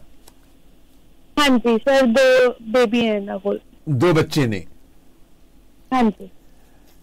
ਓਕੇ ਸੋ ਫਿਰ ਇਹ ਲੜਕਾ ਆਪ ਪੱਕਾ ਨਹੀਂ ਹੈ। ਹਾਂਜੀ ਪੱਕਾ ਨਹੀਂ ਹੈ। ਤੁਸੀਂ ਲੜਕੇ ਲੜਕੇ ਦੇਖਿਆ ਹੋਇਆ ਇਸ ਨੂੰ ਹਾਂਜੀ ਅਸੀਂ ਮੈਂ ਦੇਖ ਤੇ ਚੇ- ਦੇਖਿਆ ਸਿਰਫ। ਓਕੇ ਸੋ 40 ਲੱਖ ਰੁਪਏ ਦੇ ਵਿੱਚ ਇਹਨੇ ਤੁਹਾਨੂੰ ਇਸ ਲੜਕੀ ਨੂੰ ਪੱਕਾ ਕਰਾਉਣਾ ਸੀ ਐਲਐਮਏ ਦਵਾਉਣੀ ਸੀ ਵਰਕ ਪਰਮਿਟ ਦਵਾਉਣਾ ਸੀ। ਤਾਂ ਹੁਣ ਲੜਕੀ ਜਿਹੜੀ ਆ ਉਹ। ਘਰ ਦੇ ਵਿੱਚ ਹੈ ਤੇ ਉਹ ਘਰ ਵਾਲਿਆਂ ਨੂੰ ਫੋਨ ਨਹੀਂ ਕਰਦੀ ਡਰਦੀ ਹੈ ਤੋਂ ਡਰਨ ਦਾ ਕਾਰਨ ਤੁਸੀਂ ਪੁੱਛਿਆ ਉਹਨੂੰ ਕਦੇ ਫੋਨ ਤੇ? ਉਹ ਕੁਝ ਨਹੀਂ ਦੱਸਦੀ ਏਦਾਂ ਦਾ ਮਤਲਬ ਘਬਰਾਈ ਹੋਈ ਹੈ ਨਰਵਸ ਹੈ ਉਹ ਡਿਪਰੈਸ਼ਨ ਚ ਹੈ? ਹਾਂਜੀ ਸਰ ਉਹ ਜਿਵੇਂ ਹਾਂਜੀ ਜਿਵੇਂ ਉਹ ਸੌਂਦੀ ਹੈ ਉਹ ਤਾਂ ਵੀ ਆਪਣੇ ਘਰੇ ਕਾਲ ਕਰਕੇ ਸੌਂਦੀ ਹੈ। ਵੀ ਮੇਰੇ ਕਾਲ ਤੇ ਰਹੋ ਮੇਰੇ ਨਾਲ ਵੀ ਹਾਂ। ਫੋਨ ਨਾ ਕੱਟਿਓ ਮੇਰਾ ਉਹ ਇੰਨਾ ਡਰਦੀ ਹੈ। ਜਦੋਂ ਸੌਂਦੀ ਆ ਉਹ ਮਤਲਬ ਉਹ ਕਹਿੰਦੀ ਕਿ ਤੁਸੀਂ ਫੋਨ ਤੇ ਰਹਿਣਾ ਆ, ਮੈਨੂੰ ਨੀਂਦ ਆ- ਆਉਂਦੀ ਆ ਮੰਮੀ ਆਪਣੀ ਦੇ ਨਾਲ ਫਿਰ ਹਾਂਜੀ। ਸੌਂਦੀ ਹੋ ਇੰਨੀ ਘਬਰਾਈ ਹੋਈ ਆ ਹਾਂਜੀ ਸਰ। ਤੇ ਜੇ ਘਬਰਾਈ ਹੋਈ ਆ ਤਾਂ ਉਹ ਪੁਲਿਸ ਨੂੰ ਕਾਲ ਕਿਉਂ ਨਹੀਂ ਕਰਦੀ 911 ਤੇ? ਉਹ ਪਤਾ ਨਹੀਂ ਮੈਂ ਅਸੀਂ ਕਿਹਾ ਉਹਨੂੰ ਪਤਾ ਨਹੀਂ ਡਰਦੀ ਕਿਸ ਚੀਜ਼ ਤੋਂ ਉਹ ਨਹੀਂ ਪਤਾ ਲੱਗ ਰਿਹਾ। ਤੁਹਾਡੇ ਨਾਲ ਗੱਲ ਕੀਤੀ ਆ ਔਰ ਕੁੜੀ ਨੇ ਟੈਲ ਮੀ ਟਰੂ ਗੁੰਜਨ ਕਿ ਮੈਨੂੰ ਡਰ ਹੈ ਇਸ ਚੀਜ਼ ਦਾ ਆ ਮਾੜੀ ਮੋਟੀ ਚੋਰੀ ਗੱਲ ਕੀਤੀ ਕੋਈ? ਨਹੀਂ ਸਰ ਉਹਨੇ ਐਦਾਂ ਮੈਨੂੰ ਕੁਝ ਨਹੀਂ ਕਿਹਾ ਬਸ ਐਵੇਂ ਆ ਵੀ ਮੈਨੂੰ ਕਾਲ ਕਰਦੀ ਹੈ ਦੋ ਦੋ ਘੰਟੇ ਮੇਰੇ ਨਾਲ ਵੀ ਲੱਗੀ ਰਹਿੰਦੀ। ਜਿਵੇਂ ਉਹਦੇ ਮੰਮਾ ਕੋਈ ਕੰਮ ਕਰਦੇ ਆ ਫੋਨ ਕਰ ਦਿੰਦੇ ਤਾਂ ਮੈਨੂੰ ਕਰ ਲੈਂਦੀ ਹੈ। ਜੇ ਮੰਮੀ ਨੂੰ ਫੋਨ ਕਰ ਦਿੰਦੇ ਆ ਤਾਂ ਫਿਰ ਤੁਹਾਨੂੰ ਕਰ ਲੱਗ ਪੈਂਦੀ ਆ ਹਾਂਜੀ। ਨਾ ਸਕੂਲ ਜਾਂਦੀ ਆ ਨਾ ਕੰਮ ਤੇ ਜਾਂਦੀ ਆ ਹਾਂਜੀ ਉਹ ਕੰਮ ਤੇ ਵੀ ਜਾਂਦੀ। ਉਹ ਇਦਾਂ ਨਾਲ ਹੀ ਕੰਮ ਤੇ ਗਈ ਸੀਗੀ ਆ ਜਿਹੜਾ ਮੁੰਡਾ ਆ। ਹੂੰ। ਮਹੀਨਾ ਗਈ ਸੀ ਕੰਮ ਤੇ ਬਟ ਉਹਨੇ ਫਿਰ ਇਹਨੂੰ ਕੋਈ ਪੈਸਾ ਨਹੀਂ ਦਿੱਤਾ ਕੁਝ ਨਹੀਂ ਦਿੱਤਾ। ਤਾਂ ਇਸ ਕਰਕੇ ਹੁਣ ਗਈ ਨੇ ਉਹਨੂੰ ਲੈ ਕੇ ਨਹੀਂ ਜਾਂਦਾ ਹਾਂ। ਹੁਣ ਕੁੜੀ ਘਰੇ ਰਹਿੰਦੀ ਆ? ਹਾਂਜੀ ਉਹ ਘਰੇ ਰਹਿੰਦੀ ਉਹ ਆਪਣੇ ਰੂਮ ਚੋਂ ਵੀ ਨਹੀਂ ਬਾਹਰ ਨਿਕਲਦੀ। ਤੇ ਉਹਨੂੰ ਖਾਣ ਪੀਣ ਨੂੰ ਕੌਣ ਦਿੰਦਾ ਆ? ਉਹਨੂੰ ਪੈਸੇ ਕੌਣ ਦਿੰਦਾ ਆ? ਖਾਣ ਪੀਣ ਲਈ ਕੌਣ ਲਿਆਉਂਦਾ ਪਕਾਉਂਦਾ ਕੌਣ ਆ? ਸਰ ਉਹਦੀ ਮੁੰਡੇ ਦੀ ਵਾਈਫ ਆ ਉਹੀ ਘਰੇ ਰਹਿੰਦੀ ਹੈ ਤਾਂ ਸਿਰਫ ਆ ਦਿਨ ਚ ਸਿਰਫ ਦੋ ਰੋਟੀ ਖਾਂਦੀ ਆ ਹੋਰ ਕੁਝ ਨਹੀਂ ਖਾਂਦੀ ਪਿੰਦੀ ਉਹ ਡਿਪਰੈਸ਼ਨ ਵਿੱਚ ਚਲੀ ਗਈ ਆ? ਪਰ ਲੱਗਦਾ ਐਵੇਂ ਹੀ ਹੈ ਉਹ ਗੱਲਾਂ ਵੀ ਐਵੇਂ ਕਰਦੀ ਹੈ ਤਾਂ ਐਵੇਂ ਡਿਪਰੈਸ਼ਨ ਵਾਲਾ ਹੀ ਲੱਗਦਾ ਜਿਵੇਂ ਬੰਦਾ ਸਹਿਮ ਜਾਂਦਾ ਡਰ ਜਾਂਦਾ ਬਹੁਤ ਜ਼ਿਆਦਾ ਕਿਸੇ ਚੀਜ਼ ਤੋਂ। ਨਹੀਂ ਡਰੀ ਕਿਸ ਚੀਜ਼ ਤੋਂ? ਕੀ ਕਹਿੰਦੀ ਕੀ ਆ? ਕਿ ਮੈਨੂੰ ਕੋਈ ਮਾਰ ਦੋ ਮੈਨੂੰ ਕੋਈ ਕੁੱਟੂਗਾ ਜਾਂ ਮੈਨੂੰ ਕੋਈ ਕੁੱਟਦਾ ਆ ਜਾਂ ਮੈਨੂੰ ਮਾਰਦਾ ਆ? ਕੀ ਕਹਿੰਦੀ ਕੀ ਆ? ਕਿ ਮੈਂ ਪਰੇਸ਼ਾਨ ਆ? ਨਹੀਂ ਉਹ ਐਦਾਂ ਕੁਝ ਨਹੀਂ ਕਹਿੰਦੀ ਬਸ ਉਹ ਕਹਿੰਦੀ ਮੈਨੂੰ ਡਰ ਲੱਗਦਾ ਵੀ ਮੇਰੇ ਨਾਲ ਕੋਲ ਤੇ ਰਹੋ ਬਸ। ਮੈਂ ਹੈਰਾਨ ਆ ਕਿ ਇਹ ਚ ਹੋ ਕੀ ਰਿਹਾ ਆ। ਤੇ ਇਹਦੀ ਉਮਰ ਜਿਹੜੀ ਇਸ ਇਸ਼ੂ ਦੀ 24 ਸਾਲ ਹੈ? ਨਹੀਂ ਸਰ 21 ਅੱਛਾ ਇਹ ਵੀ 21 ਸਾਲ। ਤੁਸੀਂ ਦੋਨੇ ਸੇਲਿੰਗ ਆਇਆ ਮਤਲਬ ਤੁਹਾਡੀ ਏਜ ਹੈ ਕਿ ਦੋਨਾਂ ਦੀ? ਹਾਂਜੀ ਸਰ। ਤੁਸੀਂ ਵੀ ਸਟੱਡੀ ਕਰ ਲਈ। ਤੁਸੀਂ 13 ਲੱਖ ਰੁਪਈਆ ਕੈਨੇਡਾ ਆਉਣ ਲਈ ਕਿਹਨੂੰ ਦਿੱਤਾ ਸੀਗਾ? ਸਰ ਉਹ ਮੁੰਡੇ ਨੂੰ ਦਿੱਤਾ ਸੀਗਾ। ਇਸੇ ਮੁੰਡੇ ਨੂੰ ਇਸੇ- ਇਸੇ ਮੁੰਡੇ ਨੂੰ। ਸਰ ਜਿੱਦਾਂ ਮੈਂ ਹੁਣੇ ਨਾਮ ਲੈ ਰਹੀ ਸੀ। ਮੈਂ ਤੁਸੀਂ ਉਸੇ ਮੁੰਡੇ ਨੂੰ ਦਿੱਤੇ ਪਏ ਜਿੱਥੇ ਇਹ- ਇਹ ਕੁੜੀ ਰਹਿੰਦੀ ਹੈ ਜਿਸ ਮੁੰਡੇ ਨਾਲ? ਸਰ। ਤੇ ਇਹ ਰਿਸ਼ਤੇਦਾਰ ਚ ਲੜਕਾ ਹੈ ਜਿਹਦੇ ਨਾਲ ਤਾਂ ਇਹ ਲੜਕੀ ਰਹਿੰਦੀ ਆ। ਤੇ ਤੁਸੀਂ ਇਹ ਪੈਸੇ ਹਾਂਜੀ, ਕੈਸ਼। ਦਿੱਤੇ ਕੈਸ਼ ਦਿੱਤੇ ਪੈਸੇ ਜਾਂ ਤੁਸੀਂ ਇਹ ਪੈਸੇ ਜਿਹੜੇ ਆ ਬੈਂਕ ਚ ਪਾਏ ਆ ਜਾਂ ਕਿ ਸਰ ਇਹਨਾਂ ਦੇ ਸਿੱਧਾ ਡਾਇਰੈਕਟ ਅਕਾਊਂਟ 'ਚ ਪਾਏ ਆ ਤੇ ਇਹਦੇ ਪੇਰੈਂਟਸ ਆ ਕੇ ਵੀ ਕੁਝ ਕੈਸ਼ ਵੀ ਲੈ ਕੇ ਗਏ ਸੀਗੇ। ਇਹ ਮੁੰਡੇ ਜਿਹੜੇ ਪੈਸੇ ਕੈਸ਼ ਲੈ ਗਏ ਆ ਉਹ ਕਿਹੜੇ ਜ਼ਿਲ੍ਹੇ ਦੇ ਆ ਤੇ ਕੌਣ ਕੈਸ਼ ਲੈਣ ਆਇਆ ਸੀ? ਮੁੰਡੇ ਦਾ ਮਾਂ ਤੇ ਪਿਓ ਦਾ ਨਾਂ ਕੀ ਹੈ ਸਰ ਉਹਨਾਂ ਦੇ ਫਾਦਰ ਦਾ ਨਾਮ ਪਤਾ ਮੈਨੂੰ ਗੁਰਵਿੰਦਰ ਸਿੰਘ। ਹਾਂ ਮਦਰ ਸਰ ਮਦਰ ਦਾ ਨਹੀਂ ਪਤਾ। ਉਹ ਦੋਨੋਂ ਆਏ ਸੀਗੇ। ਉਹਨਾਂ ਨੇ ਰਾਜਪੁਰੇ ਤੋਂ ਆ ਕੇ ਉਹ 4 ਲੱਖ ਲੈ ਕੇ ਗਏ ਸੀਗੇ 26 ਮਈ ਨੂੰ। ਓਕੇ ਹਾਂਜੀ ਸਰ ਉਹ ਕੈਸ਼ ਲੈ ਗਏ ਨੇ। ਉਹ ਕਾਹਦੇ ਵਾਸਤੇ ਕੈਸ਼ ਲਏ ਨੇ? ਸਰ ਉਹਨਾਂ ਦੇ ਘਰੇ ਫੰਕਸ਼ਨ ਸੀਗਾ ਕੋਈ ਪਾਠ ਸੀਗਾ। ਹਾਂ। ਹਾਂਜੀ ਉਹ ਉਸੇ ਵਾਸਤੇ ਲੈ ਕੇ ਗਏ ਸੀ। ਨਹੀਂ ਤੁਸੀਂ ਪੈਸੇ ਦਿੱਤੇ ਕਿਉਂ ਆ? ਸਰ ਉਹਨਾਂ ਨੇ ਕਿਹਾ ਵੀ ਮੈਨੂੰ ਵੀ ਮੈਂ ਇੰਡੀਆ ਹੀ ਭੇਜਣੇ ਆ ਤਾਂ ਤੁਸੀਂ ਸਿੱਧਾ ਮੇਰੇ ਪੇਰੈਂਟਸ ਨੂੰ ਹੀ ਕੈਸ਼ ਦੇ ਦਿਓ। ਇਸ ਮੁੰਡੇ ਨੇ ਕਿਹਾ। ਹਾਂਜੀ। ਤਾਂ ਰਾਜਪੁਰੇ ਤੁਸੀਂ ਕਿੱਥੇ ਪੈਸੇ ਲਏ ਆਪਣੇ ਹੋਟਲ 'ਚ ਕਿਸੇ ਜਾਂ ਕਿਸੇ ਰੈਸਟੋਰੈਂਟ 'ਚ ਜਾਂ ਕੋਈ ਕੋਈ ਜਗ੍ਹਾ ਕੋਈ ਐਸੀ ਜਿੱਥੇ ਤੁਸੀਂ ਪੈਸੇ ਉਹਨਾਂ ਨੂੰ ਦਿੱਤੇ ਆ? ਸਰ ਉਹ ਅੰਡਰਪਾਸ ਸੀਗਾ ਜਿੱਥੇ ਉੱਥੇ ਆਏ ਸੀਗੇ ਪੁਲ ਦੇ ਨੀਚੇ ਅੰਡਰਪਾਸ ਸੀਗਾ ਉੱਥੇ ਲੈ ਲਏ ਸੀ ਉਹਨਾਂ ਨੇ। ਤੁਸੀਂ ਪਹਿਲਾਂ ਵੇਖਿਆ ਵੀ ਸੀਗਾ? ਨਹੀਂ ਅਸੀਂ ਵੇਖਿਆ ਨਹੀਂ ਸੀਗਾ। ਸਾਡੇ ਕੋਲ ਫੋਟੋ ਸੀਗੀ ਉਹਨਾਂ ਨੇ। ਉਹ ਕਦੀ ਕਦੀ ਜਿਵੇਂ ਸਟੇਟਸ ਲਾ ਦਿੰਦਾ ਸੀ ਮੁੰਡਾ ਤਾਂ ਸਾਨੂੰ ਪਤਾ ਸੀ। ਇਹ ਪੈਸੇ ਕਦ ਦਿੱਤੇ ਤੁਸੀਂ? ਅਸੀਂ 26 ਮਈ ਨੂੰ ਦਿੱਤੇ 2023 ਚ। 26 9 ਮਿਲ ਕੇ 9 ਮਹੀਨਾ ਅਹ, 23 ਤੇ 23 ਪਿਛਲੇ ਸਾਲ ਨਹੀਂ ਨਹੀਂ ਇਹ 20 ਮਈ ਪੰਜਵਾਂ ਮਹੀਨਾ ਦੋ 2023 ਚ। ਔਰ ਪਿਛਲੇ ਸਾਲ ਚ ਮਈ ਮਹੀਨੇ ਦਿੱਤੇ ਆ। ਹਾਂਜੀ ਸਰ। ਆਲਮੋਸਟ 1 ਸਾਲ ਹੋਣ ਵਾਲਾ। ਹਾਂਜੀ ਸਰ। ਸੋ ਜਿਹੜੀ ਤੁਸੀਂ ਉਸ ਤੋਂ ਬਾਅਦ ਇਹਨਾਂ ਦੇ ਘਰ ਗਏ ਹੋ ਇਹਨਾਂ ਦਾ ਘਰ ਕਿੱਥੇ ਆ ਸਰ ਇਹਨਾਂ ਦਾ ਘਰ ਹੈਗਾ ਆ ਸੰਧਾਰ ਸੀ ਓਕੇ ਸੋ ਤੁਹਾਡੀ ਗੱਲਬਾਤ ਵੀ ਹੋਈ ਉਹਨਾਂ ਦੇ ਨਾਲ? ਸਰ ਅਸੀਂ ਕੱਲ ਗਏ ਸੀ ਮੇਰੇ ਮੰਮਾ ਨਾਲ ਗਈ ਸੀ ਮੈਂ। ਜੀ। ਹਾਂਜੀ ਉਹਨਾਂ ਨਾਲ ਹੋਈ ਉਹ ਕਹਿੰਦੇ ਕਿ ਉਹ ਕਹਿੰਦੇ ਸਾਡੀ ਮੁੰਡੇ ਨਾਲ ਸਾਡੀ ਕੋਈ ਗੱਲਬਾਤ ਨਹੀਂ ਹੁੰਦੀ ਜਦੋਂ ਸਾਡੀ ਗੱਲ ਹੋਊਗੀ ਉਹਦੇ ਨਾਲ। ਅਸੀਂ ਤਾਂ ਤੁਹਾਨੂੰ ਦੱਸੂਗੇ ਤੁਸੀਂ ਪੁਲਿਸ ਨੂੰ ਰਿਪੋਰਟ ਕੀਤਾ ਹੈ ਪੁਲਿਸ ਨੇ ਹਲੇ ਰਿਪੋਰਟ ਨਹੀਂ ਕੀਤਾ। ਜਿਹੜਾ ਉੱਥੇ ਦਾ ਪੰਚਾਇਤ ਸੀਗੀ ਸਰਪੰਚ ਸੀਗਾ ਉਹਨਾਂ ਨੂੰ ਕਰ ਦਿਆ ਸੀ ਇਨਫੋਰਮ ਓਕੇ ਸੋ ਮੈਂ ਇਹ ਜਾਣਨਾ ਚਾਹੁੰਦਾ ਤੁਹਾਡੇ ਕੋਲੋਂ ਕਿ ਹੁਣ ਤੁਸੀਂ ਕੀ ਚਾਹੁੰਦੇ ਕੀ ਹੋ? ਤੁਹਾਡੇ ਪੈਸੇ ਵਾਪਸ ਕਰ ਰਹੇ ਹੈ ਹਾਂਜੀ ਸਰ ਅਸੀਂ ਪੈਸੇ ਲੈਣਾ ਚਾਹੁੰਦੇ ਆ। ਤੇ ਜਿਹੜੀ ਲੜਕੀ ਕਿੰਨੇ ਸਮੇਂ ਤੋਂ ਇਹਨਾਂ ਨੇ ਘਰ ਦੇ ਵਿੱਚ ਹੈ, ਜਿਹਨੂੰ ਇਹ ਸਿਰਫ ਦੋ ਰੋਟੀਆਂ ਉਹ ਖਾਂਦੀ ਹੈ, ਜਾਂ ਉਹਨੂੰ ਦੋ ਰੋਟੀਆਂ ਹੀ ਮਿਲਦੀਆਂ ਹੋਰ ਕੁਝ ਮਿਲਦਾ ਨਹੀਂ ਖਾਣ ਪੀਣ ਨੂੰ, ਔਰ ਉਹਨੂੰ ਕੋਈ ਕੁੱਟਿਆ ਮਾਰਿਆ ਵੀ ਡਰਾਇਆ ਵੀ ਹੈ, ਲੜਕੀ ਨੇ ਦੱਸਿਆ ਕੁਝ ਇਸ ਤਰ੍ਹਾਂ? ਨਹੀਂ ਸਰ, ਉਹਨੇ ਐਵੇਂ ਕੁਝ ਨਹੀਂ ਦੱਸਿਆ। ਉਹ ਉਹਦੇ ਨਾਲ ਬੋਲਦਾ ਹੀ ਨਹੀਂ, ਕਹਿੰਦੇ ਪਤਾ ਨਹੀਂ ਕਿਉਂ ਵੀ ਗੱਲ ਹੀ ਨਹੀਂ ਕਰਦਾ ਉਹ ਜਮਾ ਵੀ। ਉਹ ਡਰਿੰਕ ਵਗੈਰਾ ਕਰਕੇ ਵੀ ਆਂਦਾ ਰਾਤ ਨੂੰ। ਤੇ ਬਸ ਬੋਲਦਾ ਹੀ ਨਹੀਂ ਕਰੀ ਪਤਾ ਨਹੀਂ ਕਿਉਂ ਜਮਾ ਹੀ ਚੁੱਪ ਹੈ ਬੋਲਦਾ ਨਹੀਂ ਮੇਰੇ ਨਾਲ ਬਿਲਕੁਲ ਵੀ। ਤੁਹਾਨੂੰ ਕੀ ਲੱਗਦਾ ਕਾਰਨ ਕੀ ਹੈ ਵਿੱਚੋਂ? ਸਰ ਪਤਾ ਨਹੀਂ ਉਹ ਡਰਿੰਕ ਕਰਕੇ ਆਂਦਾ ਉਹਨੇ ਕੁਝ ਡਰਿੰਕ ਚ ਪੁੱਠਾ ਸਿੱਧਾ ਬੋਲਣਾ ਦਿਆ ਹੋਏ ਉਹ ਮੈਨੂੰ ਪਤਾ ਨਹੀਂ ਬਟ ਉਹ ਡਰੀ ਬੈਠੀ ਹੈ ਪਤਾ ਨਹੀਂ ਕਿਉਂ। ਨਹੀਂ ਉਹਦੇ ਤੁਸੀਂ ਕਹਿੰਦੇ ਕਿ ਰਿਸ਼ਤੇਦਾਰੀ ਵਿੱਚੋਂ ਆ ਜੇ ਰਿਸ਼ਤੇਦਾਰ ਵਿੱਚੋਂ ਤਾਂ ਉਹਨਾਂ ਨੇ ਕੋਈ ਪਰਿਵਾਰ ਦਾ ਮੈਂਬਰ ਤੁਸੀਂ ਉਹਨੂੰ ਅਪਰੋਚ ਨਹੀਂ ਕਰਦੇ। ਸਰ ਉਹ ਦੱਸਦੀ ਉਹ ਨਹੀਂ ਬਸ ਐਵੇਂ ਕਹਿੰਦੀ ਵੀ ਮੇਰੇ ਨਾਲ ਕੋਲ ਤੇ ਰਹੋ ਮੈਨੂੰ ਡਰ ਲੱਗਦਾ ਮੈਂ ਹੋਰ ਕੁਝ ਨਹੀਂ ਹੋਦਾ ਨਹੀਂ ਫਿਰ ਉਹਨਾਂ ਮਾਂ-ਬਾਪ ਜਿਹੜੇ ਸੁੱਤੇ ਪਏ ਨੇ ਉਹ ਕੁਝ ਕਰਦੇ ਨਹੀਂ ਕੋਈ ਐਕਸ਼ਨ ਲੈਂਦੇ? ਸਰ ਉਹ ਵੀ ਅੱਜ ਉਹਨਾਂ ਦੇ ਪੇਰੈਂਟਸ ਨੇ ਵੀ ਉਹਨਾਂ ਦੇ ਪਿੰਡ ਜਾ ਕੇ ਆਏ ਉਹ ਮੁੰਡੇ ਦੇ ਘਰ ਜਾ ਕੇ ਆਏ ਨੇ। ਕੀ ਕਹਿੰਦੇ ਨੇ ਮੁੰਡੇ ਦੇ ਘਰ ਵਾਲੇ? ਸਰ ਪਤਾ ਨਹੀਂ ਹੋਣਾ ਉਹ ਅੱਜ ਜਾ ਕੇ ਆਏ ਆ, ਹਲੇ ਆਏ ਨਹੀਂ ਉਹ ਵਾਪਸ ਨਾ। ਤੇ ਤੁਹਾਨੂੰ ਲੱਗਦਾ ਕਿ ਤੁਹਾਨੂੰ ਪੈਸੇ ਮਿਲਣਗੇ ਜਿਹੜੀ ਲੜਕੀ ਹੈ ਉਹਦਾ ਮਤਲਬ ਉਹਦੇ ਵਾਸਤੇ ਤੁਸੀਂ ਕੀ ਸੋਚਿਆ ਕੀ ਹੈ? ਤੁਸੀਂ ਪੁਲਿਸ ਨੂੰ ਕਾਲ ਕੀਤਾ ਜਾਂ ਨਹੀਂ? ਤੁਹਾਡਾ ਕੋਈ ਰਿਸ਼ਤੇਦਾਰ ਹੋਰ ਨਹੀਂ ਹੈ ਵੈਨਕੂਵਰ ਦੇ ਵਿੱਚ? ਸਰ ਨਹੀਂ ਮੇਰੇ ਤਾਂ ਰਿਸ਼ਤੇ ਹੈ ਨਹੀਂ। ਉਹਦਾ ਕੰਮ ਕਰ ਕੀ ਹੈ ਲੜਕੇ ਦਾ? ਸਰ ਉਹਨਾਂ ਦਾ ਕਾਰ ਵਾਸ਼ ਵਾਲਾ ਹੈ। ਕੀ ਹੈ? ਵਾਸ਼ਿੰਗ ਸੈਂਟਰ ਵਾਸ਼ਿੰਗ ਸੈਂਟਰ ਗੁਰਬੇ ਜੀ ਕੀ ਕਹਿੰਦੇ ਨੇ?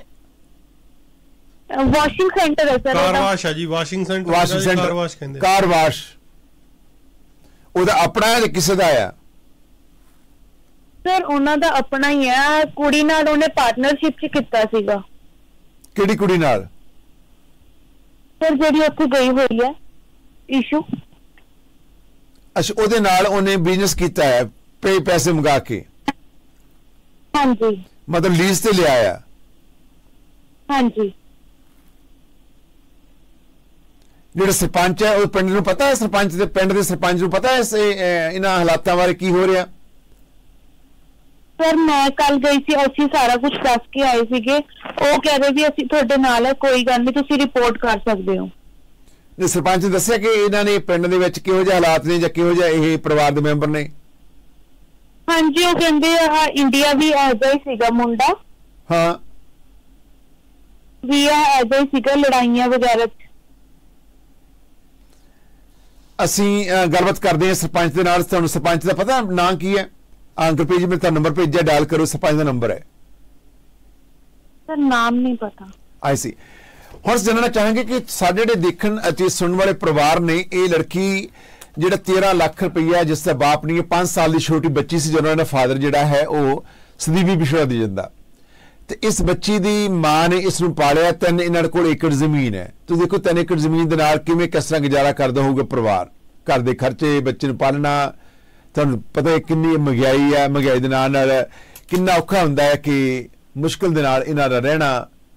ਔਰ ਇੱਕ ਮਾਂ ਕਿਵੇਂ ਕਿਸ ਤਰ੍ਹਾਂ ਇੱਕ ਬੱਚੇ ਨੂੰ ਪਾਲਦੀ ਹੈ, ਜਿਸ ਦਾ ਕੋਈ ਹੋਰ ਧੀ ਪੁੱਤ ਨਾ ਹੋਵੇ, ਇੱਕੋ ਹੀ ਲੜਕੀ ਹੋਵੇ, ਇਹ ਮੁੰਡਾ ਹੈ ਤੇ ਇਹ ਧੀ ਆ ਸੋ ਸਾਡਾ ਨਾਨਕਾ ਪਰਿਵਾਰ ਜਿਹੜਾ ਆ, ਉਹ ਤੁਹਾਡੀ ਮਦਦ ਕਰਦਾ ਆ। ਹਾਂਜੀ ਸਰ ਉਹ ਹੀ ਹੈਲਪ ਕਰਦੇ ਨੇ ਮੇਰੀ। ਤੁਹਾਨੂੰ ਕੈਨੇਡਾ ਵਿੱਚ ਕੋਈ ਜਾਣਦਾ ਨਹੀਂ ਹੈ? ਸਰ ਮੇਰੀ ਸਿਸਟਰ ਹੈ ਉਹ ਟੋਰਾਂਟੋ ਵਾਲੇ ਪਾਸੇ ਹੈ ਤਾਂ ਫਿਰ ਉਹ ਵੈਂਕੂਵਰ ਤੋਂ ਦੂਰ ਹੈ ਜਿੱਦਾਂ ਤਾਂ ਪ੍ਰੋਬਲਮ ਹੈ। ਤੇ ਤੁਹਾਡੇ ਪੈਸੇ ਨਹੀਂ ਦੇ ਰਹੇ ਤੇ ਨਾ ਉਹ ਕੁੜੀ ਦੇ ਪੈਸੇ ਦੇ ਰਹੇ ਤੇ ਨਾ ਉਹ ਕੁੜੀ ਨੂੰ ਮਤਲਬ ਘਰੋਂ ਬਾਹਰ ਕੱਢ ਰਿਹਾ। ਉਹਨੇ ਘਰ ਆਪਣੀ ਜ਼ਬਰਦਸਤੀ ਕੁੜੀ ਰੱਖੀ ਹੋਈ ਹੈ ਜਾਂ ਕੁੜੀ ਆਪਣੇ ਆਪ ਹੀ ਬਾਹਰ ਨਹੀਂ ਜਾਂਦੀ? ਸਰ ਉਹਦੇ ਕੋਲ ਉਹ ਕਹਿੰਦੀ ਕੁਝ ਹੈਗਾ ਵੀ ਨਹੀਂ ਇੱਕ ਪੈਸਾ ਵੀ ਨਹੀਂ ਹੈਗਾ ਕੁਝ ਵੀ ਨਹੀਂ ਹੈਗਾ। ਉਹ ਬਸ ਡਰੀ ਹੋਈ ਹੈ ਉਹ ਆਪਣੇ ਰੂਮ ਚੋਂ ਵੀ ਬਾਹਰ ਕਿਚਨ ਤੱਕ ਵੀ ਔਖੀ ਹੋ ਜਾਂਦੀ ਹੈ ਬਸ। ਗੁਰਪ੍ਰੀਤ ਜੀ ਤੁਸੀਂ ਅਕਾਊਂਟ ਦਾ ਨੰਬਰ ਤੁਹਾਨੂੰ ਭੇਜਿਆ ਕਾਲ ਕਰਨ ਲਈ। ਇਹ ਕੋਈ ਕਾਲਰ ਹੈ? ਲਾਈਨ ਤੇ ਲੈ ਕੇ ਆਉਣਾ ਜੀ। ਕਾਲਰ ਸਤਿ ਸ਼੍ਰੀ ਅਕਾਲ ਜੀ। ਹੈਲੋ। ਨਮਸਤੇ ਸਤਿ ਸ਼੍ਰੀ ਅਕਾਲ ਜੀ। ਤੁਹਾਡੀ ਆਵਾਜ਼ ਨਹੀਂ ਆ ਰਹੀ ਵੀਰ ਜੀ ਸਾਫ਼ ਆਵਾਜ਼ ਦਿਓ ਪਲੀਜ਼ ਹਾਂਜੀ ਆ ਰਹੀ ਹੈ ਜੀ ਆਵਾਜ਼ ਸਾਫ਼? ਜੀ ਜੀ ਜੀ ਬੋਲੋ ਸਰ। ਬਸ ਸਾਹਿਬ ਇਹ ਤਾਂ ਮੈਨੂੰ ਲੱਗਦਾ ਟਾਈਮ ਖਰਾਬ ਹੈ ਜੀ। ਕੁੜੀ ਵੀ ਮੈਨੂੰ ਲੱਗਦਾ ਇਹਨੂੰ ਪੁੱਛੋ, ਕੁੜੀ ਨੂੰ ਵੀ ਕੋਈ ਨਸ਼ਾ ਪੱਤਾ ਜਾਂ ਕੋਈ ਡਰਿੰਕ ਵਗੈਰਾ ਕਰਦੀ ਹੈ ਆਪ ਜਿੱਦਾਂ ਬੋਲਦੀ ਹੈ ਇਹ? ਇਹਨੂੰ ਸਮਝ ਹੀ ਨਹੀਂ ਆ ਰਹੀ ਕੀ ਗੱਲ ਕੁਝ ਗੱਲ, ਕੋਈ ਟੋਕੀ ਨਹੀਂ ਬਣਦੀ ਜੀ ਟਾਈਮ ਖਰਾਬ ਕਰ ਰਹੀ ਹੈ ਇਹ ਤਾਂ ਮੈਨੂੰ ਲੱਗਦਾ। ਨਹੀਂ ਨਹੀਂ, ਇਹ ਜਿਹੜੀ ਲੜਕੀ ਗੱਲ ਕਰ ਰਹੀ ਹੈ ਹਾਂਜੀ ਇਹ ਵੀ ਕੋਈ ਟੁੱਕ ਨਹੀਂ ਬੰਦੀ ਰਹਿੰਦੀ ਆ ਉਹਦੀ ਕੀ ਵਾਈਫ ਉਹਨੂੰ ਬੋਲਦੀ ਨਹੀਂ ਮੁੰਡਾ दारू ਪੀ ਕੇ ਆਂਦਾ ਬੋਲਦਾ ਨਹੀਂ ਪਤਾ ਨਹੀਂ ਕਿਹੜੀਆਂ ਕਿਹੜੇ ਇੱਕ ਜ਼ਮਾਨੇ ਦੀ ਦੁਨੀਆ 'ਚ ਗੱਲਾਂ ਕਰ ਰਹੀ ਹੈ ਇੱਕ ਜੀ। ਸੈਕਿੰਡ ਕਿਉਂਕਿ ਇਹ ਲੜਕੀ ਤਾਂ ਪੰਜਾਬ ਵਿੱਚ ਰਹਿੰਦੀ ਹੈ ਇਹਦੇ ਨਾਲ ਵੀ ਧੋਖਾ ਕੀਤਾ ਹੈ 13 ਲੱਖ ਰੁਪਏ ਦੇ ਵਿੱਚ ਇਹਨੂੰ ਬੱਚੇ ਨੂੰ ਨਹੀਂ ਪਤਾ ਇਹ ਤੇ 21 ਸਾਲ ਦਾ ਬੱਚਾ ਆ। ਬਸ ਆਪ ਕੋਈ ਸਿਆਣਾ ਬੰਦਾ ਲਿਆਓ ਜੀ ਜਿਹਨੂੰ ਅਕਲ ਹੋਵੇ ਤਾਂ ਮਤਲਬ ਟਾਈਮ ਖਰਾਬ ਕਰਦੀ ਹੈ। ਨਹੀਂ ਨਹੀਂ ਟਾਈਮ ਨਹੀਂ ਖਰਾਬ ਕਰਦੀ ਇਹਨਾਂ ਦੀ ਮਦਰ ਗੱਲ ਨਹੀਂ ਕਰ ਸਕਦੀ ਇਹਦੇ ਘਰ ਵਿੱਚ ਕੋਈ ਕੋਈ ਮੈਂਬਰ ਨਹੀਂ ਹੈ ਇਹਨਾਂ ਦਾ ਬ੍ਰਦਰ ਨਹੀਂ ਹੈ ਡੈਡੀ ਦੀ ਡੈਥ ਹੋਈ ਹੈ ਤੇ ਇਹ ਬੱਚਾ ਜਿਹੜਾ 21 ਸਾਲ ਦਾ ਹੋਸ਼ ਵਿੱਚ ਹੈ ਔਰ ਬੱਚਾ ਦੱਸ ਰਿਹਾ ਮਦਰ ਮਦਰ ਹੋਣੇ ਬਾਸੀ ਸਾਹਿਬ ਮਦਰ ਹੋਣੇ ਜਾਂ ਜਿਹੜਾ ਮੁੰਡਾ ਜਿਹਦਾ ਨਾਂ ਲੈ ਰਹੀ ਹੈ ਲਵਪ੍ਰੀਤ ਉਹ- ਉਹਨੂੰ ਲਿਆਓ ਕੋਲ ਤੇ। ਉਹਨੂੰ ਪੁੱਛੇ ਤੁਸੀਂ ਕੈਨੇਡਾ ਜਿਹੜਾ ਉਹ ਬੰਦਾ ਇੱਕ- ਸੈਕਿੰਡ ਇੱਕ ਸੈਕਿੰਡ ਅਸੀਂ ਹੈ ਇੱਕ ਸੈਕਿੰਡ ਵੀਰ ਜੀ ਅਸੀਂ ਇੱਕ ਮਿੰਟ ਅਸੀਂ ਸਟੱਡੀ ਕੀਤਾ ਹੈ ਅਸੀਂ ਬਸ ਸਾਹਿਬ ਜਿਹੜਾ ਨੰਬਰ ਤੁਸੀਂ ਮੈਨੂੰ ਦਿੱਤਾ ਸੀਗਾ ਉਹ ਭਾਈ ਸਾਹਿਬ ਲਾਈਨ ਤੇ ਆ ਚੁੱਕੇ ਨੇ। ਆਈ ਸੀ ਸਰਪੰਚ ਸਾਹਿਬ ਸਤਿ ਸ਼੍ਰੀ ਅਕਾਲ ਜੀ। ਸਤਿ ਸ਼੍ਰੀ ਅਕਾਲ ਜੀ। ਸਰਪੰਚ ਸਾਹਿਬ ਥੋੜੀ ਜਿਹੀ ਉੱਚੀ ਬੋਲੋਗੇ ਮੈਨੂੰ ਪਤਾ ਲੇਟ ਹੈ ਕਾਲ ਕੀਤਾ ਹੈ, ਅਸੀਂ ਇੱਕ ਸਟੋਰੀ ਨੂੰ ਕਵਰ ਕਰ ਰਹੇ ਹਾਂ। ਮੈਂ ਅਗਰਪੇ ਜੀ ਥੋੜੇ ਮਿੰਟ ਤੁਸੀਂ ਸਾਥ ਦਿਓ ਕਿ ਦੱਸ ਚੁੱਕੇ ਹੋ ਕਿ ਅਸੀਂ ਕਿੱਥੋਂ ਬੋਲ ਰਹੇ ਜੀ ਦੱਸ ਚੁੱਕੇ ਨੇ ਜੀ। ਆਈ ਸੀ ਸਰਪੰਚ ਸਾਹਿਬ ਤੁਹਾਨੂੰ ਜਾਣਕਾਰੀ ਹੈ ਅਸੀਂ ਟੋਰਾਂਟੋ ਕੈਨੇਡਾ ਤੋਂ ਕਾਲ ਕਰ ਰਹੇ ਹਾਂ। ਇੱਕ ਸਟੋਰੀ ਨੂੰ ਕਵਰ ਕਰ ਰਹੇ ਹਾਂ। ਤੁਹਾਡੇ ਇੱਕ ਪਰਿਵਾਰ ਹੈ ਤੁਹਾਡੇ ਪਿੰਡ ਦਾ ਲੜਕਾ ਹੈ ਉਹਦੇ ਉੱਪਰ ਦੋਸ਼ ਲਾਏ ਜਾ ਰਹੇ ਨੇ। ਦੋ ਪਰਿਵਾਰਾਂ ਦੇ ਵੱਲੋਂ ਇੱਕ 13 ਲੱਖ ਦਾ ਤੇ ਇੱਕ 40 ਲੱਖ ਰੁਪਏ ਦਾ ਦੋਸ਼ ਹੈ। ਔਰ ਇਹਦੇ ਤਹਿਤ ਤੁਹਾਡੇ ਨਾਲ ਗੱਲਬਾਤ ਕਰ ਲਈ। ਕੱਲ ਤੁਹਾਨੂੰ ਇੱਕ ਪਰਿਵਾਰ ਮਿਲਣ ਆਇਆ ਸੀ ਆਪ ਜੀ ਨੂੰ? ਹੂੰ ਮਿਲਣਾ ਆਇਆ ਮੈਨੂੰ। ਹਾਂਜੀ? ਹਾਂ ਕੱਲ ਪਰਿਵਾਰ ਮਿਲਣਾ ਆਇਆ। ਅੱਜ ਥੋੜੇ ਸਮਝ ਦੇ ਵਿੱਚ ਬੋਲੋਗੇ ਮੇਰਾ ਨਾਮ ਜੋਗਿੰਦਰ ਬਾਸੀ ਹੈ। ਮੈਂ ਪਿਛਲੇ 42 ਸਾਲ ਤੋਂ ਰੇਡੀਓ ਟੈਲ ਤੁਸੀਂ ਜਾਣਦੇ ਹੋ ਜਾਂ ਨਹੀਂ ਮੈਨੂੰ ਨਹੀਂ ਪਤਾ ਇਹਦੇ ਬਾਰੇ। ਮੈਂ ਪਿਛਲੇ 42 ਸਾਲ ਤੋਂ ਕੈਨੇਡਾ ਤੋਂ ਆਪਣਾ ਪ੍ਰੋਗਰਾਮ ਚਲਾ ਰਹੇ ਜਿਸ ਵਿੱਚ ਅਸੀਂ ਲੋਕਾਂ ਦੇ ਪ੍ਰੋਬਲਮਸ ਜਿਹੜੀਆਂ ਨੇ ਲੋਕਾਂ ਦੇ ਦੁੱਖ ਸੁਣਦੇ ਆ ਸੋ ਇਹ ਦੁੱਖ ਜਿਹੜਾ ਹੈ ਤੁਹਾਡੇ ਪਿੰਡ ਦੇ ਲੜਕੇ ਵੱਲੋਂ ਇਹਨਾਂ ਨੂੰ ਦੱਸਣ ਦੇ ਮੁਤਾਬਕ ਦਿੱਤਾ ਗਿਆ ਤੇ ਲੜਕੀ ਜਿਹੜੀ ਇਸ ਵੇਲੇ ਕੈਨੇਡਾ ਵਿੱਚ ਜਿਹੜੀ ਰਹਿ ਰਹੀ ਹੈ ਉਸ ਦੇ ਘਰ ਦੇ ਵਿੱਚ ਉਹਨੂੰ ਰੱਖਿਆ ਗਿਆ ਹੈ ਜ਼ਬਰਦਸਤੀ। ਇਹਨਾਂ ਨੇ ਕਹਿਣ ਦੇ ਮੁਤਾਬਕ ਉਹ ਲੜਕੀ ਘਰੋਂ ਬਾਹਰ ਨਹੀਂ ਜਾ ਰਹੀ। ਅਸੀਂਾਂ ਦੇ ਤਨਾ ਫੋਨ ਕਰ ਆਪਣਾ WhatsApp ਤੇ ਉਹ ਮੇਰੇ ਫੋਟੋ ਵਾਲੀ ਚਾਹੀਦੀ ਹੈ ਹਾਂਜੀ? ਆਪਕੀ ਫੋਟੋ ਵਾਲੀ ਚਾਹੀਦੀ ਹੈ ਮੇਰੇ ਪਾਸ ਇੱਕ ਸੈਕਿੰਡ ਗੁਰਪ੍ਰੀਤ ਥੋੜਾ ਧਿਆਨ ਦਿਓ ਕੀ ਕਹਿੰਦੇ ਸਰਪੰਚ ਸਾਹਿਬ। ਸਰਪੰਚ ਸਾਹਿਬ ਕੀ ਡਿਮਾਂਡ ਆਪ ਜੀ ਦੀ? ਤੈਨੂੰ ਪਛਾਣ ਆ ਵੈਸੇ ਮੈਂ ਤੇਰਾ ਬਹੁਤ ਇਕਾਲ ਨਹੀਂ ਹਾਂ। ਉਹ ਤਾਂ ਸਰਪੰਚ ਸਾਹਿਬ ਦੇ ਨਾਲ ਗੱਲਬਾਤ ਸਾਡੀ ਜਿਹੜੀ ਹੋ ਰਹੀ, ਮੇਰੇ ਖਿਆਲ ਕਿ ਉਹਨਾਂ ਦੀ ਕੋਈ ਡਿਮਾਂਡ ਹੈ, ਉਹ ਅਸੀਂ ਮੇਰੇ ਕੋਲ ਆਇਡੈਂਟੀਫਾਈ ਚਾਹੁੰਦੇ ਕਰਨਾ ਨੋ ਪ੍ਰੋਬਲਮ ਅਸੀਂ ਹੈਲਪ ਕਰਨ ਨੂੰ ਤਿਆਰ ਹੈ ਇਸ ਨਾਲ ਬੱਚਿਆਂ ਦੀ ਔਰ ਬੱਚੇ ਜਿਹੜੇ ਨੇ ਬੜੀ ਕਸੂਤੀ ਸਥਿਤੀ ਵਿੱਚ ਫਸੇ ਹੋਏ ਨੇ ਔਰ ਬੱਚੇ ਦਾ ਇਹ ਪਿਓ ਨਹੀਂ ਹੈ ਔਰ ਤੇ ਬੱਚਾ ਜਿਹੜਾ ਹੈ, ਇਹ ਛੋਟਾ ਬੱਚਾ ਹੈ 21 ਸਾਲ ਦਾ ਔਰ ਸਾਡੇ ਕਾਲਰ ਦੋਸ਼ ਲਾ ਰਿਹਾ ਕਿ ਬੱਚੇ ਦੇ ਨਾਲ ਗੱਲ ਕਰਨਾ ਤੁਕ ਨਹੀਂ ਔਰ ਕਈ ਵਾਰੀ ਬੱਚੇ ਜਿਹੜੇ ਆ ਔਰ ਗੱਲਾਂ ਗੱਲਾਂ ਵਿੱਚੋਂ ਗੱਲ ਜ਼ਰੂਰ ਨਿਕਲੇਗੀ। ਔਰ ਜਦੋਂ ਬੱਚਾ ਗੱਲ ਕਰੇਗਾ ਕੋਈ ਨਾ ਕੋਈ ਪਛਾਣ ਲਵੇਗਾ ਕੋਈ ਨਾ ਕੋਈ ਦੱਸੇਗਾ ਬੱਚੇ ਨੂੰ ਵੇਖ ਕੇ ਜਿਹਨਾਂ ਨਾਲ ਧੋਖਾ ਹੋਇਆ। 13 ਰੁਪਏ ਇਕੱਠੇ ਕਰਨੇ ਵੀ ਮੁਸ਼ਕਲ ਹੈ। 1300 ਰੁਪਇਆ 13000 ਇਹ 13 ਲੱਖ ਦੀ ਗੱਲ ਹੈ। ਔਰ ਜਿਹੜਾ ਬਾਪ ਨਹੀਂ ਸਿਰ ਤੇ ਭਰਾ ਨਹੀਂ ਹੈ ਸੋ ਇਹ ਸ਼- ਇਹਦੀ ਮਦਰ ਹੈ ਜੋ ਕਿ ਸਾਡੇ ਨਾਲ ਗੱਲ ਕਰ ਰਹੀ ਹੈ ਇਸ ਵੇਲੇ। ਉਹ ਕਹਿੰਦੇ ਮੈਨੂੰ WhatsApp ਤੇ ਵੀਡੀਓ ਕਾਲ ਕਰੋ ਕਹਿੰਦੇ। WhatsApp ਤੇ ਵੀਡੀਓ ਨਹੀਂ ਕਰ ਸਕਦੇ ਤੁਸੀਂ ਦੱਸੋ ਮੈਂ ਉਹਨਾਂ ਨੂੰ ਦੱਸਿਆ ਜੀ ਕਹਿੰਦੇ ਫਿਰ ਮੈਂ ਗੱਲ ਨਹੀਂ ਕਰਨੀ। ਤੂੰ ਦੱਸਿਆ ਸੀ ਕਿ ਅਸੀਂ ਗੱਲਬਾਤ ਕਰ ਰਹੇ ਹਾਂ ਪਹਿਲਾਂ ਉਹਨਾਂ ਨੂੰ ਸਾਰਾ ਦਿਓ। ਹਾਂਜੀ ਡਿਟੇਲ ਦੇ ਵਿੱਚ ਉਹਨਾਂ ਨੂੰ ਮੈਂ ਗੱਲ ਬਾਤ ਸਾਰੀ ਸਮਝਾਈ। ਹਾਂ ਪਰ ਉਹ ਕਹਿੰਦੇ ਮੈਨੂੰ ਵੀਡੀਓ ਕਾਲ ਕਰੋ ਮੈਂ ਫੇਰ ਗੱਲ ਕਰੂੰਗਾ। ਆਹ ਇਹਨਾਂ ਨੂੰ ਦੱਸਿਆ ਅਸੀਂ ਨਹੀਂ ਕਰ ਸਕਦੇ। ਵੀਡੀਓ ਸਾਡੇ ਕੋਲ ਵੀਡੀਓ ਕਾਨਫਰੰਸ ਨਹੀਂ ਹੈ। ਸੋ ਇਹ ਐਨੀਵੇ ਅਸੀਂ ਜਿਹੜੀ ਮਦਰ ਹੈ ਪਤਾ ਲਈਏ ਬਸ ਪਰ ਪਤਾ ਨਹੀਂ ਉਹ ਕਿਹੋ ਜੀ ਕੰਡੀਸ਼ਨ ਚ ਹੋਣਗੇ ਜਾਂ ਕਿਸ ਤਰ੍ਹਾਂ ਹੋਵੇ ਹੈ ਨਾ ਇਸੇ ਲਈ ਆਪਾਂ ਉਹਨਾਂ ਨੂੰ ਵੀਡੀਓ ਦਾ ਲਿੰਕ ਨਹੀਂ ਦੇ ਸਕਦੇ। ਵੀਡੀਓ ਕਰਨ ਤਾਂ ਆਪਾਂ ਕਰ ਲਾਂਗੇ। ਐਨੀਵੇ ਪ੍ਰੋਬਲਮ ਇਹ ਹੈ ਕਿ ਹੁਣ ਅਸੀਂ ਆਪਣੇ ਪ੍ਰੋਬਲਮ ਗੁੰਜਨ ਅਸੀਂ ਜਿਹੜਾ ਲੜਕਾ ਰਹਿੰਦਾ ਹੈ ਇਹ ਕਿਹੜੇ ਸ਼ਹਿਰ ਚ ਰਹਿੰਦਾ ਵੈਨਕੂਵਰ ਚ? ਪਤਾ ਤੁਹਾਨੂੰ? ਸਰ ਸਰੀ ਚ ਰਹਿੰਦੇ ਆ। ਹਾਂਜੀ ਮੇਰੇ ਕੋਲ ਐਡਰੈਸ ਹੈਗਾ। ਓਕੇ ਐਡਰੈਸ ਹੈ ਤੁਹਾਡੇ ਕੋਲ। ਕਿੰਨਾ ਸਮਾਂ ਹੋ ਗਿਆ ਰਹਿੰਦੇ ਨੂੰ? ਸਰ ਆ ਨਹੀਂ ਮੈਨੂੰ ਬਟਾ ਪਤਾ ਬਟ 2 ਤੋਂ 3 ਸਾਲ ਹੋ ਗਏ ਮੇਬੀ ਕਿਉਂਕਿ ਉਸ ਟਾਈਮ ਦਾ ਹੀ ਗਿਆ ਹੋਇਆ ਹਾਂ। ਉਹ ਕਿਵੇਂ ਕੈਨੇਡਾ ਗਿਆ? ਸਰ ਉਹ ਆਪਣੀ ਵਾਈਫ ਤੇ ਉਹ ਤੋਂ ਗਿਆ ਸੀਗਾ ਉਹਦੀ ਵਾਈਫ ਪੀਆਰ ਹੈ ਤਾਂ ਉਹਨਾਂ ਨੇ ਮੈਰਿਜ ਕਰਾਈ ਉਹ ਤੋਂ ਬਾਅਦ ਗਿਆ ਉਹ। ਜਦ ਕਿ ਉਹ ਸ਼ਾਦੀ ਕਰਾ ਕੇ ਇੰਡੀਆ ਤੋਂ ਗਿਆ ਆ। ਹਾਂਜੀ ਤੇ ਸਰ ਜੇ ਸ਼ਾਦੀ ਕਰਕੇ ਇੰਡੀਆ ਗਿਆ ਤਾਂ ਉਹ ਫਿਰ ਪੱਕਾ ਗਿਆ ਹੋਊਗਾ। ਸਰ ਆ ਮੈਨੂੰ ਇੰਨਾ ਨਹੀਂ ਪਤਾ ਨਾ। ਨਹੀਂ ਤੁਸੀਂ ਵੀ ਕਹਿ ਰਹੇ ਸੀ ਕਿ ਉਹ ਪ- ਪੱਕਾ ਨਹੀਂ ਹੈ ਉਹ ਕੱਚਾ ਆ। ਤੇ ਸ਼ਾਦੀ ਕਰਾ ਕੇ ਗਿਆ ਤੇ ਫਾਰ ਸ਼ੋਰ ਪੱਕਾ ਗਿਆ ਹੋਵੇਗਾ। ਉਹ ਪਰਮਨੈਂਟ ਹੋਵੇਗਾ ਉੱਥੇ। ਸਰ ਉਹਨਾਂ ਨੂੰ ਮੈਂ ਪਹਿਲਾਂ ਪੁੱਛਿਆ ਸੀਗਾ ਜਦੋਂ ਆਹ ਗੱਲ ਹੋਈ ਸੀ ਤਾਂ ਉਹ ਨਾ ਕਰ ਰਿਹਾ ਸੀਗਾ ਪਹਿਲਾਂ ਤਾਂ। ਕੀ ਕਹਿੰਦੇ ਸੀਗੇ? ਇਹ ਪੀਆਰ ਨਹੀਂ ਹੈਗਾ ਪਤਾ ਕੀਤਾ ਸੀ ਜਦੋਂ। ਨਹੀਂ ਜੇ ਤੁਸੀਂ ਕਹਿੰਦੇ ਸ਼ਾਦੀ ਕਰਾ ਕੇ ਗਿਆ ਤੁਸੀਂ ਪਿੰਡ ਦੇ ਸਰਪੰਚ ਨੂੰ ਪੁੱਛਿਆ ਕਿ ਇਹ ਮੁੰਡਾ ਸ਼ਾਦੀ ਕਰਾ ਗਿਆ ਇੱਥੋਂ ਕੈਨੇਡਾ ਤੋਂ? ਉਹਨਾਂ ਦੀ ਫੈਮਿਲੀ ਵਾਲਿਆਂ ਨੇ ਦੱਸਿਆ ਸੀ ਉਹਨਾਂ ਦੇ ਘਰ ਗਏ ਸੀ ਨਾ ਸਰ ਕੱਲ ਹਾਂ ਹਾਂ। ਤੇ ਤੁਹਾਨੂੰ ਉਹਨਾਂ ਨੇ। ਤੁਹਾਨੂੰ ਉਹਨਾਂ ਦੇ ਘਰ ਦਾ ਕਿਵੇਂ ਪਤਾ ਗਿਆ ਕਿ ਆ ਉਹਨਾਂ ਦਾ ਘਰ ਹੈ? ਤੇ ਤੁਹਾਨੂੰ ਇਹ ਨਹੀਂ ਪਤਾ ਕਿ ਉਹਦੀ ਮਦਰ ਦਾ ਨਾਂ ਨਹੀਂ ਪੁੱਛਿਆ ਤੁਸੀਂ? ਤੁਹਾਡੇ ਨਾਲ ਕੌਣ ਕੌਣ ਗਏ ਸੀ? ਸਰ ਮੰਮਾ ਗਏ ਸੀਗੇ ਮੇਰੇ ਤੇ ਮੇਰਾ ਵੀਰਾ ਗਿਆ ਸੀ ਬ੍ਰਦਰ ਬ੍ਰਦਰ ਕੌਣ? ਸਰ ਤਾਈ ਜੀ ਦਾ ਮੁੰਡਾ ਸੀਗਾ। ਉਹਦੀ ਕਿੰਨੀ ਉਮਰ ਹੈ? ਸਰ ਉਹ ਤਾਂ ਹੈਗੇ ਆ 35 ਉਹ ਕਿੱਥੇ ਨੇ ਇਸ ਵੇਲੇ? ਸਰ ਉਹ ਤਾਂ ਜੌਬ ਕਰਦੇ ਹੋ ਉੱਥੇ ਫੈਕਟਰੀ ਚ ਆਪਣੀ ਕੀ ਕੰਮ ਕੀ ਕਰਦੇ ਨੇ ਉਹ? ਸਰ ਉਹਨਾਂ ਫੈਕਟਰੀ ਚ ਲੱਗੇ ਹੋਏ ਨੇ ਉਹ ਬੱਦੀ ਵਾਲੇ side ਤੁਸੀਂ। ਆਪਣੇ ਮਦਰ ਕੋਲ ਨੇ ਗੱਲ ਕਰੋ ਮੇਰੀ? ਆ ਨੰਬਰ ਹੈ ਇਹ ਜਿਹੜਾ ਲੜਕਾ ਵੈਨਕੂਵਰ ਵਿੱਚ ਹੈ ਉਹਦੀ ਮਦਰ ਦਾ ਨੰਬਰ ਹੈ ਡਾਇਲ ਕਰਿਓ। ਇੰਡੀਆ ਵਿੱਚ ਮਦਰ ਹੈ ਉਹਨਾਂ ਦੀ। ਤੁਹਾਨੂੰ ਤੁਸੀਂ ਪੁੱਛਿਆ ਨਹੀਂ ਤੁਹਾਡੀ ਮਦਰ ਨਾਲ ਗਏ ਸੀਗੇ? ਮਦਰ ਨਾਲ ਗੱਲ ਕਰਾਓ ਇੱਕ ਮਿੰਟ।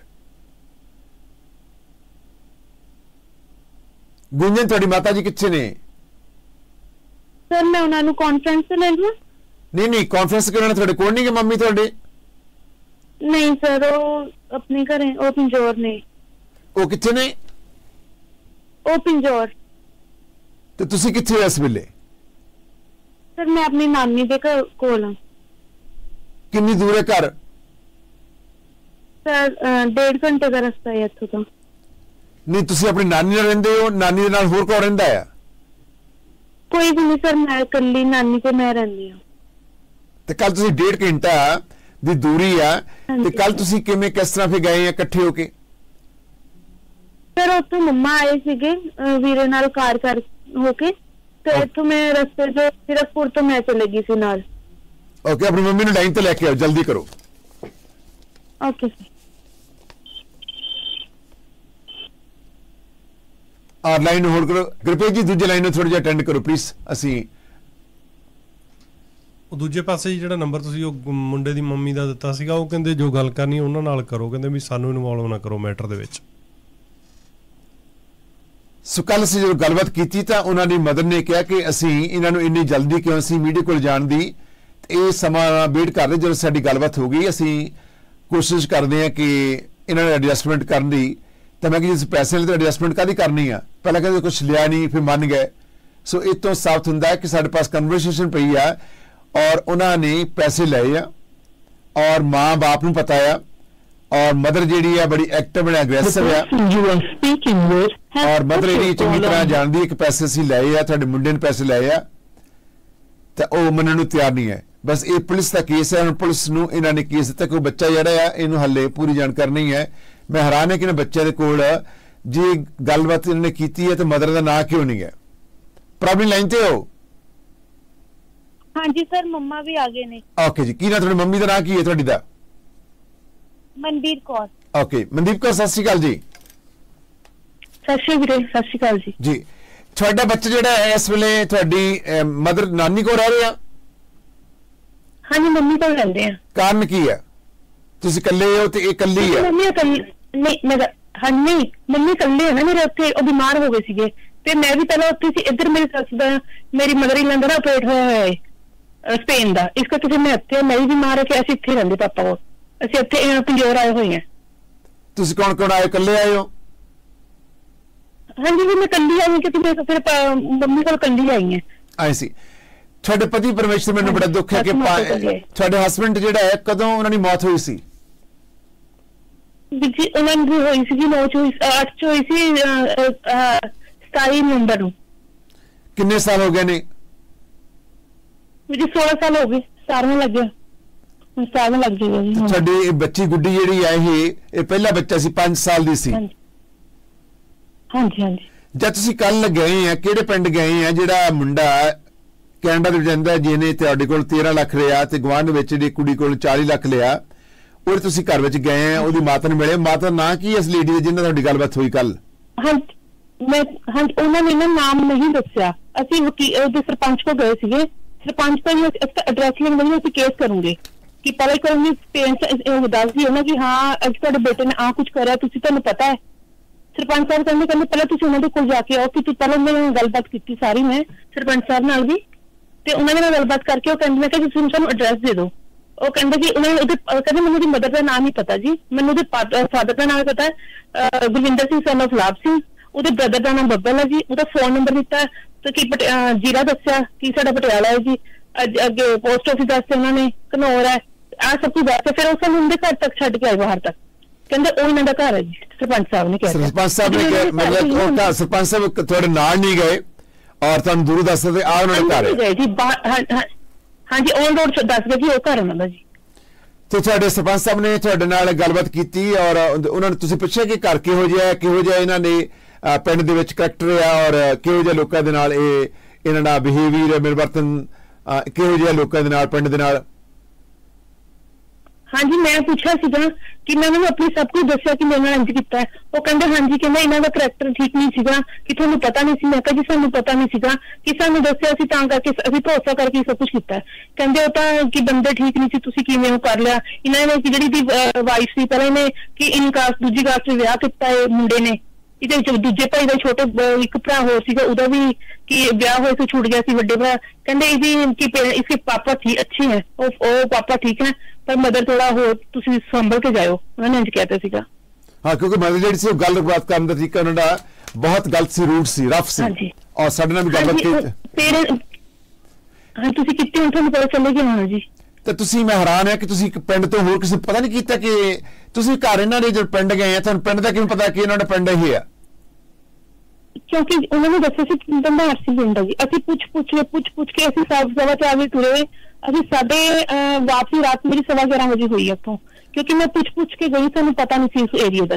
ਨਹੀਂ ਤੁਸੀਂ ਉਹਨੂੰ 13 ਲੱਖ ਰੁਪਏ ਦੇ ਦਿੱਤਾ ਹੈ ਪੈਸੇ ਆ। ਤੁਸੀਂ ਕਹਿੰਦੇ ਕਿ ਜਿਹੜੀ ਇਸ਼ੂ ਨਾਲ ਹੀ ਲੜਕੀ ਰਹਿ ਰਹੀ ਹੈ ਉੱਥੇ ਜਿਹਨੂੰ ਉਹਨੇ ਰੱਖਿਆ ਹੋਇਆ ਆਪਣੇ ਕੀ ਕਹੀ ਆਪਣੇ ਘਰ ਦੇ ਵਿੱਚ ਜ਼ਬਰਦਸਤੀ ਜਾਂ ਫਿਰ ਕੁੜੀ ਡਿਪਰੈਸ਼ਨ ਦੇ ਵਿੱਚ ਹੈ ਜਾਂ ਫਿਰ ਕੁੜੀ ਨੂੰ ਕੋਈ ਪ੍ਰੋਬਲਮ ਹੈ ਉਹ ਜਿਹੜੀ ਇਸ਼ੂ ਨਾਲ ਦੀ ਲੜਕੀ ਆ ਉਹਦਾ ਰਸਤਾ ਰਿਹਾ ਇਹ?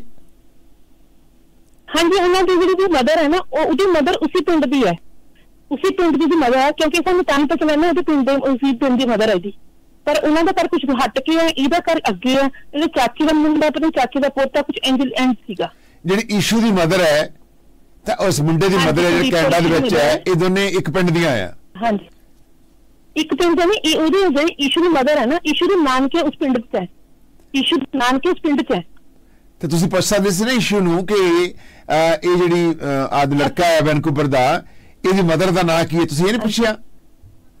ਮੈਂ ਨਾ ਸਾਰੇ ਬਹੁਤ ਇੰਦੇ ਰਿਸ਼ਤੇਦਾਰ ਜੋ- ਕੋਈ ਮੈਨੂੰ ਜਾਣਦਾ ਸੀ ਨਾ ਅਸੀਂ ਸਭ ਨੂੰ ਪੁੱਛਿਆ ਕਿਸੇ ਨੇ ਕਹਿੰਦੇ ਸਾਨੂੰ ਮਦਰ ਦਾ ਨਾਂ ਨਹੀਂ ਪਤਾ। ਕਿ ਪਾਪਾ ਦਾ ਨਾਂ ਪਤਾ ਸੀ ਉਹ ਤੁਹਾਨੂੰ ਦੱਸਦੇ ਉਹਨਾਂ ਨੇ? ਉਹਦੇ ਬ੍ਰਦਰ ਦਾ ਵੀ ਦੱਸਦੇ ਮੈਨੂੰ। ਨਹੀਂ ਪਰ ਮੈਂ ਮੈਨੂੰ ਨਾਮ ਨਹੀਂ ਪਤਾ ਚੱਲਦਾ। ਨਹੀਂ ਮੈਂ ਹੈਰਾਨ ਹੈ ਤੁਸੀਂ ਕਹਿੰਦੇ ਕਿ ਉਸ ਪਿੰਡ ਦੀਆਂ ਦੋਨੇ ਆ ਇਹ ਇਸ਼ੂ ਦੀ ਮਦਰ ਵੀ ਤਾਂ ਦੂਜੀ ਮਦਰ ਵੀ। ਹਾਂਜੀ।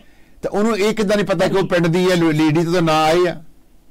ਇਹ ਕਿਵੇਂ ਹੋ ਸਕਦਾ? ਨਹੀਂ ਦੱਸ ਨਹੀਂ ਦੱਸ- ਜਾਣ ਕੇ ਨਹੀਂ ਦੱਸ ਰਹੀ ਮੈਨੂੰ ਕੁਝ ਸਮਝ ਨਹੀਂ ਸਮਝ ਆਈ ਕਿਉਂਕਿ ਮੈਂ ਉਹਦੀ ਮਦਰ ਨੂੰ ਫੋਨ ਕਰ ਚੁੱਕੀ ਕੱਲ ਵੀ ਕਰੇ ਸਵੇਰੇ ਜਿਸ ਟਾਈਮ ਇੱਥੇ ਜਾਣਾ ਸੀਗਾ ਮੈਂ ਪਿੰਜੌਰ ਤੋਂ ਤੁਰਨ ਲੱਗੀ ਸੀ ਨਾ ਉਸ ਟਾਈਮ ਵੀ ਮੈਂ ਪੁਕਾਰੀ ਫਿਰ ਮੈਂ ਅੱਜ ਸਵੇਰੇ ਮਾਰਨਿੰਗ ਵੀ ਕੀਤੀ ਹੈ ਹੁਣ ਵੀ ਕੀਤੀ ਹੈ ਪਰ ਉਹਦੀ ਮੰਮੀ ਹੁਣ ਫੋਨ ਨਹੀਂ ਚੱਕ ਰਹੀ। ਜਿਹੜੀ ਇਸ਼ੂ ਹੈ ਕਿੱਥੇ ਰਹਿੰਦੀ ਹੈ ਇਸ਼ੂ ਦੀ ਮਦਰ ਜਿਹੜੀ ਆ ਉਹ ਕਿੱਥੇ ਰਹਿੰਦੀ ਹੈ ਉਹ ਮਨੀ ਮਾਜਰੀ ਰਹਿੰਦੀ ਮੇਰੇ ਘਰ ਦੇ ਬਿਲਕੁਲ ਨੀਅਰ ਹੈ। ਤੇ ਉਹ ਹੁਣ ਗੱਲ ਕਿਉਂ ਨਹੀਂ ਕਰਨੀ ਚਾਹੁੰਦੇ? 40 ਲੱਖ ਰੁਪਏ ਦੀ ਗੱਲ ਕਿਉਂ ਨਹੀਂ ਕਰਨੀ ਚਾਹੁੰਦੇ? ਕਿ ਸਾਡੇ ਨਾਲ ਲੁੱਟੇ ਗਿਆ ਕਾਰਨ ਕੀ ਹੈ ਉਹਨਾਂ ਨੇ ਪਤਾ ਨਹੀਂ ਹੁਣ ਕਿਉਂ ਨਾ ਉਹ ਤਾਂ ਉਹਨਾਂ ਦਾ ਹੋ ਗਿਆ ਨਾ ਉਹ ਕਹਿੰਦੇ ਅਸੀਂ ਆਪਣੇ ਆਪ ਦੇਖਦੇ ਹਾਂ ਅਸੀਂ ਚੁੱਪ ਹੋ ਗਏ ਫਿਰ ਅਸੀਂ ਕੀ ਕਰ ਸਕਦੇ ਹਾਂ। ਮੈਂ ਉਹਨਾਂ ਨੂੰ ਕੱਲ ਆਹੀ ਗੱਲ ਕਹੀ ਸੀ ਕਿ ਤੁਸੀਂ ਮੇਰੇ ਨਾਲ ਚਲੋ ਕਿ ਮੈਂ ਸਿਰ ਚੁੱਪ ਰਹੀ ਹਾਂ ਤਾਂ ਤੁਸੀਂ ਮੇਰੇ ਨਾਲ ਤਾਂ ਖੜੇ ਹੋ ਜਾਓ। ਬਟ ਉਹ ਨਹੀਂ ਹੋ ਰਹੀ। ਪਤਾ ਨਹੀਂ ਕਿਆ ਬੇ ਕਿਆ ਹੈ ਇਹਨਾਂ ਦਾ ਕਿਆ ਨਹੀਂ। ਉਹਨਾਂ ਦੇ ਕਰਕੇ ਹੀ ਅਸੀਂ ਉਹ ਹੋਏ ਕਿ ਫਸੇ ਉਹਨਾਂ ਨੇ ਸਾਨੂੰ ਸਭ ਕੁਝ ਦੱਸਿਆ ਸੀਗਾ ਕਿ ਆਹ ਇੰਜ ਕਰਦਾ ਇੰਜ ਅਸੀਂ ਕਿ ਚਲ ਕੋਈ ਗੱਲ ਨਹੀਂ ਕਿ ਰਿਲੇਟਿਵ ਹੈ ਤਾਂ ਅੱਛੀ ਅੱਛੀ ਗੱਲ ਰਿਲੇਟਿਵ ਹੈ, ਕੋਈ ਅੱਛੇ ਰਸਤੇ ਦੱਸੇਗਾ। ਬਟ ਉਹਨੇ ਨਾ ਹੁਣ ਇਸ ਸਭ ਕੁਝ ਪਿੱਛੇ ਹੋ ਗਿਆ। ਮੈਂ ਹੈਰਾਨ ਹਾਂ ਹਾਲੇ ਵੀ ਮੈਂ ਬੜੇ ਪਰੇਸ਼ਾਨ ਇਸ ਤੋਂ ਮੇਰੇ ਕੋਲ ਸਿਰਫ 5 ਮਿੰਟ ਬਾਕੀ ਨੇ। ਕੈਂਡਰ ਦੇਖਣ ਵਾਲੇ ਸਾਡੀਆਂ ਭੈਣਾਂ ਤੇ ਭਰਾ ਇਹ ਕੋਸ਼ਿਸ਼ ਕਰਨ, ਸਾਨੂੰ ਕਾਲ ਕਰਨ ਦੀ। ਹੁਣ ਜਿਹੜੀ ਲੜਕੀ ਹੈ, ਅਸੀਂ ਵੈਰੀ ਡੇ ਇਸ ਗੱਲ ਤੋਂ ਆ ਕਿ ਇਹ ਲੜਕੀ ਜਿਸ ਘਰ ਵਿੱਚ ਸਰੀ ਵਿੱਚ ਰਹਿ ਰਹੀ ਆ ਉਹ ਜਿਹੜਾ ਸਰੀ ਦਾ ਲੜਕਾ ਹੈ ਜਿਹਦੇ ਘਰ ਵਿੱਚ ਰਹਿ ਰਹੀ ਆ ਉਹ ਕਾਰ ਵਾਸ਼ ਹੈ ਉਹਨਾਂ ਦਾ ਅਤੇ ਉਹਦੇ ਵਿੱਚ ਪਾਰਟਨਰਸ਼ਿਪ ਜਿਹੜੀ ਆ ਇਸ ਲੜਕੀ ਨੇ ਇਸ਼ੂ ਨੇ ਪਾਈ ਹੈ ਪੈਸੇ ਪਾਏ ਆ। ਔਰ ਮੇਰੇ ਕੋਲ ਲੀਜ਼ ਤੇ ਲਿਆ ਹੋਵੇਗਾ। ਹਾਂਜੀ। ਹਾਂਜੀ। ਤੇ ਉਹ ਫਿਰ ਘਰ ਵਿੱਚ ਰਹਿੰਦੀ ਡਰਦੀ ਆ ਉਹ ਕੁੜੀ ਡਰ ਰਹੀ ਹੈ 21 ਸਾਲ ਦੀ ਹੈ ਤੁਹਾਡੀ ਕੁੜੀ ਦੀ ਕਲਾਸ ਫੈਲੋ ਦੋਨੇ ਇਕੱਠੀਆਂ ਪੜ੍ਹਦੀਆਂ ਸੀਗੀਆਂ ਤੁਹਾਡੀ ਗੁੰਜਨ ਤੇ ਇਸ਼ੂ ਨਹੀਂ ਕਲਾਸਮੇਟ ਨਹੀਂ ਮੇਰੀ ਗੁੜੀਆ ਪੰਚਕੂਲੇ ਪੜ੍ਹੀ ਹੈ ਕਿ ਪੰਚਕੂਲੇ ਪੜ੍ਹੀ ਹੈ ਤਾਂ। ਉਹ ਦੂਜੇ ਸਕੂਲ ਚ ਪੜ੍ਹੀ ਹੈ ਜਿਵੇਂ ਵੈਸੇ ਨੀਅਰ ਸੀ ਕਿ ਬਹੁਤ ਪਿਆਰ ਸੀ ਸਾਡਾ ਇਹਨਾਂ ਦੇ ਨਾਲ। ਨਹੀਂ ਪਰ ਮੇਰੇ ਤੁਸੀਂ ਇਸ਼ੂ ਨੇ ਦੀ ਮਦਰ ਨੂੰ ਇਸ਼ੂ ਦੀ ਮਦਰ ਨੂੰ ਕਿਉਂ ਨਹੀਂ ਪੁੱਛਦੇ ਕਿ ਉਸ ਬੰਦੇ ਦੀ ਮਦਰ ਦਾ ਨਾਂ ਕੀ ਹੈ? ਜਿਹਨੂੰ ਤੁਸੀਂ ਗੱਲ ਕਰਕੇ ਆਏ ਹੋ। ਮੈਂ ਬਹੁਤ ਬਾਰ ਪੁੱਛ ਚੁੱਕੀ ਮੈਂ ਬਹੁਤ ਬਾਰ ਪੁੱਛ ਚੁੱਕੀ ਨਹੀਂ ਸੁਣ ਰਹੀ ਉਹ ਨਹੀਂ ਦੱਸ ਰਹੀ। ਮੈਨੂੰ ਇਸੇ ਗੱਲ ਦਾ ਸਾਨੂੰ ਪਤਾ ਨਹੀਂ ਚੱਲ ਰਿਹਾ ਕਿਉਂ ਨਹੀਂ ਦੱਸ ਰਹੀ। ਮੈਂ ਪਿੰਡ ਦੀ ਸਰਪੰਚ ਹਾਂ ਉਹਨਾਂ ਸਰਪੰਚ ਸਾਹਿਬ ਨੂੰ ਪੁੱਛਣਾ ਕਿ ਤੁਸੀਂ ਪਲੀਜ਼ ਮੈਨੂੰ ਉਹਦਾ ਮਦਦ ਦਾ ਨਾਂ ਦੱਸੋ ਕਿ ਮੈਂ ਕੱਲ ਕੁਝ ਕਰ ਤਾਂ ਸਕਾਂ। ਉਹ ਪਰ ਨਹੀਂ ਦੱਸ ਰਹੀ ਮੈਂ ਉਹੀ ਤਾਂ ਹੈ ਨਾ ਕਿਉਂ ਨਹੀਂ ਦੱਸ ਰਹੇ? ਜੀ ਮੈਨੂੰ ਇਸ ਗੱਲ ਦੀ ਯਾਰ। ਤੁਸੀਂ 13 ਲੱਖ 13 ਲੱਖ ਰੁਪਈਆ ਤੁਸੀਂ ਕਿਹਦੇ ਕਹਿਣ ਦਿੱਤਾ ਸੀਗਾ? ਇਹ ਇਸ਼ੂ ਦੀ ਮਦਰ ਦੇ ਕਹਿਣ ਦੇ ਮੁਤਾਬਕ ਦਿੱਤਾ? ਈਸ਼ੂ ਨੇ ਗੱਲਬਾਤ ਕਰਵਾਈ ਸੀ ਸਾਰੀ। ਈਸ਼ੂ ਨੇ ਗੱਲਬਾਤ ਕਰਵਾਈ ਸੀ ਕਿਉਂਕਿ ਗੁੜੀਆ ਦਾ ਮੇਰੀ ਦਾ ਵੀਜ਼ਾ ਜਿਹੜਾ ਲਗਵਾਉਣਾ ਸੀ ਅਸੀਂ ਆਸਟ੍ਰੇਲੀਆ ਦਾ ਕਿਉਂਕਿ ਮੈਂ ਬਹੁਤ ਬਿਮਾਰ ਹੋ ਗਈ ਸੀਗੀ। ਮੈਂ ਬੈੱਡ ਤੇ ਸੀਗੀ ਤਾਂ ਉਹ ਵੀਜ਼ਾ ਆਸਟ੍ਰੇਲੀਆ ਦਾ ਨਹੀਂ ਲੱਗਿਆ ਤੇ ਇਸ ਮੁੰਡੇ ਇਹਨੇ ਗੱਲਬਾਤ ਕੀਤੀ ਈਸ਼ੂ ਨੇ ਈਸ਼ੂ ਕਹਿੰਦੀ ਕਿ ਵੀਰੇ ਨੇ ਈਐਮ ਜੋ ਕੀ ਪੇਪਰ ਲਾ ਕੇ ਉਹ ਕਹਿੰਦਾ ਮੈਂ ਸਪਾਂਸਰ ਕਰ ਲੂੰਗਾ। ਅਸੀਂ ਕਿਹਾ ਚਲੋ ਕੋਈ ਗੱਲ ਨਹੀਂ, ਕਿ ਪੈਸੇ ਅਸੀਂ ਲਾਣਾ ਹੀ ਹੈ ਚਲੋ ਇਧਰ ਦਾ ਉਧਰ ਸਹੀ। ਉਹ ਉਹਨੇ ਬੜਾ ਪਿਆਰ ਨਾਲ ਗੱਲ ਕੀਤੀ, ਸਭ ਕੁਝ ਕੀਤਾ, ਕੋਈ ਅੱਜ ਤੱਕ ਨਹੀਂ। ਅੱਜ ਥੋੜੇ ਦਿਨ ਤੋਂ ਉਹਨੇ ਗੁੜੀਆ ਵੀ ਬਲੌਕ ਕਰਦੀ ਗੁੰਜਨ ਵੀ ਬਲੌਕ ਕਰਦੇ ਮਾਮਾ ਵੀ ਕਰਤੇ ਜੇ ਅਸੀਂ ਪੈਸੇ ਬਾਰੇ ਬੋਲਦੇ ਹਾਂ ਉਹਨੇ। ਸਾਨੂੰ ਬਲੌਕ ਕਰ ਸਿਰਫ ਮੈਨੂੰ ਵੀ ਬਲੌਕ ਕੀਤਾ ਹੋਇਆ। ਉਹ ਵੀ ਕਿਉਂਕਿ ਮੈਂ ਉਹਦੇ ਨਾਲ ਫਾਲਤੂ ਗੱਲ ਨਹੀਂ ਨਾ ਕੀਤੀ। ਆਹ ਗੱਲ ਹੈ ਜੀ। ਜਿਹੜੀ ਇਸ਼ੂ ਆ, ਉਹ ਹੁਣ ਗੱਲਬਾਤ ਕਰ ਰਹੀ ਤੁਹਾਡੀ ਲੜਕੀ ਨਾਲ? ਹਾਂਜੀ ਗੁੜੀਆ ਗੁੰਜਨ ਨਾਲ ਤਾਂ ਕਰ ਲੈਂਦੀ ਆ ਉਹ ਗੱਲਬਾਤ ਜੇ ਜਿਵੇਂ ਗੁੰਜਨ ਮੈਸੇਜ ਕਰਦੀ ਹੈ ਉਹ ਮੈਸੇਜ ਕਰਦੀ ਹੈ ਗੱਲ ਕਰ ਲੈਂਦੇ ਆ। ਤੇ ਜਿਹੜੀ ਇਸ਼ੂ ਦੀ ਮਦਰ ਹੈ ਉਹ ਇਸ਼ੂ ਦੀ ਮਦਰ ਵੀ ਮੈਂ ਇਸ਼ੂ ਦੀ ਮਦਰ ਗੱਲ ਕਰਦੀ ਆ? ਇਸ ਦੀ ਮਦਦ ਮੇਰਾ ਫੋਨ ਹੀ ਨਹੀਂ ਚੁੱਕ ਰਹੀ। ਪਹਿਲਾਂ ਪਿਛਲੇ ਲਾਸਟ ਵੀਕ ਕੀਤਾ ਸੀ ਮੇਰੇ ਨਾਲ ਗੱਲ ਹੋਈ ਸੀ ਸਭ ਕੁਝ ਹੋਈ ਸੀ ਪਰ ਇਸ ਹਫ਼ਤੇ ਨਹੀਂ ਹੋਈ। ਤੁਸੀਂ ਮੈਂ ਵੀ ਜ਼ਿਆਦਾ ਤੁਹਾਡੀ ਇਸ਼ੂ ਦੀ ਮਦਰ ਦਾ ਨੰਬਰ ਹੈ ਤੁਹਾਡੇ ਕੋਲ? ਇਸ਼ੂ ਦੀ ਮਦਰ ਦਾ ਨੰਬਰ ਹੈ? ਇਸ਼ੂ ਦੀ ਮਦਦ ਦਾ ਨੰਬਰ ਹਾਂਜੀ ਹੈ। ਦੀ ਮਦਰ ਦਾ ਨੰਬਰ ਹੈ ਤੁਸੀਂ ਕੱਲ ਨੂੰ ਪੁਲਿਸ ਸਟੇਸ਼ਨ ਜਾ ਕੇ ਰਿਪੋਰਟ ਕਰੋ ਇਹਨਾਂ ਦੀ। ਠੀਕ ਹੈ ਜੀ। ਤੁਸੀਂ ਰਿਪੋਰਟ ਕਰੋ ਕਿ ਇਹਨਾਂ ਨੇ ਸਾਡੇ ਕੋਲੋਂ 13 ਲੱਖ ਰੁਪਏ ਦਵਾਇਆ ਇਸ ਬੰਦੇ ਨੂੰ ਤੇ ਨਾਲ ਇਹ ਲੇਡੀ ਇਨਵੋਲਵ ਜਿਹਨੇ ਸਾਡੇ ਕੋਲ ਪੈਸੇ ਲਏ ਆ। ਤੁਸੀਂ ਰਿਪੋਰਟ ਕਰੋ ਉਸ ਤੋਂ ਬਾਅਦ ਅਸੀਂ ਹੈਂਡਲ ਕਰਦੇ ਆ ਸਰ ਮੈਨੂੰ ਇਹ ਦੱਸੋ ਇੱਕ ਵਾਰ ਪਲੀਜ਼ ਕਿ ਮੈਂ ਜਿਹੜੇ ਪਿੰਜੋਰ ਥਾਣੇ 'ਚ ਕਰਵਾਵਾਂ ਜਾਂ ਮੈਂ ਉਹਦੇ ਵਿੱਚ ਮਨੀ ਮਾਦਰ ਦੇ ਥਾਣੇ ਦੇ ਵਿੱਚ ਕਰਾਵਾਂ ਆ ਮੈਨੂੰ ਤੁਸੀਂ ਮਨੀ ਮਾਜਰੇ ਚ ਕਰਾਓ। ਠੀਕ ਹੈ ਕਿਉਂਕਿ ਉਸੇ ਕਿਉਂਕਿ ਬੈਂਕ ਨਾ ਮੇਰਾ ਉੱਥੇ ਸੀਗਾ। ਮਨੀ ਮਾਜਰੇ ਕਰਾਓ ਮਨੀ ਮਾਜਰੇ ਮਨੀ ਮਾਜਰੇ ਦੇ ਵਿੱਚ ਉਹ ਰਹਿੰਦੀ ਹੈ ਇਸ਼ੂ ਦੀ ਮਦਰ ਉੱਥੇ ਰਹਿੰਦੀ ਹੈ ਠੀਕ ਹੈ ਨਾ? ਹਾਂਜੀ ਹਾਂਜੀ ਉਹਨੇ ਤੁਹਾਨੂੰ ਗਾਈਡ ਕੀਤਾ ਤੁਸੀਂ ਉਹਦੇ ਕਹਿਣ ਦੇ ਮੁਤਾਬਕ ਇਸ ਵਿਅਕਤੀ ਨੂੰ ਪੈਸੇ ਜਿਹੜੇ ਆ ਉਹਦੇ ਅਕਾਊਂਟ ਵਿੱਚ ਪਾਏ ਆ ਤੇ ਬਾਕੀ ਦੇ ਪੈਸੇ ਲੇਡੀ ਆਣ ਕੇ ਤੁਹਾਡੇ ਤੋਂ ਲੈ ਕੇ ਗਈ ਆ। ਹਾਂਜੀ। ਕਿੰਨੇ ਪੈਸੇ 4 ਲੱਖ ਰੁਪਏ ਲਿਆ ਉਹਨੇ ਟੋਟਲ 13 ਲੱਖ ਰੁਪਏ ਲਿਆ। ਹਾਂਜੀ। ਹਾਂਜੀ 13 ਲੱਖ ਰੁਪਏ ਸਰ- 20000 ਮੈਂ ਉਹ ਗੂਗਲ ਪੇ ਕੀਤਾ ਸੀ। ਅੱਛਾ ਤੁਹਾਡਾ ਨਾਮ ਮਨਪ੍ਰੀਤ ਹੈ ਮਨਵੀਰ ਕੌਰ। ਮਨਵੀਰ ਕੌਰ ਹੈ। ਹਾਂਜੀ ਮਨਵੀਰ ਕੌਰ ਹੈ। ਮੈਂ ਗੁੰਜਨੀ ਮਦਰ ਹੈ। ਨਹੀਂ ਮਨਦੀਪ ਹੈ ਜਾਂ Manveer? M A N D for boy I R Manveer Kaur. Gurpreet ji sahib ਦੇ ਪਲੀਜ਼ ਕਾਈਂਡਲੀ ਦਾ ਲੀਵ ਦ ਫੋਨ ਮਨਵੀਰ ਬਸਮ ਹਾਂ ਮੈਂ I am confuse a little bit ਜੀ। ਹਾਂ ਮਨਵੀਰ ਕੌਰ ਹੈ। ਤੇ ਤੁਹਾਡੀ ਉਮਰ ਕਿੰਨੀ ਹੈ? ਬ- 42 ਸਾਲ ਹੈ? ਮੈਨੂੰ ਹੁਣ ਕਿ ਪਰਸੋਂ ਤੇ 43 43 ਚੱਲ ਪਿਆ। ਆ ਇਸ਼ੂ ਨਹੀਂ ਹੈ। ਮਨਵੀਰ ਜੀ ਤੁਸੀਂ ਇੱਕ ਪਾਸੇ ਕਹਿ ਰਹੇ ਹੋ ਜਿਹੜੀ ਇਸ਼ੂ ਹੈ ਉਹ ਲੜਕੀ ਨੂੰ ਹਾਂਜੀ। ਬੰਦੀ ਬਣਾ ਕੇ ਰੱਖਿਆ ਹੋਇਆ ਉਸ ਘਰ ਦੇ ਵਿੱਚ ਕੀ ਇਹ ਸੱਚ ਹੈ? ਹਾਂਜੀ ਉਹ ਗੁੜੀਆ ਨੇ ਕ- ਮੈਨੂੰ ਪਹਿਲਾਂ ਮੈਨੂੰ ਬਹੁਤ ਫੋਨ ਕਰ ਲੈਂਦੀ ਸੀ ਭੂਆ ਕਰਕੇ ਵੀ ਬੂਜੀ ਕਹਿੰਦੀ ਸੀ ਮੇਰੇ ਨਾਲ ਗੱਲ ਕਰ ਲੈਂਦੀ ਬਟ ਹੁਣ ਉਹਨੇ ਮੈਨੂੰ ਮੇਰੇ ਨਾਲ ਵੀ ਨੀ ਕੋਈ ਗੱਲ ਕੀਤੀ? ਉਹ ਗੁੜੀਆ ਨਾਲ ਗੱਲ ਕਰ ਲੈਂਦੀ ਪਰ ਮੇਰੇ ਨਾਲ ਕੋਈ ਨਹੀਂ ਗੱਲ ਕਰਦੀ। ਉਹ ਕਹਿੰਦੀ ਮੈਂ ਅੰਦਰ ਹੀ ਰਹਿੰਦੀ ਸੀ ਮਦਰ ਨੇ ਪਰਸੋਂ ਮੇਰੀ ਭਰਜਾਈ ਨੂੰ ਵੀ ਕਿਹਾ ਹੈ ਉਹਨੇ ਭਾਬੀ ਜੀ ਨਾਲ ਗੱਲ ਹੋਈ ਮੇਰੀ ਨਾਲ ਆਸਟ੍ਰੇਲੀਆ ਵਾਲੀ ਨਾਲ। ਉਹਦੀ ਮਦਰ ਦੀ ਉਹਨੇ ਇੰਜੇ ਕਿਹਾ ਕਿ ਕੁੜੀ ਉਹਦੀ ਮੰਮੀ ਰੋਣ ਲੱਗੀ ਕਹਿੰਦੀ ਉਹ ਕੁੜੀ ਘਰ ਤੋਂ ਬਾਹਰ ਨਹੀਂ ਨਿਕਲਦੀ ਸਾਡੀ। ਪਰ ਐ ਨਹੀਂ ਪਤਾ ਸਿਰ ਕਿਉਂ ਨਹੀਂ ਚੁੱਕ ਰਹੀ ਇਸ ਗੱਲ ਤੋਂ। ਅਸੀਂ ਇਸ ਗੱਲ ਤੋਂ ਹੈਰਾਨ ਹੋ ਰਹੇ ਹਾਂ। ਨਹੀਂ ਜੀ ਕੁੜੀ ਨੂੰ ਇਸ ਤਰ੍ਹਾਂ ਰੱਖਿਆ ਘਰ ਦੇ ਵਿੱਚ ਤਾਂ ਇਸ਼ੂ ਦੀ ਮਦਰ ਤੁਹਾਨੂੰ ਨੰਬਰ ਕਿਉਂ ਨਾ ਕਿਉਂ ਦੱਸਦੀ ਉਸ ਮਾਂ ਦਾ ਰੀਜਨ ਕੀ ਹੈ ਪਿੱਛੇ? ਮੈਨੂੰ ਪਤਾ ਨਹੀਂ ਉਹ ਤਾਂ ਅਸੀਂ ਮੈਂ ਵੀ ਪੁੱਛ ਰਹੀ ਮੈਂ ਤਾਂ ਕਿ ਇਹਦੇ ਵਿੱਚ ਇੱਕ ਦੋ ਰਿਲੇਟਿਵ ਹੈ ਨਾ ਉਹਨਾਂ ਨੂੰ ਪੁੱਛ ਰਹੀ ਉਹਦਾ ਮਦਰ ਦਾ ਨਾਮ ਦੱਸ ਦਿਓ ਮੈਨੂੰ। ਫਾਦਰ ਦਾ ਵੀ ਮੈਂ ਕੱਲ ਜਾ ਕੇ ਪਤਾ ਕਰਾਂ ਮੈਨੂੰ ਉਹਦਾ ਵੀ ਨਹੀਂ ਦੱਸਿਆ ਸੀਗਾ। ਤੁਸੀਂ ਕੱਲ ਨੂੰ ਇਹਦਾ ਜਿਹੜਾ ਫਾਦਰ ਹੈ ਜਿਹਦਾ ਨਾਮ ਗੁਰਵਿੰਦਰ ਹੈ। ਠੀਕ ਹੈ ਜੀ? ਹਾਂ ਇਸ਼ੂ ਦੇ ਫਾਦਰ ਨਾਲ ਗੁਰਵਿੰਦਰ ਹੈ। ਆਮ ਰਾਈਟ ਨਹੀਂ ਇਸ਼ੂ ਦਾ ਫਾਦਰ ਨਾਮ ਹੈ ਅਮਰਜੀਤ ਸਿੰਘ। ਅਸ਼ ਇਸ਼ੂ ਅਮਰੀਤ ਸਿੰਘ ਹੈ। ਤੇ ਗੁਰਵਿੰਦਰ ਜਿਹੜਾ ਹੈ ਲਵਪ੍ਰੀਤ ਜਿਹੜਾ ਮੁੰਡਾ ਉਹ ਉਹਦੇ ਉਹਦੇ ਫਾਦਰ ਦਾ ਨਾਮ ਹੈ ਗੁਰਵਿੰਦਰ ਹੈ ਨਾ? ਉਹਦੇ ਫਾਦਰ ਹਾਂਜੀ ਹਾਂਜੀ ਹਾਂਜੀ ਤੁਸੀਂ ਲਵਪ੍ਰੀਤ ਦੀ ਉਮਰ ਜਿਹੜੀ ਕਿੰਨੀ ਹੈ? ਪਤਾ ਤੁਹਾਨੂੰ ਤੁਸੀਂ ਲਵਪ੍ਰੀਤ ਮੁੰਡਾ ਦੇਖਿਆ ਹੈ? ਨਹੀਂ ਮੈਂ ਫੋਟੋ ਵੀ ਦੇਖਿਆ 35 ਅਹ, 32 35 ਇਸ ਦੇ ਵਿੱਚ ਵਿੱਚ ਹੈ। ਤੇ ਇਹਦੀਆਂ ਤਸਵੀਰਾਂ ਤੁਹਾਡੇ ਇਹਦੀਆਂ ਫੋਟੋ ਆ ਤੁਹਾਡੇ ਕੋਲ? ਜੀ ਮੇਰੇ ਕੋਲ ਨਾ ਇੱਕ ਫੋਟੋ ਬੱਚਾ ਚੱਕਿਆ ਹੋਇਆ ਉਹਨੂੰ ਉਹਦੇ ਫੇਸ ਨਹੀਂ ਦਿਖ ਰਿਹਾ ਉਹਦੇ ਵਿੱਚ। ਤੁਸੀਂ ਉਹ ਸਾਡੇ ਫੋਟੋ ਭੇਜੋ ਤੇ ਪੁਲਿਸ ਨੂੰ ਉਹਨਾਂ ਦੀ ਮਦਰ ਜਿਹੜੀ ਹੈ ਪੁਲਿਸ ਨੂੰ ਫੋਨ ਕਿਉਂ ਨਹੀਂ ਕਰ ਰਹੀ ਕੈਨੇਡਾ ਪੁਲਿਸ ਨੂੰ? ਕਾਰਨ ਕੀ ਹੈ? ਮੇਰੇ ਕੋਲ ਸਿਰਫ ਇੱਕ ਮਿੰਟ ਹੈ। ਜੀ ਮੈਨੂੰ ਤਾਂ ਆਪ ਨਹੀਂ ਇਸ ਗੱਲ ਦਾ ਪਤਾ ਚੱਲਿਆ ਸਾਨੂੰ ਪਤਾ ਨਹੀਂ ਚੱਲਿਆ ਇਸ ਗੱਲ ਦਾ। ਉਹਨਾਂ ਨੇ ਇਸ਼ੂ ਤਾਂ ਲੱਗ ਗਿਆ ਕਿਉਂਕਿ ਕਹਿੰਦੀ ਉਹ ਪ੍ਰਾਪਰਟੀ ਕਾਫੀ ਅੱਛੀ ਹੈ ਬਟ ਇਸ ਕਰਕੇ ਕੀ ਆਪਣਾ ਇਸ ਕਰਕੇ ਨਹੀਂ ਕਰ ਰਹੇ ਮੈਨੂੰ ਕੁਝ ਸਮਝ ਨਹੀਂ ਆ ਰਹੀ। ਉਹਨਾਂ ਦੇ ਮਦਰ ਗੱਲ ਕਰਦੇ ਆ ਹਿੰਦੀ ਵਿੱਚ ਗੱਲ ਕਰਦੇ ਨੇ। ਨੋ ਡਾਊਟ ਕਹਿੰਦੇ ਜੀ ਅਸੀਂ ਹਰਿਆਣਵੀ ਆ ਔਰ ਹਿੰਦੀ 'ਚ ਗੱਲ ਕਰਦੇ ਆ ਬੜੀ ਤੇਜ਼ ਐਂਡ ਸ਼ਾਰਪ ਹੈ। ਪਰ ਸਮੱਸਿਆ ਹੈ ਕਿ ਜਿਹੜੀ ਇਸ਼ੂ ਦੀ ਮਦਰ ਹੈ ਜੇ ਉਹਦੀ ਧੀ ਨੂੰ ਬੰਦੀ ਬਣਾ ਕੇ ਰੱਖਿਆ ਹੋਵੇ ਉਹ ਟਰਬਲ ਵਿੱਚ ਹੋਵੇ ਡਿਪਰੈਸ਼ਨ ਵਿੱਚ ਹੋਵੇ ਜਾਂ ਫਿਰ ਕੋਈ ਇਸ ਬਿਮਾਰੀ ਦਾ ਸ਼ਿਕਾਰ ਹੋਵੇ ਉਹ ਘਬਰਾਈ ਹੋਈ ਹੋਵੇ ਲੜਕੀ ਜਾਂ ਉਹਦੇ ਨਾਲ ਕੋਈ ਮੈਸੇਜ ਹੁੰਦਾ ਰਿਹਾ ਹੋਵੇ ਤਾਂ ਮਾਂ ਜਿਹੜੀ ਆ ਉਹ ਪੁਲਿਸ ਨੂੰ ਕਾਲ ਕਿਉਂ ਨਹੀਂ ਕਰਦੀ? ਉਹਦੀ ਮਦਰ ਬਕਾਇਦਾ ਉਹਦੇ ਪਾਪਾ ਨੂੰ ਪੂਰੀ ਗੱਲ ਨਹੀਂ ਦੱਸਦੀ। ਮੈਨੂੰ ਆਈ ਸਾਨੂੰ ਸਾਡੀ ਫੈਮਿਲੀ ਨੂੰ ਇਸੀ ਗੱਲ ਦੀ ਟੈਨਸ਼ਨ ਕਿਉਂ ਨਹੀਂ ਦੱਸਦੀ ਉਹ ਉਦੋਂ? ਕਿਉਂਕਿ ਅੱਜ ਤਾਂ ਪੈਸੇ ਵਾਲੀ ਗੱਲ ਤੋਂ ਪੁੱਛਣ ਨਾ ਪੈਸਾ ਫੋਨ ਚੱਕ ਰਹੀ ਮੇਰਾ। ਮੈਂ ਬਹੁਤ ਫੋਨ ਕਰ ਰਹੀ ਪਰਸੋਂ ਵੀ ਕੀਤੇ ਕੱਲ ਵੀ ਕੀਤੇ ਅੱਜ ਮਾਰਨਿੰਗ ਚ ਕੀਤੇ ਹੁਣ ਵੀ ਕੀਤਾ ਕਿ ਮੈਨੂੰ ਗੱਲ ਕਰੇ। ਲੋਕਲ ਸਰ ਨਾਲ ਇਨ ਕੰਟੈਕਟ ਕਰਕੇ ਲੋਕਲ ਪੁਲਿਸ ਨੂੰ ਅਸੀਂ ਤੁਹਾਡਾ ਨੰਬਰ ਦਾ ਨੰਬਰ ਦਿੰਦੇ ਆ ਤੁਸੀਂ ਇੱਕ ਵਾਰੀ ਕਾਲ ਕਰਨਾ ਔਰ ਅਸੀਂ। ਕੋਸ਼ਿਸ਼ ਕਰਦੇ ਕਿ ਇੱਥੋਂ ਦੀ ਪੁਲਿਸ ਐਨਫੋਰਸਮੈਂਟ ਨਾਲ ਗੱਲਬਾਤ ਕੀਤੀ ਜਾਵੇ। ਆਰਸੀਐਮਪੀ ਮੇਰੇ ਖਿਆਲ ਹੋ ਸਕਦਾ ਕਿ ਇਸ ਇਲਾਕੇ ਨੂੰ ਹੋਲਡ ਕਰਦੀ ਹੋਵੇ ਕਿਉਂਕਿ ਆਰਸੀਐਮਪੀ ਵੀ ਇੱਕ ਲੋਕਲ ਪੁਲਿਸ ਵੀ ਹੈ ਸਾਰੇ ਦੇ ਵਿੱਚ ਕੁਝ ਹਿੱਸੇ ਵਿੱਚ। ਸੋ ਅਸੀਂ ਸਟੋਰੀ ਨੂੰ ਕੱਲ ਨੂੰ ਪੇਸ਼ ਕਰਾਂਗੇ ਇਹਦੇ ਪ੍ਰੋਗਰਾਮ ਵਿੱਚ ਇੱਕ ਸਮਾਪਤ ਕਰਦੇ ਹਾਂ। ਕਰਜ਼ ਮਾਫ ਕਰਾਉਣਾ ਤਾਂ ਉਰੇ ਡੈਪਸਟੇਸ਼ਨ 888 888 ਡੈਨ ਵਿੱਚ ਉਹਦਾ ਖਾਣਾ ਖਾਣ ਲਈ ਸੀਟ ਵੈਲ ਧੰਨਵਾਦ। ਥੈਂਕ ਯੂ ਜੀ ਧੰਨਵਾਦ।